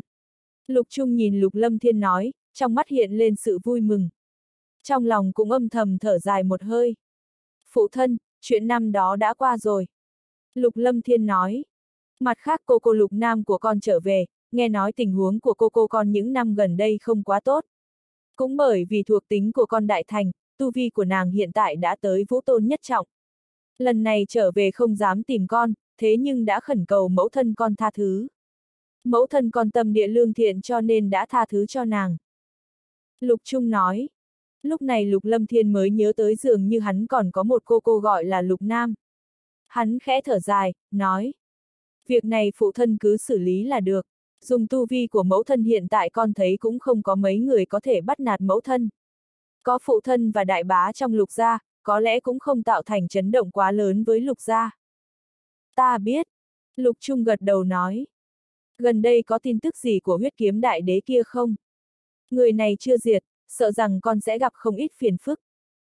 Đang tìm tin tức, chờ ngày hắn lộ diện có lẽ con có thể giải quyết phiền phức. Trong lòng lục lâm thiên trầm xuống, huyết kiếm đại đế này không chết quả thực đối với hắn là một mối uy hiếp cực lớn. Hắn cũng không sợ, chỉ sợ đến lúc đó người này sẽ ra tay với người bên cạnh hắn, vậy thì phiền lớn. Phụ thân, lục gia chuẩn bị một chút đi, gần đây con sẽ dẫn một ít người đi tới một bí cảnh. Chỗ này cũng an toàn, về sau bí cảnh kia chính là bí cảnh của lục gia chúng ta. Không dưới bí cảnh của các nhân hoàng tộc khác. Lục Lâm Thiên lập tức nói với Lục Trung, phi linh môn không sợ huyết kiếm đại đế kia. Chỉ sợ lục gia sẽ bị huyết kiếm đại đế ra tay, nếu như để cho người lục gia tiến vào trong hư không bí cảnh thì đã giảm bớt không ít vấn đề cho hắn. Được, ta đi sắp xếp. Lục Trung gật đầu nói. Trên không trung yên tĩnh, một đạo thân ảnh thiếu nữ xé rách không gian lóe lên rồi biến mất. Quanh thân được một vòng kim quang bao phủ, lập tức xuất hiện cách đó vài trăm thước, một đường xuyên qua không gian. Du thược, con muốn đi đâu? Chờ mẫu thân một chút. Sau lưng thiếu nữ lúc này còn có một đạo thân ảnh xinh đẹp khác đang đuổi theo. Hai người các ngươi một người lừa ta, một người không quan tâm tới ta. Ta hận các ngươi. Thiếu nữ này chính là Du Thược, chân tướng của mọi chuyện khiến cho trong lúc nhất thời nàng không có cách nào tiếp nhận. Chuyện này hoàn toàn khác với suy nghĩ trong đầu nàng, cho nên tâm linh nho nhỏ của nàng khó có thể thừa nhận kết quả như vậy. Du Thược, không phải mẫu thân cố tình lừa con. Lăng Thanh Tuyền sau lưng lớn tiếng nói. Thuộc tính mới, là thuộc tính mới của Lục Lâm Thiên, thì ra là người Lục gia. Lúc này trên không trung xuất hiện chấn động, một đạo thân ảnh già nua đột nhiên lăng không xuất hiện trước người Du Thược. Đạo thân ảnh già nua này xuất hiện, cả không gian tràn ngập mùi máu tươi. Mùi máu tươi này khiến cho Du Thược đang bối rối trong lòng cũng cảm thấy run sợ. Trên người đạo thân ảnh già nua kia có khí tức khiến cho lòng người rung động lan tràn ra. Lăng Thanh Tuyền cũng cảm nhận được mùi máu tươi này, ánh mắt lập tức khẩn trương nhìn về phía trước. Du thực nhìn về phía trước, đạo thân ảnh già nua mặc trường bào màu đỏ, bộ dáng chừng 50 tuổi, mái tóc dài giống như nhuộm máu tươi tung bay, lưng đeo một thanh trường kiếm màu đỏ khiến cho người ta có cảm giác sắc bén, lạnh lẽo. Lão giả mặc áo bào màu đỏ này chính là huyết kiếm đại đế, thiên kiếm môn bị huyết tẩy chó gà không tha, đệ tử bị đánh chết, bản thân hắn lại tổn thất linh hồn phân thân. Bản thể bị trọng thương cho nên hắn phải chữa thương một đoạn thời gian ngắn. Lần này hắn xuất hiện là muốn báo thù rửa hận cho thiên kiếm môn, chỉ có giết chết lục lâm thiên kia trước tiên mới có thể giải trừ mối họa. Nhưng mà muốn giết chết lục lâm thiên, hắn tự biết không phải là chuyện dễ dàng. Lục lâm thiên kia quá khó đối phó, thủ đoạn quỷ dị trên người tiểu tử kia không ít. Tăng thêm thái cổ U Minh Viêm, hắn muốn đánh chết tiểu tử này khó có thể làm được.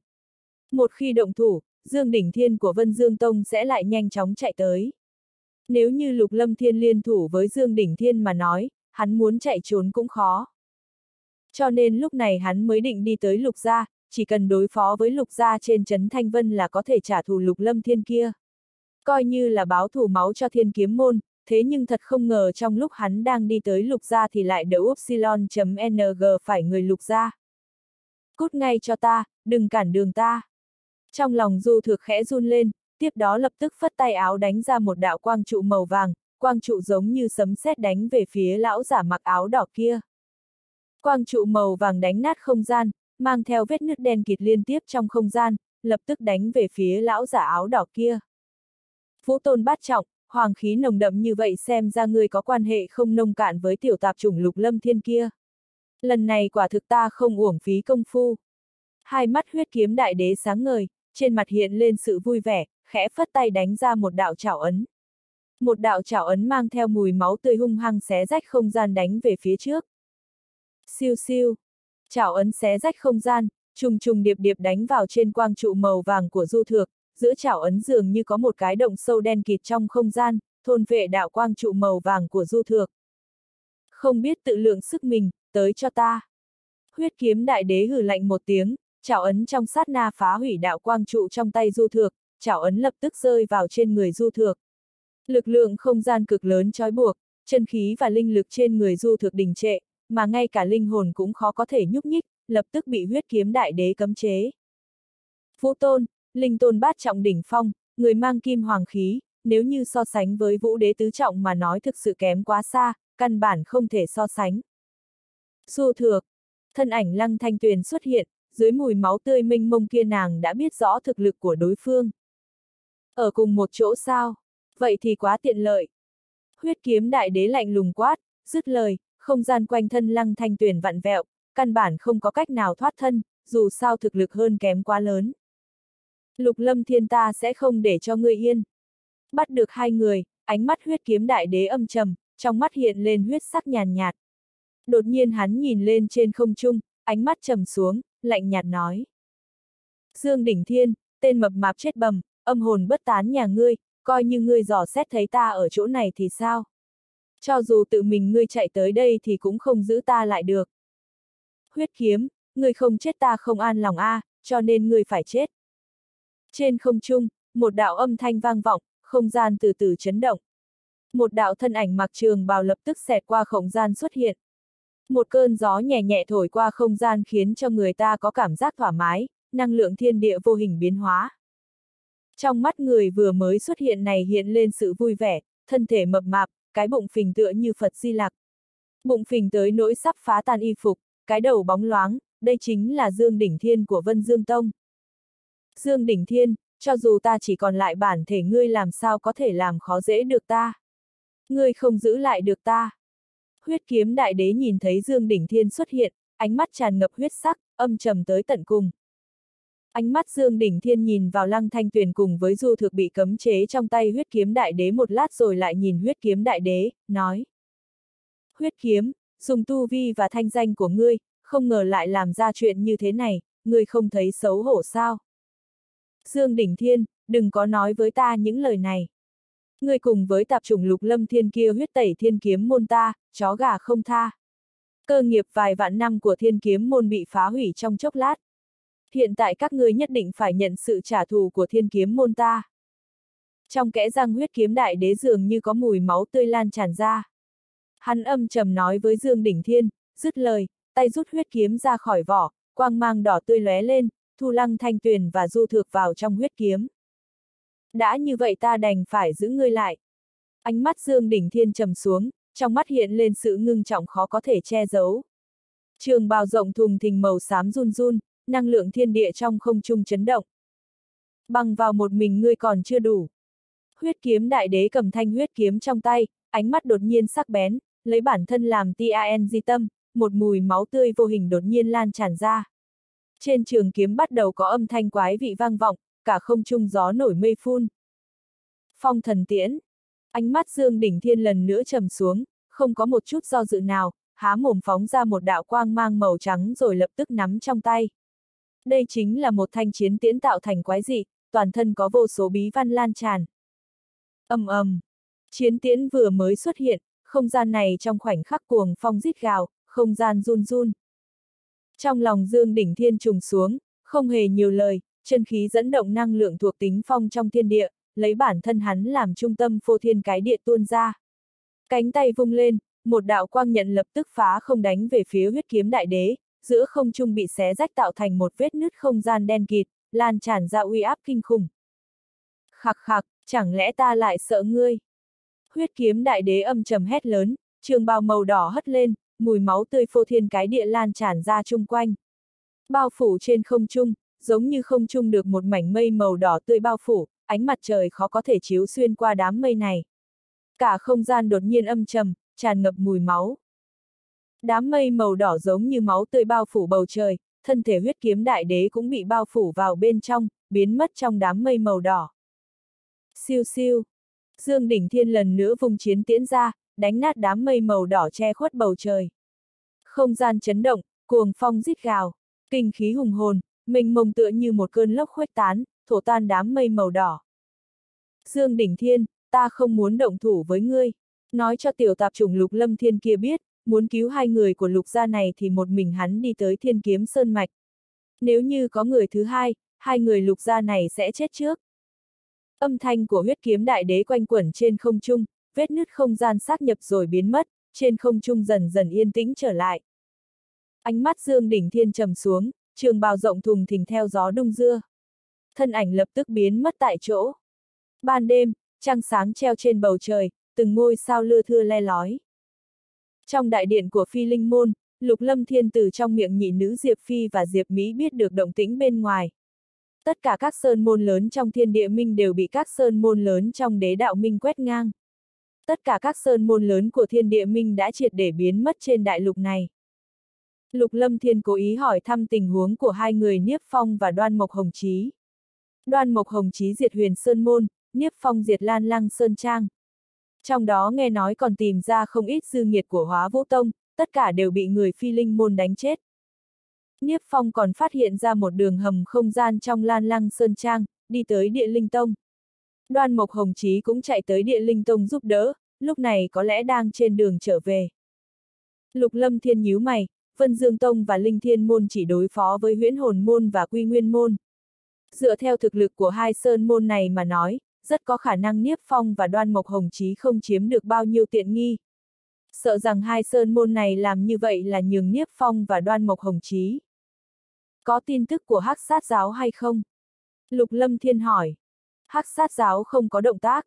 Đối với chuyện tiêu diệt các sơn môn lớn trong thiên địa minh tỏ thái độ bàng quan, không nhúng tay vào.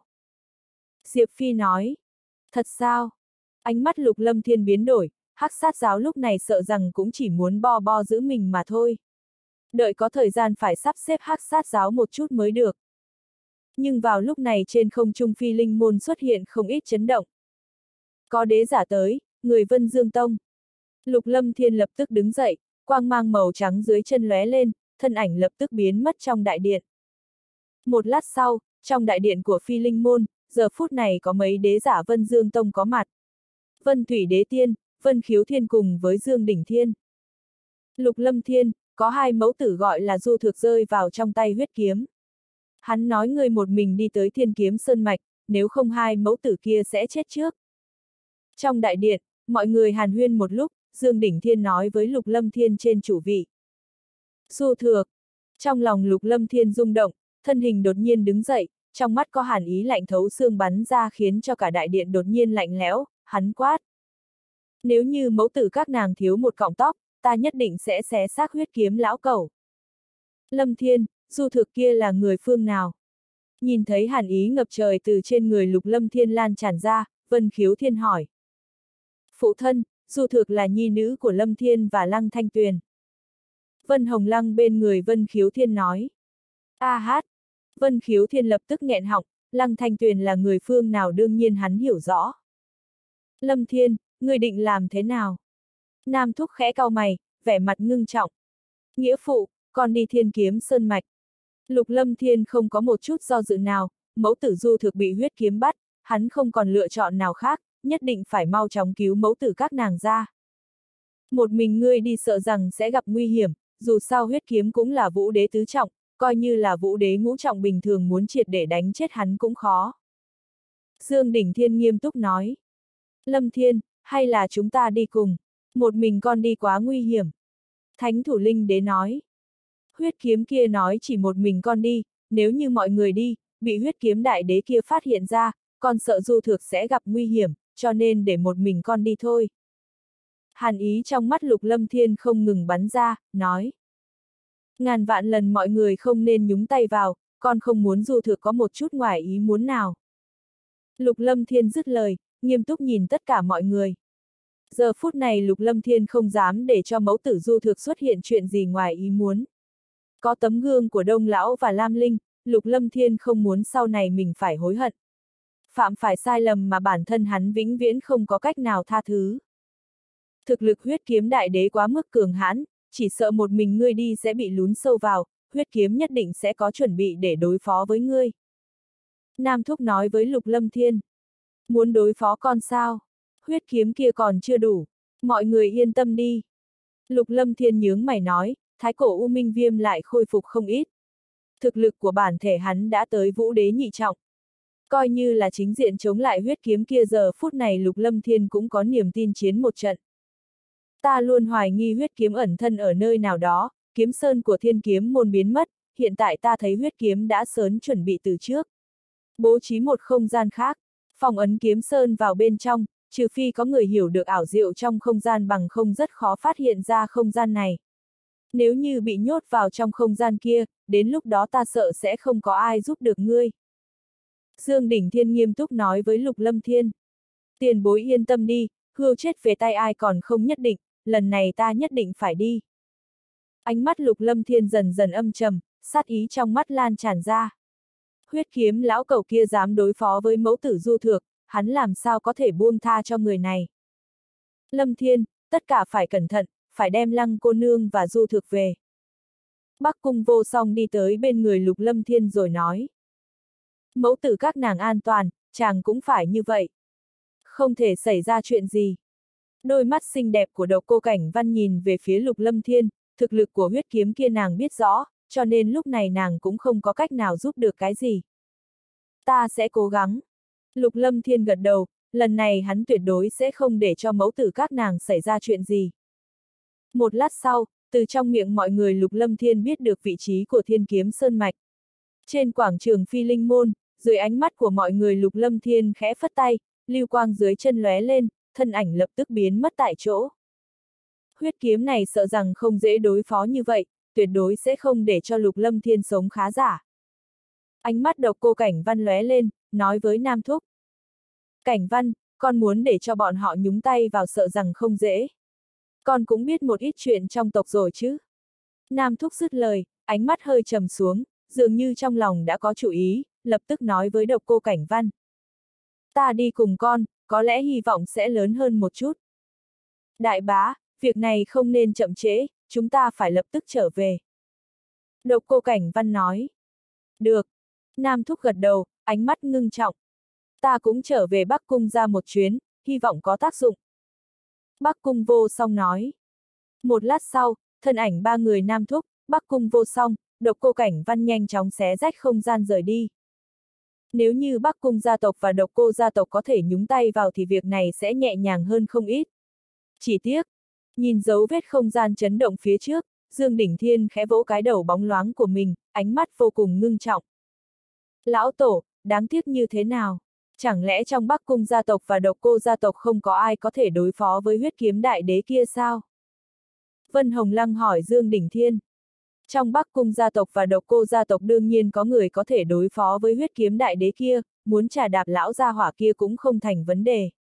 Những hoàng tộc này ta có cảm giác dường như đều có mưu đồ khác, đồng thời cũng không coi các sơn môn lớn như chúng ta vào đâu.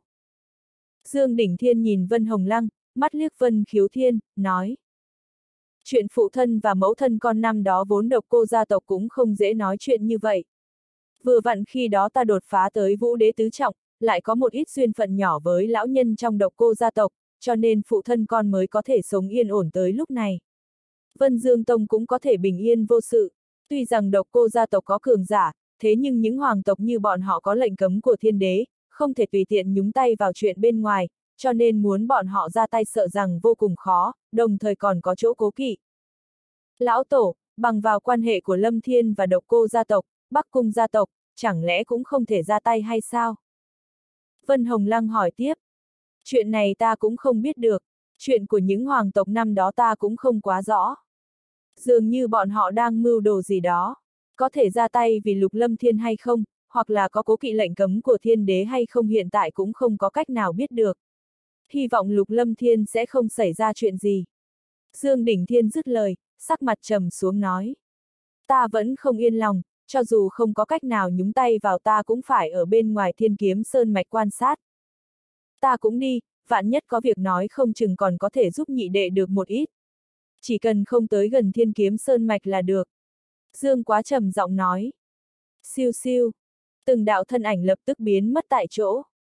Vầng trăng sáng nhô lên cao, đêm nay chính là đêm trăng tròn, trăng sáng sao thưa, ánh trăng bao phủ dãy núi. Đại lục linh vũ, tại nơi vốn là thiên kiếm thành của thiên kiếm môn trên một sơn mạch bao la, sau khi thiên kiếm môn bị huyết tẩy, trong sơn mạch này có thể nói là rất ít người lui tới. Ngay cả dã thú cũng không thấy đâu.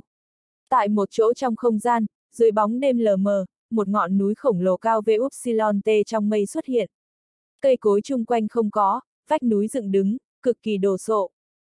Mà ngọn núi khổng lồ này cô độc đứng đó càng khiến cho người ta có cảm giác không tầm thường. Trên ngọn núi khổng lồ cắm vô số lợi kiếm, từ chân núi tới đỉnh núi, trong khe nứt của núi đá có đủ loại trường kiếm rậm rạp, chẳng chịt cắm xuống. Kiếm quang bắn ra bốn phía, kiếm khí lạnh lẽo mà sắc bén tràn ngập chung quanh thế nên cây cối không thể sinh trưởng. Nơi này cũng chỉ có một ngọn núi này đột nhiên mọc lên, kiếm quang lan tràn, dưới bóng đêm lờ mờ khiến cho người ta có cảm giác lập lòe. Trước ngọn núi lúc này có mấy đạo thân ảnh đang đứng, đứng đầu là một người lưng đeo trường kiếm, đúng là trưởng môn cổ kiếm phong của thiên kiếm môn. Trung quanh còn có mấy trưởng lão của thiên kiếm môn khác. Sắc mặt mấy người uể oải, thậm chí là ủ rũ. Cơ nghiệp trên vạn năm của thiên kiếm môn bị hủy, thậm chí cho tới bây giờ, trên cả đại lục đã không còn nơi nào cho bọn họ sống yên ổn. Bọn họ vốn đường đường là trưởng lão và trưởng môn thiên kiếm môn, là nhân vật mà chỉ cần khẽ dậm chân một cái là có thể khiến cho đại lục rung động. Thế nhưng hiện tại chỉ có thể nghẹn khuất trốn trong không gian này, cừu hận không cần phải nói. Siêu! Trên ngọn núi có một đạo kiếm quang lóe lên, một vết nứt không gian xuất hiện. Một đạo thân ảnh xinh đẹp lập tức lách mình đi tới trước người cổ kiếm phong.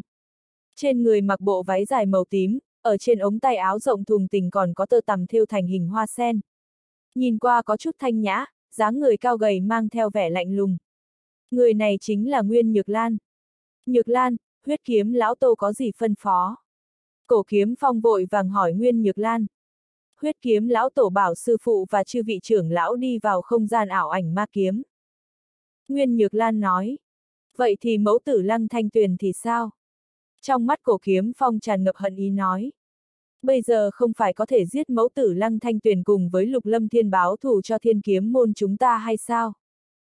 Nguyên Nhược Lan âm thầm thở dài, cách đây không lâu nàng cũng mới biết được lăng thanh tuyển có quan hệ sâu như vậy với lục lâm thiên. Đối với lăng thanh tuyển kia đương nhiên nàng cũng có chút quen thuộc.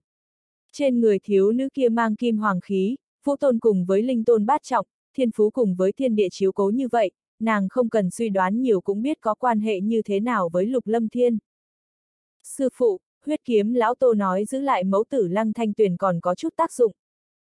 Nguyên Nhược Lan nói, trong lòng giờ phút này đang nhớ tới đạo thân ảnh mặc áo bào xanh kia.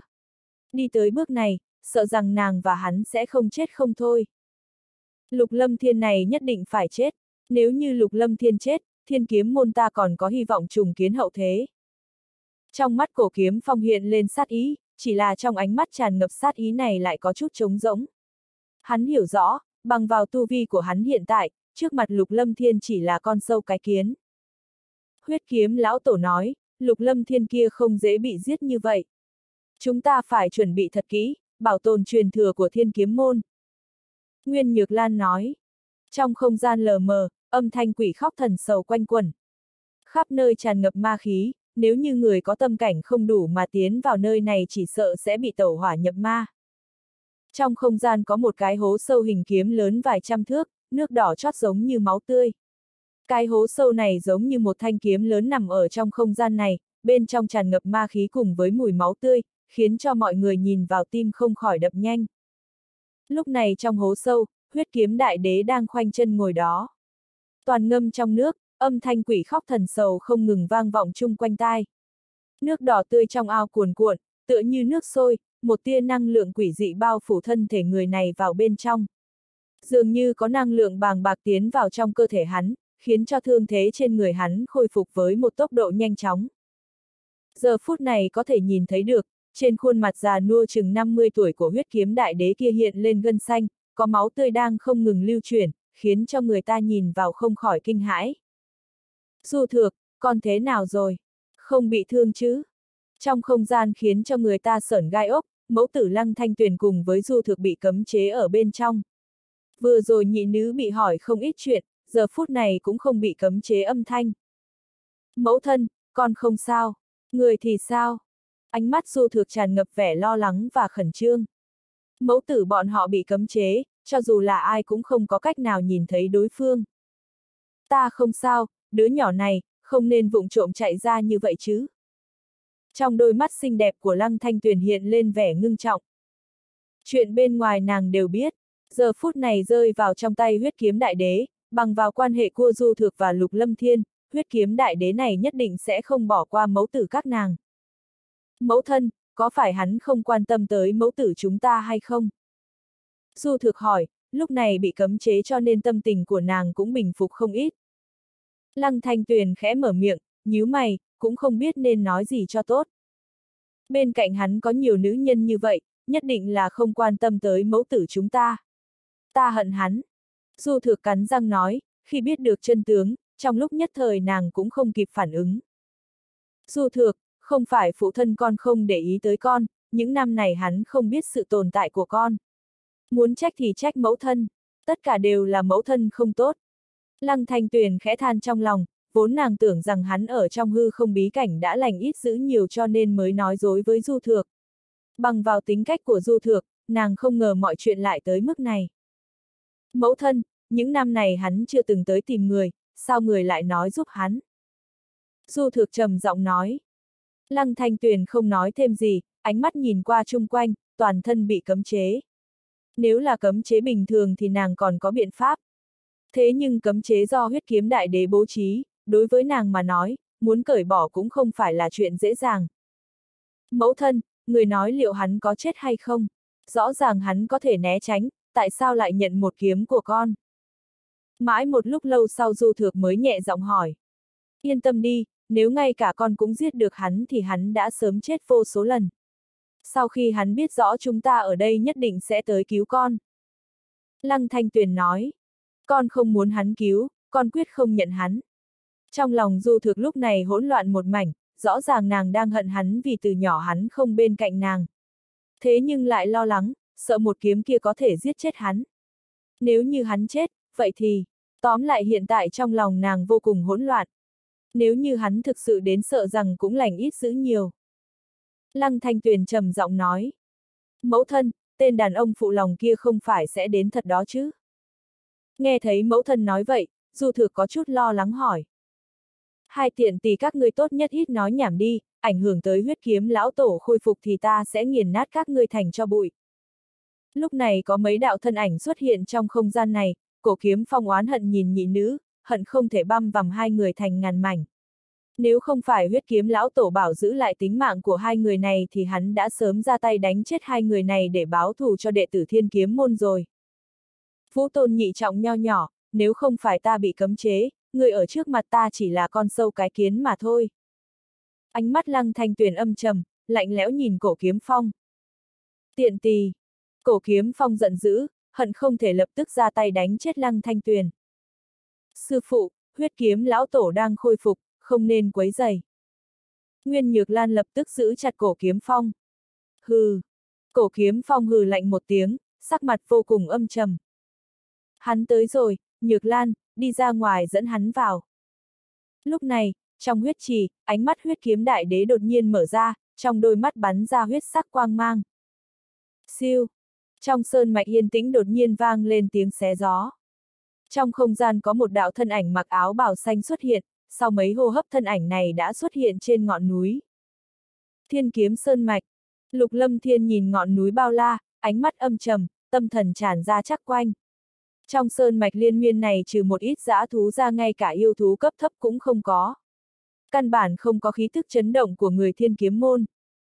Chuyện này khiến cho trong lòng lục lâm thiên âm thầm trầm xuống, dựa theo lời Dương Đỉnh Thiên nói, người thiên kiếm môn ẩn thân trong không gian của thiên kiếm sơn mạch, ngay cả hắn cũng không phát hiện ra. Thủ đoạn không gian này quả thực không phải bình thường. Ồ, đến rồi sao? Ngay khi trong lòng lục lâm thiên trầm xuống, trên không trung có khí tức chấn động truyền ra. Siêu! Trong một sơn cốc yên tĩnh đột nhiên xuất hiện vết nứt không gian, một âm thanh vang lên. Lục Minh Chủ, Lăng cô nương và nữ nhi của ngươi đang ở nơi này. Nguyên Nhược Lan. Lục Lâm Thiên đột nhiên ngẩng đầu, ánh mắt lóe lên, thân ảnh lập tức biến mất tại chỗ. Khi thân ảnh Lục Lâm Thiên lần nữa xuất hiện thì đã tới một không gian lờ mờ. Vết nứt không gian vừa mới xuất hiện lập tức xác nhập lại như cũ. Mà trong mắt Lục Lâm Thiên xuất hiện một ngọn núi khổng lồ có mây trắng lượn lờ, quang mang rực rỡ. Lục Lâm Thiên cẩn thận nhìn lại mới thấy rõ, đây không ngờ lại là một kiếm sơn cực lớn, thông thiên. Cái kiếm sơn này uốn lượn, cắm vô số lợi kiếm từ chân núi tới đỉnh núi, khắp nơi đều là kiếm. Kiếm quang bắn ra bốn phía, kiếm khí lạnh lẽo sắc bén tràn ngập chung quanh. Kiếm sơn khổng lồ cùng với vô số lợi kiếm hòa thành một thể, tựa như một đầu kiếm long ngẩng đầu bay lên trời. Khí thế tràn ngập không gian khiến cho người ta một khi tới gần trong lòng sẽ không tự chủ được mà run lên, tim đập nhanh hơn. Mà trên núi, trên một thanh trường kiếm có một đạo thân ảnh xinh đẹp mặc váy tím đứng đó. Toàn thân có ma khí nhàn nhạt lan tràn A, đây chính là Nguyên Nhược Lan kia. Nguyên Nhược Lan, ta tới rồi. Mẫu tử thanh tuyền đâu? Ánh mắt lục lâm thiên nhìn vào đạo thân ảnh này, hắn và nàng có không ít quan hệ, thế nhưng dù so vẫn kém mẫu tử lăng thanh tuyền và du thược. Không ngờ ngươi lại thực sự tới một mình, xem ra trong lòng người mẫu tử lăng thanh tuyền có địa vị rất lớn. Nguyên Nhược Lan nhìn Lục Lâm Thiên xa xa, nhíu mày, xưng hô của hắn đối với nàng đã đổi, nàng không ngờ ngày hôm nay lại tới nhanh như vậy. Nguyên Nhược Lan, huyết kiếm đâu? Hiện tại ngươi đã không có tư cách ở trước mặt ta nói chuyện. Ánh mắt lục lâm thiên âm trầm, hắn biết rõ huyết kiếm ở trong không gian này, cho nên hắn không có động tác gì khác. Vì mẫu tử du thược, hắn biết mình phải nhẫn nại, nhất định không thể làm tổn thương tới mẫu tử du thược. Ánh mắt Nguyên Nhược Lan biến đổi, không nói thêm gì. Khạc khạc, một tiếng cười to âm lệ vang lên, cùng lúc ánh mắt Lục Lâm Thiên cũng nhìn về phía sau lưng Nguyên Nhược Lan, ánh mắt hắn trầm xuống, thân thể bắt đầu căng cứng. Siêu. Cùng lúc, tiếng cười âm lệ này vừa dứt, sau lưng Nguyên Nhược Lan đột nhiên có sương mù đỏ tươi tuôn ra, một mùi máu tươi lan tràn mang theo ma khí mênh mông khuếch tán. Sương mù màu đỏ tuôn ra, cả không gian run lên, nhất thời trong phiến không gian này tràn ngập mùi máu tươi. Sương mù màu đỏ tràn ngập, bao phủ không trung, che lấp ánh trăng trên không trung. Mặt đất lúc này tối đen, âm trầm. Lục lâm thiên, không ngờ ngươi lại dám tới. Quả thực bổn đế phải bội phục ngươi. Huyết phụ lan tràn, trong động khẩu trên kiếm sơn sau lưng Nguyên Nhược Lan vang lên âm thanh của huyết kiếm đại đế. Ta đến rồi, đúng theo yêu cầu của ngươi. Mau thả người trong tay ngươi ra. Lục Lâm Thiên trầm giọng nói. Vào đi, ngươi không còn lựa chọn nào khác đâu. Âm thanh của huyết kiếm đại đế truyền ra, lập tức biến mất không thấy gì nữa. Mời Lục Minh Chủ. Thân ảnh Nguyên Nhược Lan lóe lên, lập tức biến mất trong cửa động.